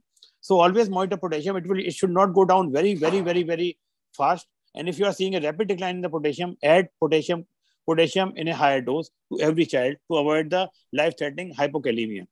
Secondly, monitor the pH of a child. You what, is happening is the moment you start uh, correcting the dehydration and uh, and hyperglycemia, your acidosis part should improve within 12 hours. But whatever if you are seeing your pH is still goes low, your acidosis is persisting, think about hyperchloremic met metabolic acidosis or lactic acidosis or shock or uh, you can say uh, insulin deficiency. So monitoring pH, sodium, potassium and clinical uh, status of a child will go, a long way towards the outcome of DKA. Thank you, Dr. Sayan. Thank you so much, Dr. Vikas. And this is the uh, recurring theme that is coming to us that potassium will immediately decrease. And I can't tell you the exact percentage, but more than 50% children have potassium which is low during uh, during admission and on the course during hospital admission. So we have to be very careful about potassium. And this child, after four hours, had a blood sugar which was 650. So blood sugar which was still, uh, still persisting high and uh, base excess was minus 22. So Dr. Vikas, do we need to think about anything we are missing in this case? Blood sugar is still high. Still, we are seeing that there are two situations going on. We are having a persistent acidosis as well as the hyperglycemia. So we have to think about the, our, our insulin regime, whether we are giving too less insulin or whatever insulin we are giving, it is binding to the tubing or or we, we have to we, we have to uh, increase our infusion rate. So always, if, if uh, what you should do if you are having a persistently high blood sugar and acidosis, always uh, you know freshly prepare your insulin, change your tube, tubing, and flush the tubings with insulin, and even and then assess again your child uh, as far as the blood sugar and the acidosis is concerned. Yes. Dr. Sayan. Yes. thank you, sir, for this wonderful uh, pointers that you have given us. And uh, on and so the child also went into shock. Yes. Okay, sir. So, so this child is not responding probably because of dilute uh, insulin and insulin binding to tubule. So always flush. So when we flush, what we find the science subsequently is? So according to what Dr. Vikas said, now we corrected the, uh, we flushed the tubings and uh, we, we find that the blood sugars have now decreased from 650 to 190 and the base excess also had start started to improve. So, uh, Dr. Naveen, now what do you think about this case now? so, is the child doing fine? Yeah. Uh, since eight hours, it has been since the on initiation of treatment. This is a very common finding that we usually anticipate uh, during the management of uh, diabetic ketoacidosis. Uh, first, there will be a fall in the blood sugar level, which usually takes around six to eight hours followed by fall in the ketones level, which usually takes around 10 to 14 hours, followed by resolution of acidosis, which usually takes around 16 to around uh, one day. So this is uh, quite a normal finding. And with regards to the blood glucose level, we need to monitor hourly and we need to titrate the uh, dextrose content rather than stopping the insulin level. In case if you're stopping insulin in such a scenario, it will cause worsening of ketosis as well as acidosis. So we need to monitor the dextrose blood glucose level and we need to add dextrose. For so how much do you uh, recommend to add? In case if the blood sugar levels is uh, below 300, I would like to add dextrose 5%. And if the blood glucose level is less than 200, then I would like to add dextrose of 10%. So in this scenario, we have a blood glucose level of 190 milligram per deciliter. So I would like to add dextrose of 10% in this child and uh, serially monitor the blood glucose level. And I will also emphasize on the fact that we should not stop insulin because it will cause worsening of ketoacidosis. And so this is a very common persisting finding. acidosis is not a matter of concern at this point of time at eight hours, right? Yeah. yeah. That is what the message so, Okay, we'll add 10% dextrose and continue insulin as you just said. Uh, and uh, then at 10 hours, we find the blood sugar is doing fine at 220. Base excess is minus 11 but just see at see the potassium. It has started to decrease and is now at 2.6. So Dr. Hemang, any modifications to the management at this point of time that you would advise to us? Yes, at this point of time, uh, actually due to hypokalemia, hypokalemia is more dangerous than uh, correcting the acidosis. So at this point of time, we should decrease the insulin and we should increase the potassium supplementation. And uh, as the sugar is uh, 220, more than 200, we may just uh, switch to the 5% dextrose. yes. So we did switch to 5% dextrose and he was getting 40 millimoles. So, so we, sh yeah. we should shift to 60 millimole per liter uh, per hour. Uh, okay, okay. 60 millimole per liter of yeah. potassium supplementation in this case. And, and we reduce the... Is, yeah, this is often a very big problem and often we get potassium less than 2. So how rapidly we can correct and will, will you suggest some sort of a protocol for infusion of potassium? Because this can happen especially with outside treated patients. Yes, sir. Uh, in in such scenario, we may just stop the uh, uh, insulin level for uh, if it is uh, around 2.5 or less than 2.5. Uh, it may lead to dangerous arrhythmia. So we should uh, give a rapid correction of potassium uh, over one hour or two hours. Uh, that's uh, uh, uh, one easy method to give is a weight divided by four and that amount to be given hourly for one to two hours. That will correct the sodium and keep bring it above three. Uh, that will be less dangerous. And we may start then low dose of insulin and recheck the potassium level i think that's very important. So 0.3 to 1 millimole per kg per hour can sometimes have to be given. We just gave in that patient who was such yes. severe this thing. So this is an important message. And i would say cerebral edema is something which is becoming a bit less but hypokalemia is now becoming a bigger problem. So you have to be a bit bothered about hypokalemia. Uh, thank you, sir, and thank you, Dr. Hemang, for the uh, additional inputs. Uh, so now moving forward with this case, at 14 hours, the 14 hours, this girl becomes comatose. Dr. Anjali, what do you think is thank happening you. with this child? Everything was doing fine, sugars, pH, everything is doing fine, but suddenly she becomes comatose. Okay. Thank you, Dr. Sayan. This is a case of severe DKA with clinical deterioration. We should always be prepared for cerebral edema at any time during the management of DKA. There may be rapid fluctuations in sugar. A rapid decline in sugar will lead to osmotic shift and cerebral edema. Yeah. Uh, as already we discussed in our first case, we already seen cerebral edema was diagnosed at the time of admission itself. So we should prepare for cerebral edema management at any time during the DKA management. So we should give immediate, immediately mannitol 2.5 ml to 5 ml per hour, ml per hour um, in order to prevent cerebral edema. Yeah. And sign what you, yeah, yeah. Please go ahead. Please go ahead. Okay. Waiting for imaging would be lethal. So we should give immediate mannitol as we suspect cerebral edema. Okay, thank you. Uh, uh, there is a, now often a debate whether you give 3% saline versus mannitol. What do you prefer? So the, this is, as you always say, mannitol has two effects. One is it decreases the uh, cerebral edema, but also changes the nature of vas uh, uh vasculopathy that occurs. So there is a big debate as to what really causes cerebral edema in DK. Some people always stick to that. There is a vasogenic theory. So you've got this shifts which is happening and all that osmotic shifts may be there, but it is a direct perfusion, hypoperfusion, reperfusion injury, just like birth asphyxia. So many people say, and in West, what is happening is that what they say, whatever protocol you follow, whatever fluid you give, there will always be a percentage who will have cerebral edema. Alike, they say that whatever you control birth, the birth asphyxia, some people will have birth asphyxia. Same thing they say like that. So probably there are two components working. One is a osmolar component, the other is a vasogenic component. So mannitol is good for both cytotoxic damage as well as osmolar damage. So mannitol is always preferred over 3% saline. So anybody who has, as Dr. Anjali said, somebody who has got DKA in the bedside, have mannitol, have 10% dextrose. If the child doesn't have hypoglycemia, give mannitol. Don't worry about that. Carry.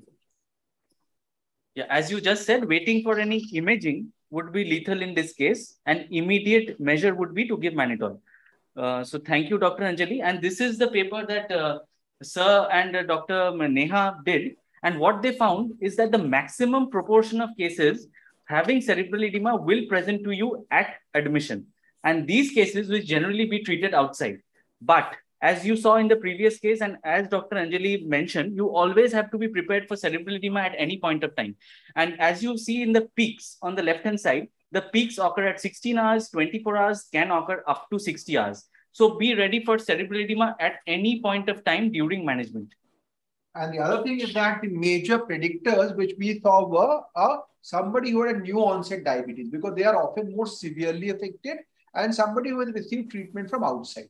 So I would say three things outside treatment, pH less than 6.9, CO2 less than 10, always be very cautious. And if your GCS is low, I'm really scared this could be cerebral edema and I want to be a bit slow in that perspective. Yes. So the same case, after managing for cerebral edema, does fine. Recovered from uh, comatose state. Blood sugars again going on the lower side at 120. pH improving, base excess but still persisting. So, Dr. Vikas, anything else that we should consider at this point of time? See, uh, thank you, Dr. Sayan. See, what is happening is at 20 hours, the child is hemodynamically stable. Sugar is okay, 190, and base excess is, improving, but still it is high. So what is happening is the acidosis part is persisting. So we should take, check the ketones. And in this setting, if the ketones are negative, and again with the, Ketones with the negative, 1.4, sir. Ha, so ketones are negative. That means we are not getting uh, ketosis. We have got only acidosis Yes. in a in a otherwise stabilized child. So we should think about the hyperchloremic acidosis. Even we do not have to have the uh, have the lactic acidosis, uh, which should be less than 32. So anything, uh, anything, any new protocol should not be done in this case. Just wait and watch. And if if still it is persisting, we can change the fluid from normal saline to ringer lactate. But usually this is a self-limiting condition. And you, but again, you should have very very close watch on the hemodynamic status of the child and keep waiting. And this will resolve by itself. Yes, so the hemodynamics was doing fine, and the chloride load, as you just said, came out to be 38. Okay, So so, again, it's confirmed the diagnosis. Yes, sir. so we need, uh, need to wait and watch at this point of time, sir. And Yes, for the yes. sugars, we'll go ahead with adding 10% dextrose. No, though this is a, a tricky situation because if you are stopping insulin right now, uh, then the acidosis part will persist. So, and again, on the one hand, you have got hypoglycemia. On the other hand, you have got insulin infusion. So, what is the protocol is, as Dr. Bajpai has said, you should add the dextrose, keep titrating the blood, your blood sugar, and delay uh, and continue with the insulin infusion till you are overlapping the subcutaneous insulin. Yes, sir. Thank you, sir. Thank I you. think that's a very important message. Another thing to remember is that now this is 20 hours. So by this time, we should expect the ketoacidosis to have gone by this time. So I would be going a bit step further, try to maybe add dextrose and reduce insulin also. Because he's not having a much problem because of ketosis, we reduce the insulin and try to taper. If this is at night, maybe give a long-acting insulin right away. Because this is something which will reduce the duration of overlap and you will have a better outcome coming from there. One parameter which you have mentioned is chloride load, which is an indicator of how much is the chloride. Now, Dr. Sayan, how can you prevent hyperchloremic acidosis or what steps can reduce the development of hyperchloremic acidosis? So we can start with N by 2. So you can start with a half normal saline, or you can start with Plasma-Lyte. You can start with Hartmann solution, which has got a lower amount of chloride. You can use potassium phosphate as half correction instead of potassium chloride. We haven't discussed that part because we discussed a lot about potassium. Now, standard guidelines have long said use 50% potassium phosphate, 50% of potassium chloride. But in India, potassium phosphate was not easily available.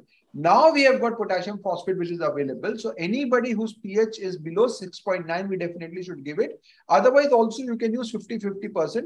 You will prevent hypophosphatemia and you will also not cause a lot of hyperchloremic metabolic acidosis because this is one condition and often people continue insulin for a long time. It is not needed in this scenario. Uh, thank you, uh, thank you, Dr. Vikas, and thank you, Anurag sir, for this wonderful message. And uh, uh, moving ahead now. Yeah. So at 28 hours, the base excess has reduced. It has come down to less than minus five, and blood sugars are 170. The child is conscious, so everything is going fine. So, Dr. Hemang, what are the things that we should do now? Should we wait further, or should we do something else and switch the child to oral uh, feeds? Yes. So uh, child is conscious and uh, sugars are well controlled and acidosis has resolved now. So at this point of time, we may think to switch to the subcutaneous insulin. Okay. and and we should allow, allow orally also. Yes, yes, yes. Okay. So yeah. Kindly So- yeah. yeah. So we started the patient on regular insulin, and uh, uh, well, this is the case I had managed when I just came. I started the patient on regular insulin, and I stopped the fluid and insulin immediately. And the sugars after two hours came out to be 560. So, uh, do you think I did something uh, which was uh, not appropriate at this point? Yes, Dr. Sayan. Uh, what uh, we can uh, we should do is switching to the subcutaneous insulin should be a overlap process, and if we we allow orally and actually first thing switching of the insulin should be done around the time of major meal. Meal should be available. Second thing, second thing, uh, we should continue fluid and insulin till one hour uh, uh, after we have given subcutaneous insulin. And uh, till that time, we may just uh, continue low dose insulin so that a smooth overlap of the subcutaneous uh, intravenous to the subcutaneous insulin transition occurs. Yeah. And uh, one more thing which, which uh, Anurag sir has mentioned is we may, uh, uh, if we think that child is stable enough to switch to the subcutaneous insulin, one day prior to that at night, uh, we may just give a longer acting insulin so that uh, child have a basal, uh, a steady amount of insulin in her, his blood and uh, it will further smoothen the transition from the IV to subcutaneous insulin. Yeah. So two points that you just raised: a child stable, conscious, pH is normal. We can give him long-acting insulin one day prior and to overlap. These are the two messages coming out from uh, what you said, Dr. Hemang. Thank you for the same. And uh, moving forward now, post DK, we changed to sliding scale, two units per kg per day, and there was random sugars going low, going high, no control over the same. So, Dr. Naveen, do you think I mismanaged this as well? Yes, Dr. Sai, because uh, sliding scale is not recommended and it is not wise to give insulin based on the preceding blood sugar level in a child with type 1 diabetes. And uh, it is very important that we need to start the child on basal bolus regimen rather than uh, using sliding scale for the administration of insulin. And uh, with regards to the dose of uh, basal bolus regimen, because of uh, glucotoxicity and uh, acidosis, the requirements may be very high. It may even be around 1.5 to 2 unit per kg per day. And we also need to counsel the parents uh, regarding the fact that during the initial phase of management, we can have fluctuating blood glucose and uh, there can be a drastic fall in the insulin requirement from 2 units to even less than 0.5. So we need to counsel them regarding the various uh, complications such as uh, hypoglycemia, regarding the various uh, warning signs of hypoglycemia. And also we need to uh, encourage them regarding the meticulous monitoring, which is required in the early phase. And we also should educate them regarding the fact that the insulin level requirement will go fall down during the initial phase. Thank you for this message. It is Thank not that, uh, as per the textbooks uh, which we followed during our residency, it was mentioned uh, for a 10 year old girl, 1 to 1.2 would be the requirement. But as you very well mentioned, it can be 1.5, 2. And in this child, we actually gave 2.5 units per kg per day. So why do you think the requirement is high, Dr. Sayan, to begin with? So just uh, Dr. Naveen just mentioned, due to the glucotoxicity and the lipotoxicity, the remaining cells don't function and there is a uh, level of resistance. But even if you have no cell functioning, your requirement should be one. Why is it 2.5? So the uh, insulin recept post-receptor action is difficult. So resistance. Yeah. So there is also resistance as well as deficiency.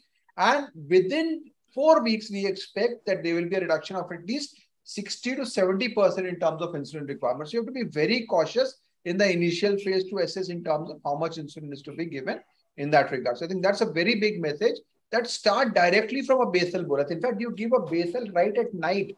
Don't wait at that point of time. And again, wait for at least 30 minutes. That's very important from even the rapid acting insulin and the this thing. If you are giving a short acting, wait up to 45 to 60 minutes for it to start acting in that regards. Otherwise, you will have low and high. Sliding scale is a reactive strategy. It is something which should be actually be stopped, not recommended at all in that regards. So just to get an overview about DKA management, we already discussed that it has got three phases. The first phase is about hydration. You give 10 ml per kg normal saline. And now the recent guideline, which was just released yesterday by the ISPAD, they talk about giving it over 20 to 30 minutes. And they say that if you have a rapid, uh, somebody has been shock, you can repeat it if required. Very few changes which have been done compared to what we have discussed today. So it's pretty much in sync with the ISPAD 2020-22 guidelines. The next step, of course, is to correct deficit and maintenance over 48 hours. And insulin at 0.1, you can use 0.05 unit per kg per hour, especially if there is malnutrition and if there is emaciation. Very importantly, always add potassium unless there is anuria, hyperkalemia, or ECG changes. If somebody has hypokalemia at presentation, start right in the hydration phase. If you have a blood sugar below 300, add dextrose. Do not give soda bicarbonate and monitor for cerebral edema. Now, this is my favorite side. So always you have to look at in DK, you have to keep a balance in terms of management. If you give too little fluid, you will basically have a dehydration. If you give too much fluid, you will have cerebral edema. If you give too little insulin, you will have a delayed course of correction. But if you give too much insulin, you will have hypokalemia. So I think if somebody has to decide whether you want to have a delayed presentation, some dehydration, some long-term treatment versus having cerebral edema, hypokalemia, and death, there is no choice between the two. So the key concept of DKA in this current time is basically go slow, do not have a very rapid correction, less amount of insulin, less amount of fluid in that perspective is what we are recommending in that regards. So I think this was a wonderful discussion and we were able to quickly go through the various aspects. I'd like to thank uh, Dr. Hemang, Dr. Vikas, uh, Dr. Naveen and Dr. Anjali along with Dr. Sayan for having uh, uh, allowed such a wonderful discussion. We'll see if there are particular questions in that regards. So we've got Dr. Bharani again from UK. He is asking in DK with severe hypokalemia less than 2.5, is there a role of calcium gluconate to reduce cardiac arrhythmias along with potassium correction? So Dr. Hemang, what is your take about giving calcium along with uh, the potassium correction? So the key method, the key question is whether calcium can also have a cardioprotective effect in hypokalemia also, as we already know it is there in hyperkalemia. Uh, yes, as sir uh, already said that uh, uh in hyperkalemia, uh, we need to give uh, calcium to as a stabilizing agent. But in case of hypokalemia, I uh, I doubt uh, is there any role of calcium gluconate to stabilize the cardiac membrane. And uh, just correction of potassium will reduce the risk of cardiac arrhythmia. I think the most important thing again here will be the potassium correction, which is a pivotal role. Calcium will not have a huge impact uh, in that regards. Now, another question which has come from Dr. Gayatri is about intubation in DK. So, Dr. Vikas, what do you think about when should we consider DK intubation, early or late? Late. I think we should avoid intubation because there are some studies which has been categorically proven that intubation will will trigger the cerebral edema. So now we are going switching more and more towards non-invasive uh, ventilation, if at all it is required. Your so take, Dr. You, if you do an intubation, you have a risk of causing paradoxical CNS acidosis. You may cause worsening. So we should try to defer it as long as possible. So few things which you should not do in DK is not to put a central line, not intubate, and very importantly is that do not give potassium. That is something which you have to avoid.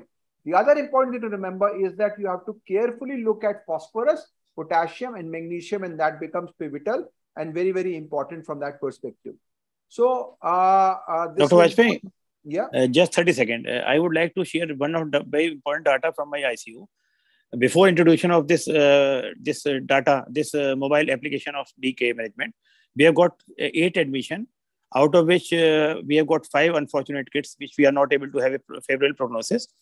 And since we start, you know, applicable this is mobile app as a mandatory protocol for the first hour, our mortality is uh, almost negligible and we are able to switch early uh, from subcutaneous from intravenous to subcutaneous insulin so from this platform i can very well say the validation of this mobile application is very much there and everybody should uh, make a habit for the residents and the first uh, protocol caregiver in the icus this is my own icu setting sir Thanks a lot, Dr. Vikas, for this wonderful input. And the reason this app was developed was basically to ensure the first dose should be the correct one. The problem is that if we get a call at night, often the treatment is already started. By the time we go there, that there is already a lot of mess which has happened. So the key message is initial correction is what is most important. And our app is in sync with the latest guidelines because the changes are very, very minute in that perspective. So Dr. Hemang, I think, deserves a big applause. Yes, yes, yes, yes. And he has done a lot of Three cheers. work. Three cheers. Along with Mr. Shalab Dikshit, who was involved with regards to the technical part. So I think a big round of applause to Dr. Hemanga for doing this. And it's already been sure. validated in our center. And we are looking for a multi-centric validation also, which we'll probably uh, carry forward in that perspective. We are also carrying forward this DK uh, protocol or algorithm as part of the PI one, the, the patient, uh, the person has intelligent EMR. So in app, you can't get a printout. So what will happen is that once you enter the basic data, you will get a full prescription sheet follow-up sheet, monitoring sheet, and will become much, much easier. So I think that's a wonderful uh, input from Dr. Vikas in that regard. So, Dr. Anjali, any experiences that you like to share from your management of DK?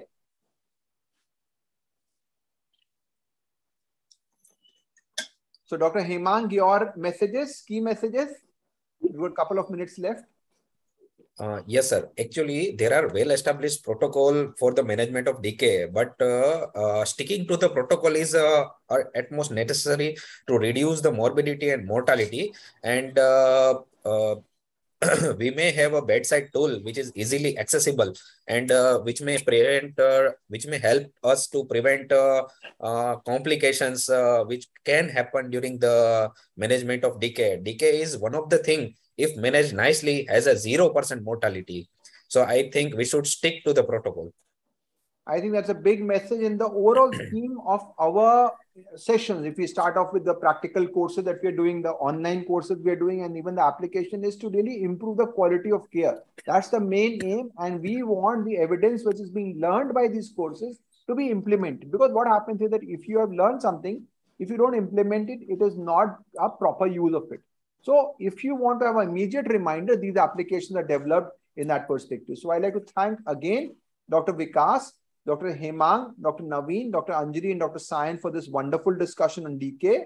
And we will now move forward towards the last session on hypoglycemia, which is again an important emergency. So we've discussed over the last three hours. It's a long uh, one. A lot of people are still listening to us continuously.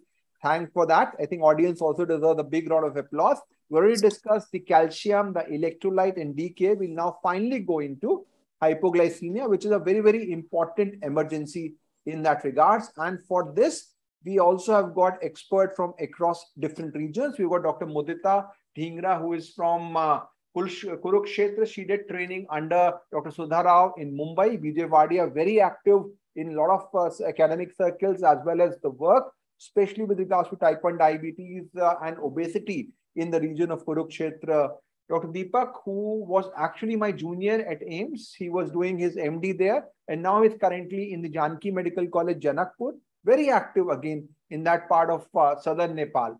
Dr. Chetan, who was uh, a fellow here, our first fellows, Dr. Chetan and Dr. Neha, he is uh, currently working as a pediatric endocrinologist in Rajkot. Dr. Rajiv Bansal, a very senior pediatrician from Jaipur, who is a keen interest in quality improvement and to develop more skills and knowledge among young people. We will be joined by Dr. Vibha as well, who will continue with the case scenario. So before we go on to that, we need to understand why do we need glucose? So the body has multiple energy sources. The major areas which guzzle up or eat up energy is the brain. So when you are listening to all these talks or when you are preparing for examination, your brain is eating up all your glucose. The other areas are the heart, which is continuously pumping, and the muscles. So for that, and the RBCs, of course, because they're doing a lot of work, glucose is a tool which can be used by anybody. Any of these organs will utilize glucose, whether it is blood cells, whether it is brain, whether it is the heart or the muscle. Ketone is an alternate source of energy, which is used predominantly by the brain and also by the muscle. So if you have less glucose and you have ketone, you will be fine. So situation, and we'll always talk about ketotic versus non-ketotic. So if you have a ketotic hypoglycemia, the brain will be preserved more compared to a non-ketotic hypoglycemia. So hyperinsulinism will cause much more brain damage than glycogen storage disease. You will have children with GSD who have a sugar of 20, 30, they will stand there in front of you. While if you have hyperinsulinism, if they have a sugar of 20, 30, they have no alternate sources, they will be really in a very, very bad scenario in that regards. Now, fatty acid can also be utilized by the heart, so again becomes important. Since a lot of hypoglycemia happens in the neonatal period, we need to understand the perinatal physiology. So we know that mother is the major source of glucose to the baby. All the glucose that baby has comes from the mother. It has no intrinsic production. So this glucose is basically a passive transport using GLUT1 and 3. And typically the baby's glucose are around 80% of mother's levels. But baby is very, very effective in getting glucose from the mother because this is what actually determines its growth. So what happens is that insulin can of course not cross the placenta, but the placental hormones like human placental lactogen, they induce insulin resistance. That is why a lot of women develop gestational diabetes. So anyway, increase in glucose is a normal phenomena during pregnancy. Now this glucose will go up, so baby will get more amount of glucose.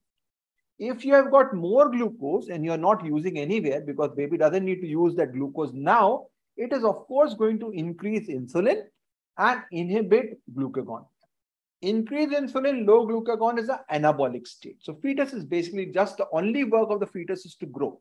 So it is extracting glucose from the mother and causing fetal growth and causing glycogen deposition, which can be used later on when it is required, which is the postnatal period. Now, maximum of this happens in the third trimester. Now, as soon as the birth happens, there is a cut in this supply. So this supply goes down. So what is to be done? We have to use the resources which are available. So for this, epinephrine will go up, insulin will come down, and glucagon will go up. So essentially, you will have a lot of glycogenolysis, which will happen, gluconeogenesis, and a bit of lipolysis. Remember, ketogenesis is not effective in the first 24 hours. So if you measure ketones in the first 24 hours, everybody will be hypoketotic. So what I'm trying to say that first 48 hours, anyway, don't worry in terms of evaluation. So any neonate will have a fall, a dip in the glucose level. Maximum dip happens by around two hours. And after 48 hours, the metabolism, they become like adult. At 48 hours, a newborn's metabolism is just like an adult. The dip is greater for preterm neonates, and this has implications why they have much more likelihood of having hypoglycemia in that perspective. So this brings us to how do we define hypoglycemia in the newborn period.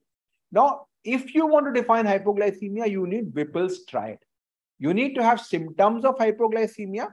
You need to have low glucose, and this should not improve with basically, this should improve once you give a correction with regards to the treatment which happens with regards to the glucose.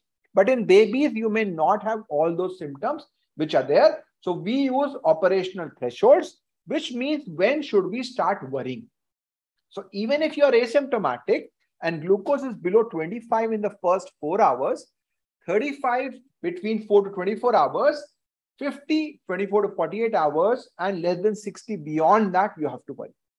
But if you have hypoglycemic seizures and your glucose is slightly higher, it doesn't mean that you don't need to worry. You have to worry also in that scenario. So when should you evaluate? If the hypoglycemia is persistent beyond 48 hours, you are needing a lot of glucose requirement or there is no risk factor which is there in that perspective. You need to then evaluate for the cause of hypoglycemia, which becomes important in that perspective. Remember, glucometers are unreliable at low levels. So get a lab correction, which is very important in that regards.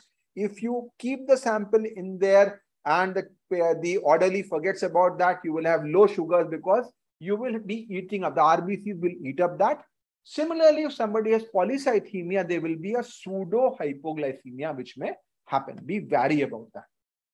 Now, hypoglycemia theoretically can be because of a problem in either the glycogen metabolism or storage, problems in gluconeogenesis or ketogenesis. And there are basically four groups of hormones which act. We have got one which is causing hypoglycemia, which is insulin, and the counter-regulatory hormones are glucagon, cortisol, epinephrine, and growth hormone. So while insulin excess can cause hypoglycemia, deficiency of a single counter-regulatory hormone will not cause because there is redundancy. So when you have hypoglycemia, you are talking about multiple pituitary hormone deficiency, which is going to cause that in that scenario. So if you have hyperinsulinism, insulin will cause hypoglycemia, but your glucose requirement will be high, but there will be no ketones. That is a very important thing to remember. If on the other hand, you have a cortisol deficiency, you will have ketotic hypoglycemia, with hyponatremia. A problem in the glycogen metabolism, glycogen storage disease will not present right at birth because child is feeding every two to four hours. They will present after six months of age with hepatomegaly, renomegaly, ketotic hypoglycemia, lactic acidosis. That is the typical presentation. A gluconeogenic defect will present even later with predominantly lactic acidosis, a problem if you have in growth hormone or multiple pituitary hormone deficiency will present to you with other features like micropenis, midline defects. And if your ketone levels, you have problem in ketones, you will have episodic hypoketotic hypoglycemia. So hypoglycemia can be because of decreased production in which your glucose requirements are low or increased utilization where your glucose requirements are more supraphysiological, more than 12 milligram per kg per minute. Decreased production could be a substrate issue like prematurity or SGA. Metabolic defects can be endocrine, in which you will have micropenis, midline defect, cleft lip, cleft palate, or metabolic defects like galactosemia or fatty acid oxidation defect. Galactosemia, you will have cataract, which is an important message in that regards. If there is an increased utilization, you may have a sepsis or a cardiac failure or hyperinsulinism. Hyperinsulinism typically will have a non-ketotic form of hypoglycemia. This could be transient, most commonly because of infant of diabetic mother, which resolves in one to two weeks. Prolonged, typically happening with a SGA baby. So SGA, birth asphyxia, prolonged for two to six weeks. And you have then rarer causes like genetic causes in which you can have severe forms because of potassium ATP channel defects and milder forms. So overall, if you ask me what are the most common persistent causes of hypoglycemia, it is hyperinsulinism, which you have to worry because this is causing severe damage. Your requirement is high. You need to evaluate and manage. And in hyperinsulinism, the most common is prolonged hyperinsulinism. So if your birth weight is low, think of prolonged hyperinsulinism. If there is macrosomia, early onset, think of infant or diabetic mother. Macrosomia and persistent beyond two weeks or one week, think of a potassium ATP channel defect in that regards, and you require that. So if an individual becomes hypoglycemic, you should definitely be have zero insulin. There should be a ketone which is significantly present cortisol should be above 550. Often we just compare to a normal range, but it is not normal. It has to be appropriately elevated. And you expect the growth hormone to be high. So all this you need to remember when you assess a critical sample. So the most important thing to do in a child with hypoglycemia is to check the critical sample. Most important is ketone, cortisol, insulin, maybe growth hormone, lactate. This will be something which will be important in that perspective. So if you have any detectable insulin during hypoglycemia, this is hyperinsulinism. If ketone is low, everybody who is hypoglycemic should be ketonic. The most important investigation in hypoglycemia is ketone. If your ketone is low, think of fatty acid oxidation defect, galactosemia, or GALT abnormalities in there. If your lactate is high, it is glycogen storage disease or a gluconeogenic defect. If cortisol is low, think of MPHD in that regards. So ketone is very important. If your ketone is less than 0.6, it is hyperinsulinism or galactosemia. Do a urine reducing substance and an insulin level. If ketone is mildly elevated, it can be a fatty acid oxidation defect. You look at acyl carnitine profile and genetic study. If ketone is more, a lot of workup needs to be done here. Look at uh, organic acidemia, accelerated starvation, reducing substance, insulin, all those things might need to be done in that scenario. Now, often people say we don't have blood ketones. Can we use urine ketones? For DKA, the answer is no. But here you can because here you want to know whether it is there or not. And urine ketone may be there for a longer time. So maybe you have corrected the hypoglycemia, but still urine ketone may be positive. So if you have a confusion, you can also check urine ketone in that perspective. Finally, if your ketone is low, think of hyperinsulinism and fatty acid oxidation defect. If your lactate is high, think of a GSD1 or gluconeogenic defect. If there is acidosis, again, the same scenario with organic acidemia. Insulin, anybody with detectable insulin is hyperinsulinism, and rarely you will require a glucagon test. So the most important tests are ketone, lactate, and insulin, along with, of course, cortisol, which will give you an appropriate picture. If you have persistent hypoglycemia, your cortisol levels and stores may be exhausted. So you may find that somebody who has high glucose insulin requirement, high GIR, insulin is high, ketone is negative, but cortisol is also low. This is because of an exhaustion response. And don't get confused that this is actually a cortisol deficiency in this scenario. So just look at ketone. If the ketone is low or absent, look at reducing substance. If it's positive, it is galactosemia or fructose intolerance. Negative, look at insulin levels. If they are undetectable fatty acid oxidation defect, if they're detectable hyperinsulinism. If ketone is high, look at lactate. If lactate is high, it is GSD1 or gluconeogenic defect. If it's normal with organomegaly, this is rare forms of GSD.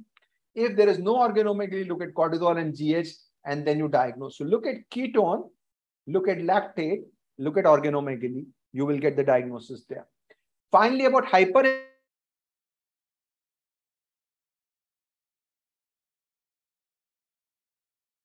in hyperinsulinism is hyperinsulinism.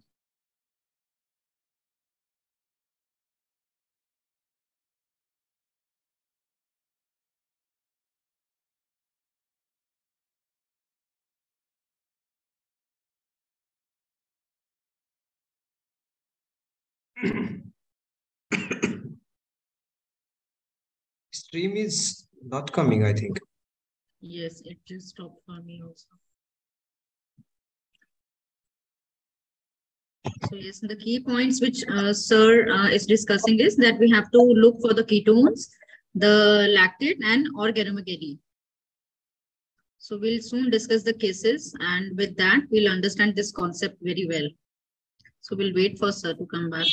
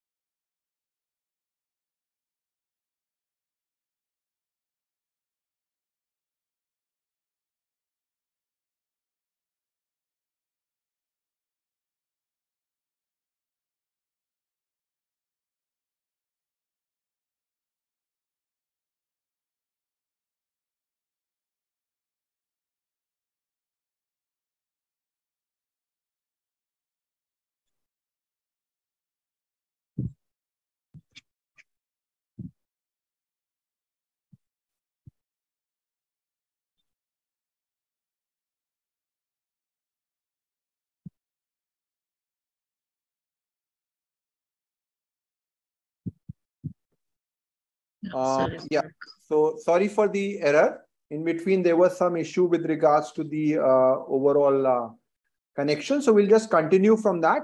We were discussing about the final approach of hyperinsulinism. And what we decided was that you have to look at many other factors before you just go ahead with hyperinsulinism in that regards. And it's that you have got less amount of sensitivity for a detectable insulin. Look at other parameters also in that regard. So hypokalemia and a high GI are also indicators of hyperinsulinism. So in hyperinsulinism, first exclude transient and prolonged forms. If they are there, treat with dextrose and diazoxide. If they are not there, look at diazoxide response. If it is present, you continue diazoxide, look at ammonia, which may give you an indication for a form, genetic form, which we'll discuss in a case also. If that is not there, go for potassium ATP channel defects if there is a recessive defect, then you can go for a, a, a palliative surgery because it's a permanent form usually. If it's a paternal uh, abnormality, you can go for a focal form and evaluate from that in that perspective. So we have discussed about the various causes, pathophysiology, and assessment with regards to that. We'll now move forward towards the case scenarios. Dr. Vibha, you probably please continue. Thank you so much, sir. We have this six-hour boy and uh, we got a call from NICU because uh, his blood sugar was 36. So, Dr. Mudita, what would you like to do in this case? Uh, yes, should we go for the uh, extensive evaluation in this case? Yeah, good evening, everyone. So this is a six hour old uh, newborn baby with a blood glucose level of 36 milligram per deciliter. Yes. So as we know that hypoglycemia is very common in newborns and it can have a devastating effects regarding to the neurodevelopmental outcome. But we need to be careful in diagnosis of hypoglycemia. Right. So as sir explained it uh, very well that uh, there is a transitional phase from uh, till around 48 hours uh, when the glucose regulatory machine is still developing. And there is a physiological dip in blood glucose level both in the term and preterm babies. So this physiological dip uh, is normal. And in this child, uh, the child is only, baby is only six hour old with a blood glucose uh, level of 36 milligram per deciliter and baby is asymptomatic. So I think this baby doesn't need any evaluation and uh, just requires uh, frequent feeding. Uh, very well said. Ma'am, what key messages would you like to give? So yes, uh, so just I just said and that we uh, uh, not yes, ma'am. And when would uh, when we should evaluate in the cases like when we got a call from the NICU for hypoglycemia? Yes. So whenever we get a call for hypoglycemia to NICU, we have to uh, look into the details of the history, whether the baby was preterm, term, post-term, or uh, whether there is any risk factor, for example, birth asphyxia, whether the baby was SGA, whether the mother had gestational diabetes or any drugs. So all these uh, history we have to take in detail and then only evaluate a baby with hypoglycemia. And as, as I said that uh, the transitional phase uh, lasts for around 48 hours. So any hypoglycemia which persists beyond 48 hours requires investigation. Right. Another indication would be the GIR requirement of more than 12 milligram per kg per minute. So as we know that the glucose output by the uh, uh, liver is uh, at the rate of around 4 to 6 milligram per kg per minute. And uh, whenever there is substrate deficiency or endocrine deficiency, the, you know, whenever we replace IV fluids with a GIR of 6 to 8 milligram per kg per minute, it suffices. But whenever the GIR requirement is very high, it requires detailed investigation. So all these cases will require investigation if there is any risk factor, is the, if the hypoglycemia persists uh, beyond 48 hours, and if the GIR requirement is more than 12 milligram per kg per minute. Okay, thank you, ma'am. So any key messages, ma'am? So yeah, this baby uh, need uh, didn't need any evaluation because this baby is asymptomatic without any risk factors and the blood glucose is 36 milligram per deciliter at six hours of life. So when so we consider, yeah, yeah, thank you. So this is only transitional hypoglycemia. So thank you so much, ma'am. Now moving towards the next case, we have this uh, three-week-old boy, and we got a reference call from the NICU because he was having seizures and his uh, blood sugar was just 28. And we, when we examined the child, he had micropenis also. So, Dr. Deepak, Okay, so this neonate is already has already passed the transitional phase and now he's having syndromatic seizure along with the visible micropenis. So immediately our mind should think about whether this child is having some pituitary issues like multiple pituitary hormone deficiency. So we should examine this newborn in detail for such features like uh, central inci- uh, single incisors, cleft palate, nystagmus, or any other stigmata which suggest this uh, neonate can have multiple pituitary deficiency. Right, Besides sir. that, we can take the help of our lab also. So may I know what is the lab value for investigation in this newborn? sir, what investigation we should order for? First investigation, what investigation we So should first, first we have to identify whether this child is having ketotic hypoglycemia or non-ketotic hypoglycemia. So ketone Okay. will be the first because this child is also having seizure. So electrolyte, calcium, magnesium will be also prudent in this case. The ketones were 2.3. It was greater than 2. So it was. So it's uh, 2.3. So in a way, it rules out hyperinsulinism. So our aim should be to evaluate whether this newborn is having GSD or some other illness. But because this newborn is having micropenis, so straight away we can think of some pituitary issue. So we have to identify like And so when we further evaluate the child, and we found that sodium is also on the lower side. It is just 128 and the lactate is 1.2, which is the normal Okay. levels. So I guess this child doesn't have any organomegaly too. So straight away this child is having hyponatremia with normal potassium, suggesting cortisol issue along with hypoglycemia. So probably this newborn is having multiple pituitary hormone deficiency. So Yes, we have sir. to measure the function of pituitary. Yes, sir. When we get the cortisol levels, uh, they were quite low. It was just 125 and growth hormone was 4 nanogram per m. So you were right. It was the case of multiple pituitary hormone deficiency. So, sir, what key messages would you like to give from this case? So in any newborn who is having hypoglycemia, which is prolonged, we have to rule out certain key uh, problems like hyperinsulinism, multiple pituitary hormone deficiency, and some inborn error of metabolism. So like in this case, there is glaring micropenis. So we should not forget to examine this newborn for signs of multiple pituitary hormone deficiency like micropenis, cleft palate, nystagmus, single incisor. And, and the big message was that the cortisol level was reported as not very low. And the growth hormone was also reported as normal, but we need to understand that this is inappropriately low for the level of hypoglycemia. So that is another big message we have to consider. Thank you, sir. Thank you, Dr. Deepak, for this uh, wonderful message. So moving towards the next case, uh, we have this 10 year old girl, 10, sorry, 10 day old girl uh, with the hypoglycemia. Uh, but uh, the glucose requirement was high, that is 14 milligram per kg per minute, uh, the undetectable ketone, and uh, the urine reducing substance were negative. So, Dr. Chetan, uh, are you there? Dr. Chetan?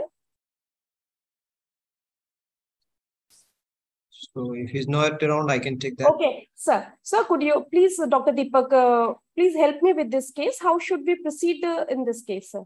Okay, so this again, unit is having uh, hypoglycemia, which is prolonged beyond the transitional right. phase uh, with hypoketotism and high glucose infusion rate beyond right. 12 milligram per minute per kg per minute. So indirectly it tells us this child or neonate is having features of hyperinsulinism. So we can uh, examine him for such things like uh, in hairy pinna, increase in the pinna, omphalocele, or some other features of hyperinsulinism. Right, sir. So was there anything like that, suggesting something like uh, that? So there was, uh, the examination has some uh, features of a hairy pinna. And when we get the insulin levels done, uh, it was uh, 3 mil, uh, it was in the normal range. Okay, so basically whenever the glucose is low, along with high glucose infusion rate, there is no business of insulin to be there in the blood. Right. So it tells us this child is having hyperinsulinism. Though this is reported normal, but this is inappropriately normal. It Yes, should sir. not be there. So this Yes, child is having hyperinsulinism. So, uh, in this case, we did the glucose response. As sir already mentioned that uh, the sensitivity of glucose response is 100%. So, specificity of glucose response is 100%. So, we did the glucose response and uh, uh, there was a rise in the glu uh, this glucose. So, what would you like to give us a message from this case? So the message is whenever the high glucose infusion rate is uh, uh, there in any newborn, we should always think of hyperinsulinism and we have to work of work for that because there is treatment available either in form of drug or if it is prolonged, we have to go for uh, pancreatic evaluation whether he needs resection or some other form of treatment. So investigation like insulin, C-peptide, ketone. So we have to take the critical sample at the time of hypoglycemia and based on our clinical diagnosis, we can ask the lab to uh, give the report. Uh, rightly said, sir. Uh, what key messages would you like to give from this case, sir? So because this child is having hyper uh, uh, hypoglycemia with high glucose infusion rate and ketone was negative. So this child is having hyperinsulinism and we have to think of that because if we miss that, long-term outcome will be very bad in this case of in, in this kind of scenario because of repeated hypoglycemia and brain damage. Uh, thank you so much, sir, for this uh, wonderful message. Okay. So I think this is a very important scenario of hyperinsulinism, which is a common scenario in which there can be so much confusion which is there. And that really causes uh, often a issue which can cause a particular uh, scenario. And if we do not have an appropriate evaluation at that point of time, these conditions will have a very, very uh, adverse effect because there is a very limited time which will happen in terms of the overall uh, progress. And that is uh, important from that perspective. So hyperinsulinism, clearly, if you have a high GIR, think of hyperinsulinism, and then we'll go forward from the other scenario. Okay. Thank you so much, sir. Uh, now we have a next case. Uh, this is a six-day-old girl, and again with a hypoglycemia. Uh, her birth weight, birth weight was 3.4 kg. And uh, this uh, very low ketone and uh, the glucose requirement was high that is that was 12 milligram per kg per minute and on the urine there was no reducing substance found and uh, the insulin was detectable and um, what we found that the growth hormone and the cortisol was also low in this case. So uh, i was not able to conclude this case so dr rajiv could you help me with this case uh, good evening, everyone. Uh, this is an interesting patient uh, and almost similar to the one which we had discussed earlier. But the important thing to note in this child is the low growth hormone levels and cortisol levels of 120. Ideally, in a normal setting, when there is hypoglycemia, there should be an exaggerated response with cortisol and growth hormone to, to so uh, the, it seems that to be very sure that is because of hyperinsulinemia we do we have to do a gluca, glucagon challenge test with 30 microgram per kg of glucagon. And if there is a response with increase in glu, glucose levels that suggests that it's because of per se because of hyperinsulinemia. But why growth hormone levels in cortisol are low, it seems that there is an exhaustion of the stores of cortisol and growth hormone because of there is an appropriate glucagon response. It seems there is because of this, exhaustion, the levels of cortisol and growth hormones are low. So this is uh, this is an important condition, and one should not be misguided if the cortisol levels are low. Yes, sir. We done the we, uh, glucon glucagon response, and it was uh, present. There was a rise in the blood glucose. So, as mm-hmm. you have correctly mentioned, yeah, this was the case of hyperinsulinism, not the multiple pituitary hormone deficiency. So, yeah. sir, what key messages would you like to mention here? So the key messages are that high glucose infusion rate suggests hyperinsulinism and cortisol exertion with prolonged disease can occur and one should not go in one should always measure and see to it that is, is that multiple endocrine uh, defects should be seen like central midline defects should also be observed before we come to a conclusion uh, for those conditions. Uh, thank you so much, sir. As sir has already mentioned, and doctor is already mentioned by the Dr. Rajiv, that if we are dealing with a patient with hyperinsulinism and we also have low cortisol and the low growth hormone levels, so it could be the cause uh, due to the cortisol exhaustion, and we should go for the glucagon response to confirm the diagnosis of hyperinsulinism. So now moving towards the next case, we have this two-day-old girl uh, uh, who was admitted in NICU and she had episodes of seizures. When the blood glucose was measured, it was just 24 and the ketones were very undetectable. There was no reducing substance in the urine and there was detectable insulin. So, Dr. Deepak, uh, how would you, uh, how should we approach these cases in NICU? Okay, so because this newborn is still only two days, so ketone value probably may not be having so great importance. But this newborn is having seizure along with hypoglycemia, but insulin is there. So it suggests some form of hyperinsulinism is there. So we have to go into the history whether this mother had RS negative blood group, PIH or eclampsia, or there was some HIE like of scenario, or right, there sir. was some diabetes in the mother. So can you give some? Yes, sir. Uh, mother has a diabetes and the birth weight uh, of the baby was 4.4 kg. So it was. So, uh, and what was the glycosylated hemoglobin lady? Uh, sir, it was 8. Okay, so it tells us this mother had uh, pregnancy-related diabetes. So probably this baby is having is infant of diabetic mother with hyperinsulinism. So it need to be monitored and managed like hyperinsulinism. Right, sir.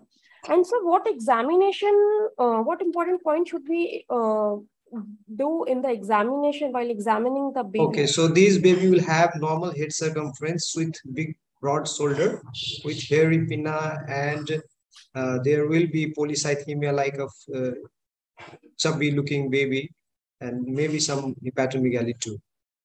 Okay. Uh, so what uh, uh, this key messages would you like to give here? So any newborn who is having hypoglycemia again need to be taken care regarding uh, different etiology, particularly looking towards the endocrine aspect, we have to think about hyperinsulinism and we have to go systematically with the history. If it suggests, we have to go for the workup of hyperinsulinism, including ketone, insulin, or C-peptide levels. Uh, thank you so much, sir. Uh, so it is very important to ask for the maternal history in the patient, in the baby of uh, hyperinsulinous. If the birth weight of the baby is like this, in this case, uh, more than 3 kg. So never miss to take the maternal history um, and never miss to examine the baby properly. So thank you so much, Dr. Deepak. Now moving towards the next case, we have this 14-day-old boy and uh, he has a history of birth asphyxia during the birth and uh, so he was admitted in the NICU for this.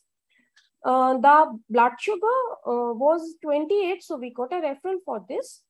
Uh, he was the glucose requirement of this baby was high. It was 40 milligram per kg per minute and the, the ketone was undetectable but there was a detectable insulin. It was 4.2 and but as we have seen in all previous cases, when we have detectable insulin like hyperinsulinism, the birth, we expect the birth weight to be high, like uh, uh, more than 3 kg. But in this case, it is just 1.6 kg. So I'm not getting with this case.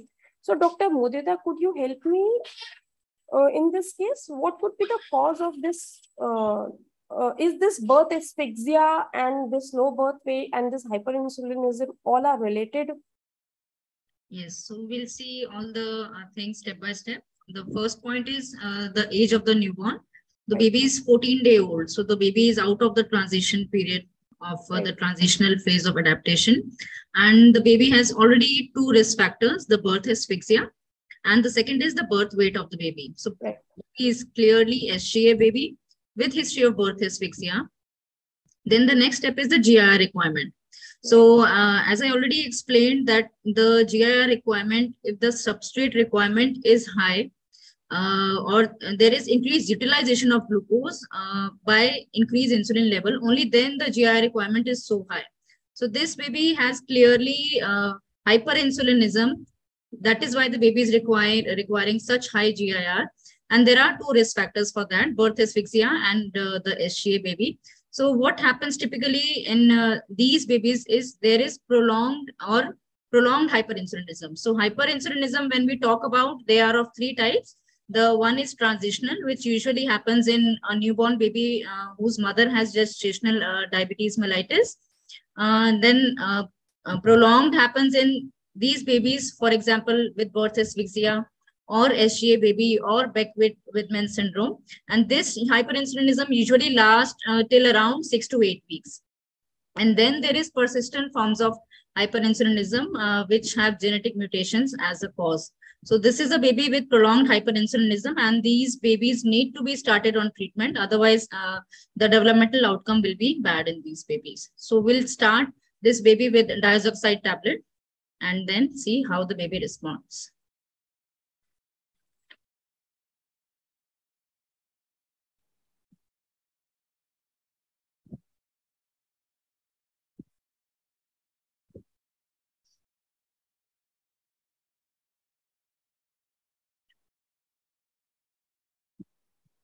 I think we again lost the connection.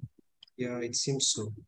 Yeah. Yeah, it is disconnected from the uh, Anurag sir side. Yeah. So the newborn which uh, we are discussing here is uh, SGA baby with birth asphyxia with prolonged hyperinsulinism. And it is very common scenario, especially in India, uh, where we have a lot of uh, load of SGA babies. So hyperinsulinism is very common. And usually whenever it persists beyond 48 hours, we have to act and start diazoxide tablet. So I will be starting diazoxide treatment in this baby, and then we'll see the response. Many neonatologists or new passers think SGA baby have hypoglycemia because of low substrate or decrease in the liver store.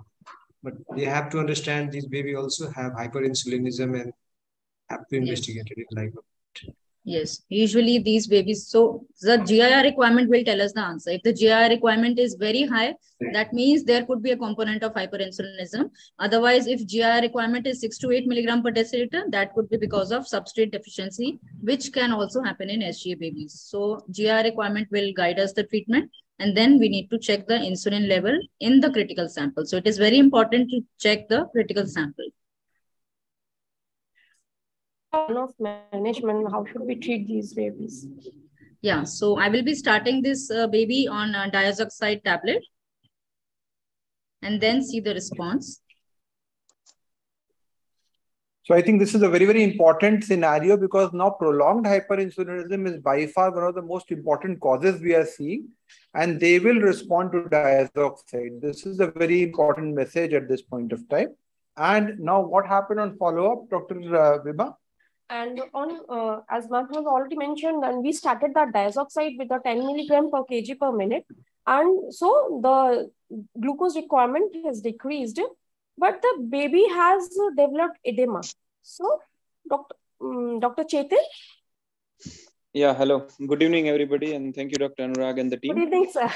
Sir, uh, uh, could you please explain what is the cause of this developing edema in this baby when we started diazoxide? Yeah, so this is, was a case of clear-cut hyperinsulinism, which responded to moderate dose of diazoxide as well. The usual dose of diazoxide is 5 to 15, usually we start with the 10, but a non-effect or we can say adverse effect of the diazoxide is fluid overload. So right. definitely this looks like uh, this edema is due to the diazoxide itself so it has been said in the guideline as well that along with the diazoxide, uh, we should use the uh, diuretic that is hydrochlorothiazide. And another is we should not use uh, any other uh, diuretics like furosemide and all due to the risk of hypokalemia. So along with the diazoxide, we can use a minor dose of hydrochlorothiazide as well. Right, sir. Sir, as you have already said, we started the uh, thiazide for this edema and the edema has reduced.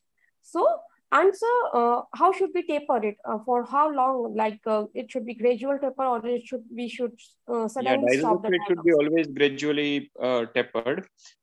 even we used to give advice to the patient that even they should be checking the blood sugar at home as well, preferably three to four times a day whenever the sugar goes above 100 or uh, remains persistent above 100 we can uh, decrease maybe 1 milligram per kg per day uh, every few days. So it can be tapered over 2 to 3 months. Usually most the uh, most of the temporary hyperinsulinism responds by 8 to 12 weeks of the uh, therapy. So yes it should be gradual along with the sugar management and uh, the parents or the relative should be meant, uh, ex, ex, uh, explained regarding the management of hypoglycemia if at all occurs. And we should give them a target of at least 70 milligram per deciliter of the RBS. Uh, thank, uh, so what key messages would you like to give here? And what other, with what side effects the patient should be aware of the diazoxide can cause in the baby? The most important diazoxide is uh, most important side effect is uh, as uh, this case uh, is undergoing that is edema and weight gain. Uh, another few less common side effects are hypertrichosis as well as uh, low platelet as well. So any any any unexplained bleeding or, or blood in stool should be directly or managed on an emergency base so this was a case of prolonged hyperinsulinism, which can occur with the SGA baby. Uh, is the first line of management, but again, I would say that uh, before starting diazoxide, normal 2D echo is must because uh, we have encountered many cases which are on air maintaining SpO2. But whenever we start the diazoxide, this minor PPHN or, or PAH gets aggravated. So definitely 2D echo should be done before starting diazoxide. Diazoxide we can start in the moderate dose say approximately 10 to 12 milligram per kg per day in two to three divided doses. We should be monitored for the side effect, particularly the weight gain and edema. And uh, uh, we should always use uh, hydrochlorothiazide along with the diazoxide. Uh, thank you so much, sir. Uh, now moving towards the next case, we have this 15-day girl, again with the hypoglycemia. And uh, her birth weight was 3.2 kg And again, her this glucose requirement was high, 40 milligram per kg per minute. And uh, this very undetectable ketone, hypoketotic, uh, the detectable insulin. So, uh, Dr. Rajiv? What was the uh, lactate levels? Uh, urine, So, sorry, uh, ur what are the urine reducing substance? So, yeah, What- uh, let me come to this. Uh, yeah. Was it normal or uh, it was negative? Oh, sorry, it was negative Uh, it, was, so it was negative. Okay. So if you have uh, uh, urine uh, reducing substance negative with hyperinsulinemia and uh, the ketones are low, you are left with only one diagnosis that is hyperinsulinism. And uh, with hyperinsulinism, the treatment, as we had already discussed, is the treatment with diazoxide.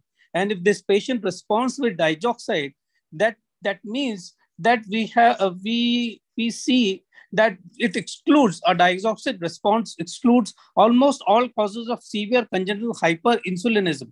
And uh, one but in all these cases one need to do ammonia levels because uh, Yes, sometimes we get uh, uh, some mildly raised ammonia levels of the tune of 80 to 150 or 160 uh, nano uh, moles per liter and if the ammonia levels are high that suggests that the patient might be having HI-HA syndrome. So Yes, this has sir. always to be excluded in these patients. Uh, yes, uh, when we get the ammonia levels done and it was high in this case. So uh, you have already mentioned ki it could be the, yeah, it is the cause of uh, HIHA. So, sir, uh, what are the key messages would you like the key message share? is that the digoxin, diazoxide response is key to the diagnosis of uh, the underlying cause of hyperinsulinemia. And one should always uh, measure ammonia levels, which, were, which are uh, invariably in the mild form. Right, sir. Thank you so much, sir, for this wonderful message. Now, coming to the next case. Now, uh, we have this six-month boy. Uh, he come to us with lethargy uh, and blood sugar was 36. The parents uh, brought him to the OPD. So, Dr. Mudita, uh, what could be the cause of this suddenly low blood sugar in the six-month-old boy? Yes, so as now we are moving towards beyond neonatal age group, and this baby is an infant, six month old with hypoglycemia, and the baby is symptomatic. So we need to understand the physiology first. So uh, whenever the mechanism of glycogenolysis, uh, gluconeogenesis, and ketogenesis are intact, the baby can uh, tolerate uh, fasting of around 6 to 12 hours. But in this case, uh, you know, when the ba- uh, baby has already developed hypoglycemia at six months of age. So the first step in investigation would be the ketones. And Right. are the ketones present or absent in this baby? Yes, ma'am. Ketones were present. Yes, so this is ketotic hypoglycemia, and the next step to evaluate is the serum lactate level, which They is also high. very high, which is Yes. also very high. So it points towards the diagnosis of glycogen storage disorder, and this uh, baby already uh, also has hepatomegaly. So as the name suggests, it is glycogen storage disorder. So glycogen is deposited in organs like liver and muscles, and it is uh, not released uh, uh, in the form of glucose in the bloodstream. So uh, there is defective glycogenolysis in these children, and hence they develop hepatomegaly and hypoglycemia. So, ma'am, what are the key messages here? So yes, uh, whenever a baby presents uh, with hypoglycemia beyond neonatal age group at around six months of age or in infancy, and there is presence of uh, high lactate, high ketones, and hepatomegaly, uh, it points towards the diagnosis of glycogen storage disorder. And uh, we will manage these children with frequent feeding, and maybe some children might require nighttime nasogastric feeding or uh, added cornstarch in the feeds. So they will not tolerate prolonged uh, hypoglycemia or prolonged feed gap. Thank you so much, ma'am. So now we have a next case. We have this six-week boy uh, who came to us with failure to thrive. He was not gaining weight and his blood sugar was 60 uh, with the normal glucose requirement. He has hepatomegaly. So, Dr. Deepak, are we are is this case is similar to the previous case? No, the age group is slightly different. And here the hepatomegaly is also significant. So this tells us this newborn or infant is having some form of inborn of metabolism relating to liver. Uh, we have to examine for that and investigate for that. So what Uh, is the so ketone level? So ketones were low. Okay, so now this child is having uh, hypoketotic hypoglycemia. So we have to uh, decide whether this child is having hyperinsulinism. So it doesn't seems to that because of the physiological glucose requirement. So we are left only with the galactosemia like issues. So what is the urine reducing sugar? Uh, they were present in the urine. Okay, so it is uh, probably galactosemia, I think. So what, so what key messages would you like to give here? So hypoglycemia, either in neonate or beyond neonatal period, it's abnormal. It has to be investigated because there are plenty of treatable causes. We have to find out the cause. Otherwise, if you just treat symptomatically with glucose or glucose infusion in the NICU and do not investigate, many cases will go unrecognized and will have devastating consequences. Thank you so much, sir. Moving towards the next case, we have this one-year-old girl, and the parents were really scared that uh, uh, she was not waking up in the morning. Uh, when they checked the, her blood sugar, it was just 24. And uh, when we examined the girl, uh, there was no hepatomegaly. So, Dr. Chetan, uh, could you please explain us what's going wrong with this So girl? first of all, uh, this is a big boy, a big girl. Uh, she is one year old. So Yes, definitely we should be taking history regarding what uh, she has taken in diet uh, the day before the event happened, whether uh, she was ill or not, she had taken proper dinner or not. And now if we come to the uh, actual case scenario, so definitely this is a hypoglycemia in a one year old girl. So which is always significant with no hepatomegaly. So as our algorithm suggests that we- first we should be measuring ketones, whether uh, it is hypoketotic or ketotic.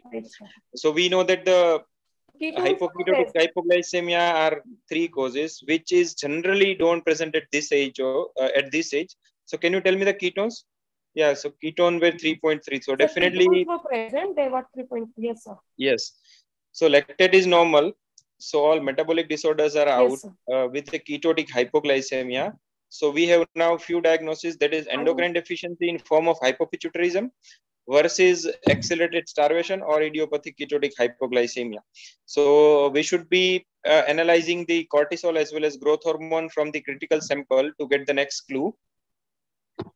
And so when we get the cortisol and the growth hormone levels, they were in the normal range. So cortisol and growth hormone were high at the time of hypoglycemia, suggestive of endocrine sufficiency. So there is no issue regarding the uh, any uh, of this hormone deficiency, leading to the last diagnosis that is accelerated starvation. But let me tell you that this is the diagnosis of exclusion. One should not jump on the uh, accelerated starvation just based on the early morning hypoglycemia, uh, symptomatic hypoglycemia. We should be evaluating in terms of ketone, lactate, growth hormone, and cortisol as well. And then we can stem the diagnosis of accelerated starvation. So how could we prevent this accelerated starvation in a Yeah. one?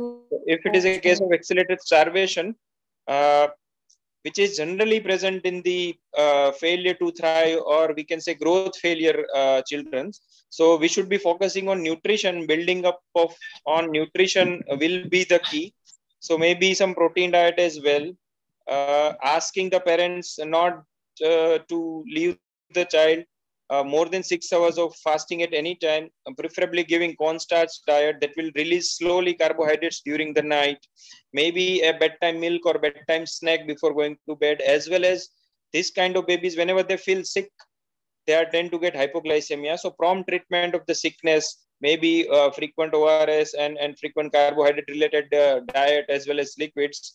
This all uh, will prevent the symptomatic hypoglycemia. Okay. So what key messages would you like to give here? So key message again, ketotic hypoglycemia. Uh, we should be doing all investigation before labeling them as accelerated starvation, particularly endocrine deficiency. And if the child is having short stature with maybe a normal weight, or there is midline defect, then we should be definitely looking for the cause of hypopituitarism. So growth hormone cortisol are the key investigations in the ketotic hypoglycemia.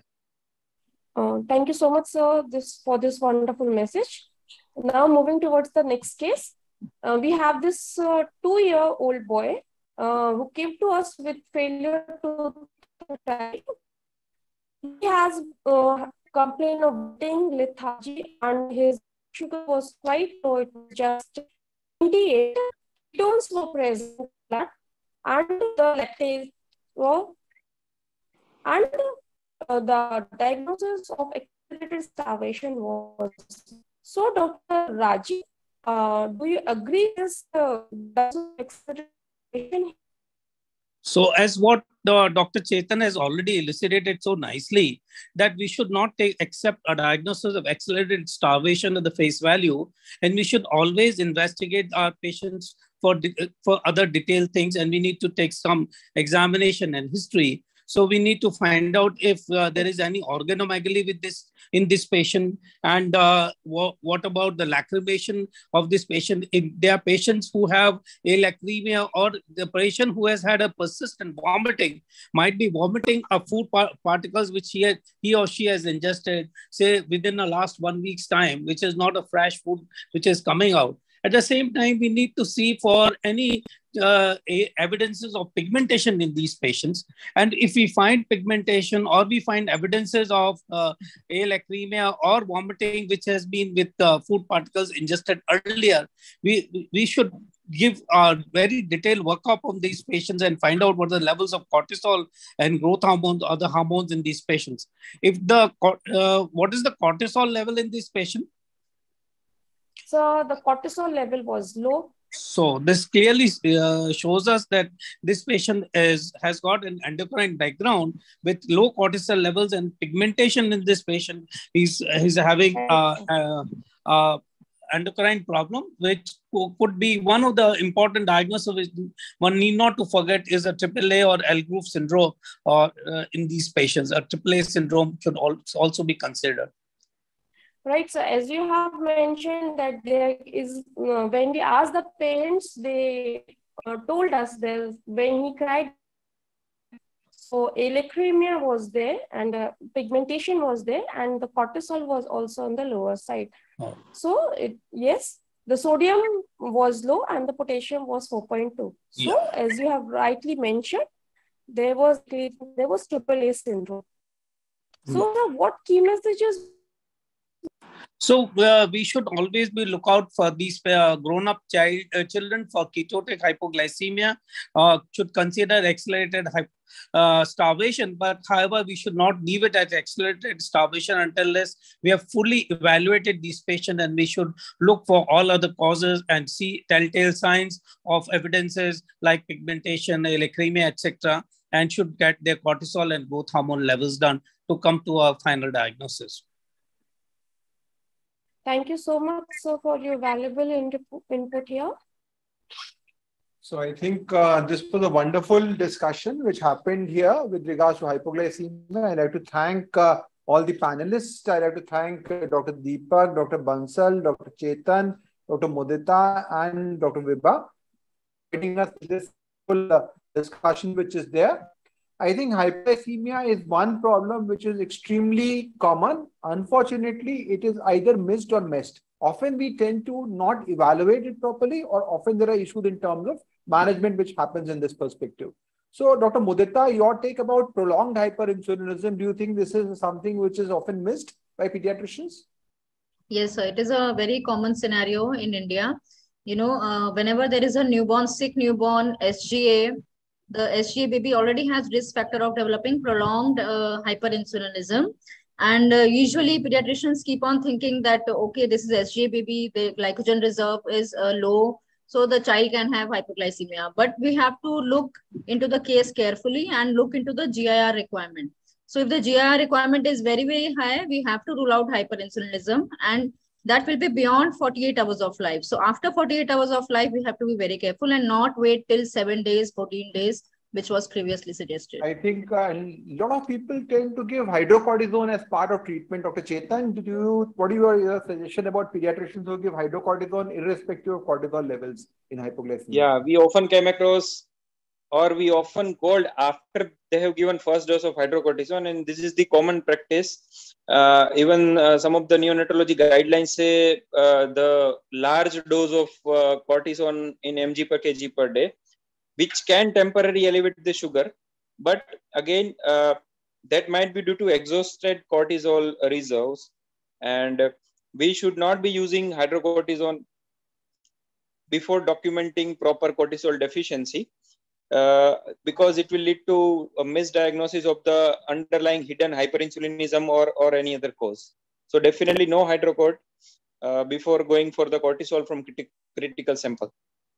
And I think one big thing that we have observed is that cortisol levels are often low in these scenarios yes. and they are not usually persistent. So this is yes. again a big message that if you have a low cortisol, a single value, because there are a lot of issues in terms of infant cortisol evaluation, there are issues of exhaustion. You may have a false diagnosis of cortisol deficiency, which is done. So we have to be very, very cautious in that perspective. So, Dr. Deepak, uh, I think uh, one of the common scenarios that you were discussing also is about ketotic hypoglycemia, which is often people. So, there are two things. One, in the newborn period, they say it's transient, nothing to worry. Even if it is one week, there's no evaluation done. The other is this ketotic hypoglycemia. So, what are the telltale signs that this child doesn't have ketotic hypoglycemia? You need to worry more about somebody presenting at one to two years of age with hypoglycemia. So, any child who is presenting beyond neonatal period, sir, with hypoglycemia has to be investigated, in my opinion, because there must be some underlying cause. Even if we think of uh, either accelerated hypo, uh, this uh, ketotic hypoglycemia, so big sign for hyperinsulinism will be sir hepatomegaly. Uh, there will be sir frequent hypoglycemia or seizures, but uh, I think sir there will be history of prolonged during neonatal period that he will be ill requiring multiple episodes improving with glucose boluses. So that should that history should be taken into consideration. I think that's a very very valid and important point and a key message coming that you have to look at signs like whether there is any feature of pigmentation as uh, dr bansal talked about this becomes very relevant and assessment of anybody who is beyond 48 hours Dr. Bansal, the other thing which we often tend to see is missed is the routine screening of hypoglycemia. So, what do you think are the situations in which routine screening should be done for hypoglycemia? I didn't get it actually. Some some part was missing. Okay, so often uh, we we expect that infants who are especially at risk of hypoglycemia should undergo a common screening in the first 48 hours, but often it is not done as part of the uh, NICU practice. So, which conditions would you recommend that we should monitor blood sugars in the first 48 hours of life? Uh, especially for CH, which can be uh, missed. Uh, so CH uh, uh, is one thing which can easily be done by a spot test. So I think one important thing which we can do, even a GALT, uh, the, these Neogen people are doing a GALT assay uh, for uh, so galactosemia can be uh, cheaply done. These two tests can be easily done with. And the other thing was, of course, that if you have a preterm baby, if you have birth asphyxia, SGA, yeah. LGA, all those scenario, cardiac defects, you should also monitor blood sugar level yeah. in that perspective. Yeah, yeah. So I think this was a wonderful session. I'd like to once again thank Dr. Deepak, Dr. Bansal, Dr. Mudita, Dr. Chetan for joining, sparing their time and discussing about this hypoglycemia, Dr. Vibha. Again, uh, a wonderful discussion. So this has been an extensive uh, discussion that we had for the last uh, two days. We had around eight hour sessions which were there. And we covered around 140 cases. I total, there were a total of 140 cases which were there people from around 30 countries have joined in and there's been a lot of discussions which were there. And we will all be posting these sessions individually on youtube as well. So this will be available for a long time people to follow because these are pretty much the prototype cases. If you look at these 140 cases pretty much from a pediatrician's perspective we try to cover the entirety of uh, this whole session. So before we conclude we'd like to have concluding remarks from our uh, faculty who is there who is still with us. So I'll uh, request uh, Dr. Mudita to have a few words. So uh, yes, I think when uh, with regards, first of all, I would like to thank sir for giving us the opportunity uh, to teach and simultaneously to learn on this uh, platform. And this was a wonderful arrangement of a lot of cases and presentation which was done uh, in the last two days. So I'm sure um, uh, most of the students have taken advantage of the seminar. So thank, thank you. you, Dr. Mudita. Dr. Deepak. Sir, it's a great uh, pleasure as well as honor to be with associated with you. I think uh, nobody can learn pediatric endocrinology better than being associated with you. I rec highly recommend each and everyone, if they have not already uh, taken the course, to go ahead with the MedEClass and learn uh, pediatric endocrinology from. you. Thank you, sir. Thank you, Dr. Deepak. Dr. Chetan. Yeah, it uh, always pleasure to be with the CDR, whether virtual or or whether at Kanpur. So uh, definitely uh, this will uh, even helping me uh, by uh, revising the cases and all, all, all things. And the main crux is the case-based discussion, which is not frequently found at the whole day seminar or conferences. So depending on the case, you will be able to learn the theory afterwards. So this is a great, great initiative. And now we have international community which is chipping in. So great going, Dr. Anurag, sir. And uh, thank you, sir, for the opportunity. Thank you, Dr. Chetan. Dr. Bansal? It's such a, indeed a, always a pleasure to be associated with you. It's great learning, in fact. So uh, thank you very much for involving me and all of us for learning. Uh, every year, I enjoy your deliberations and in between also. It's such a great pleasure. And you make, and you simplify things like anything. It's such a simplified way. I was telling my residents that you can easily now figure it out with some small the, the charts which, which you have given us. That you can put it into your NICUs or PICUs or even your wards and uh, easily get out uh, diagnosing your patients. So indeed a pleasure and thank you very much. So, yeah, no, uh, thank you, Dr. Bansal. In fact, I'll say that we don't even need to have those charts. You can just use the mobile app. It will immediately give you a right diagnosis, right management, doses, true, everything. True.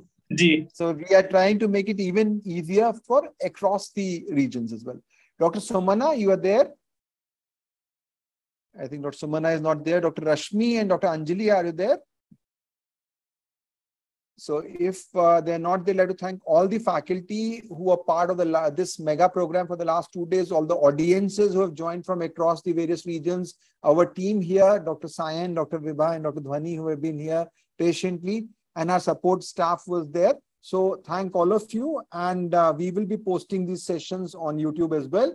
And we'll continuously to have other programs uh, that will happen frequently. The quiz, which did not happen this time, will be happening in a couple of months, in which we'll have two groups of quizzes, one for the basic and one for the advanced one. We'll have a prelims round followed by a final round on that. Thank you.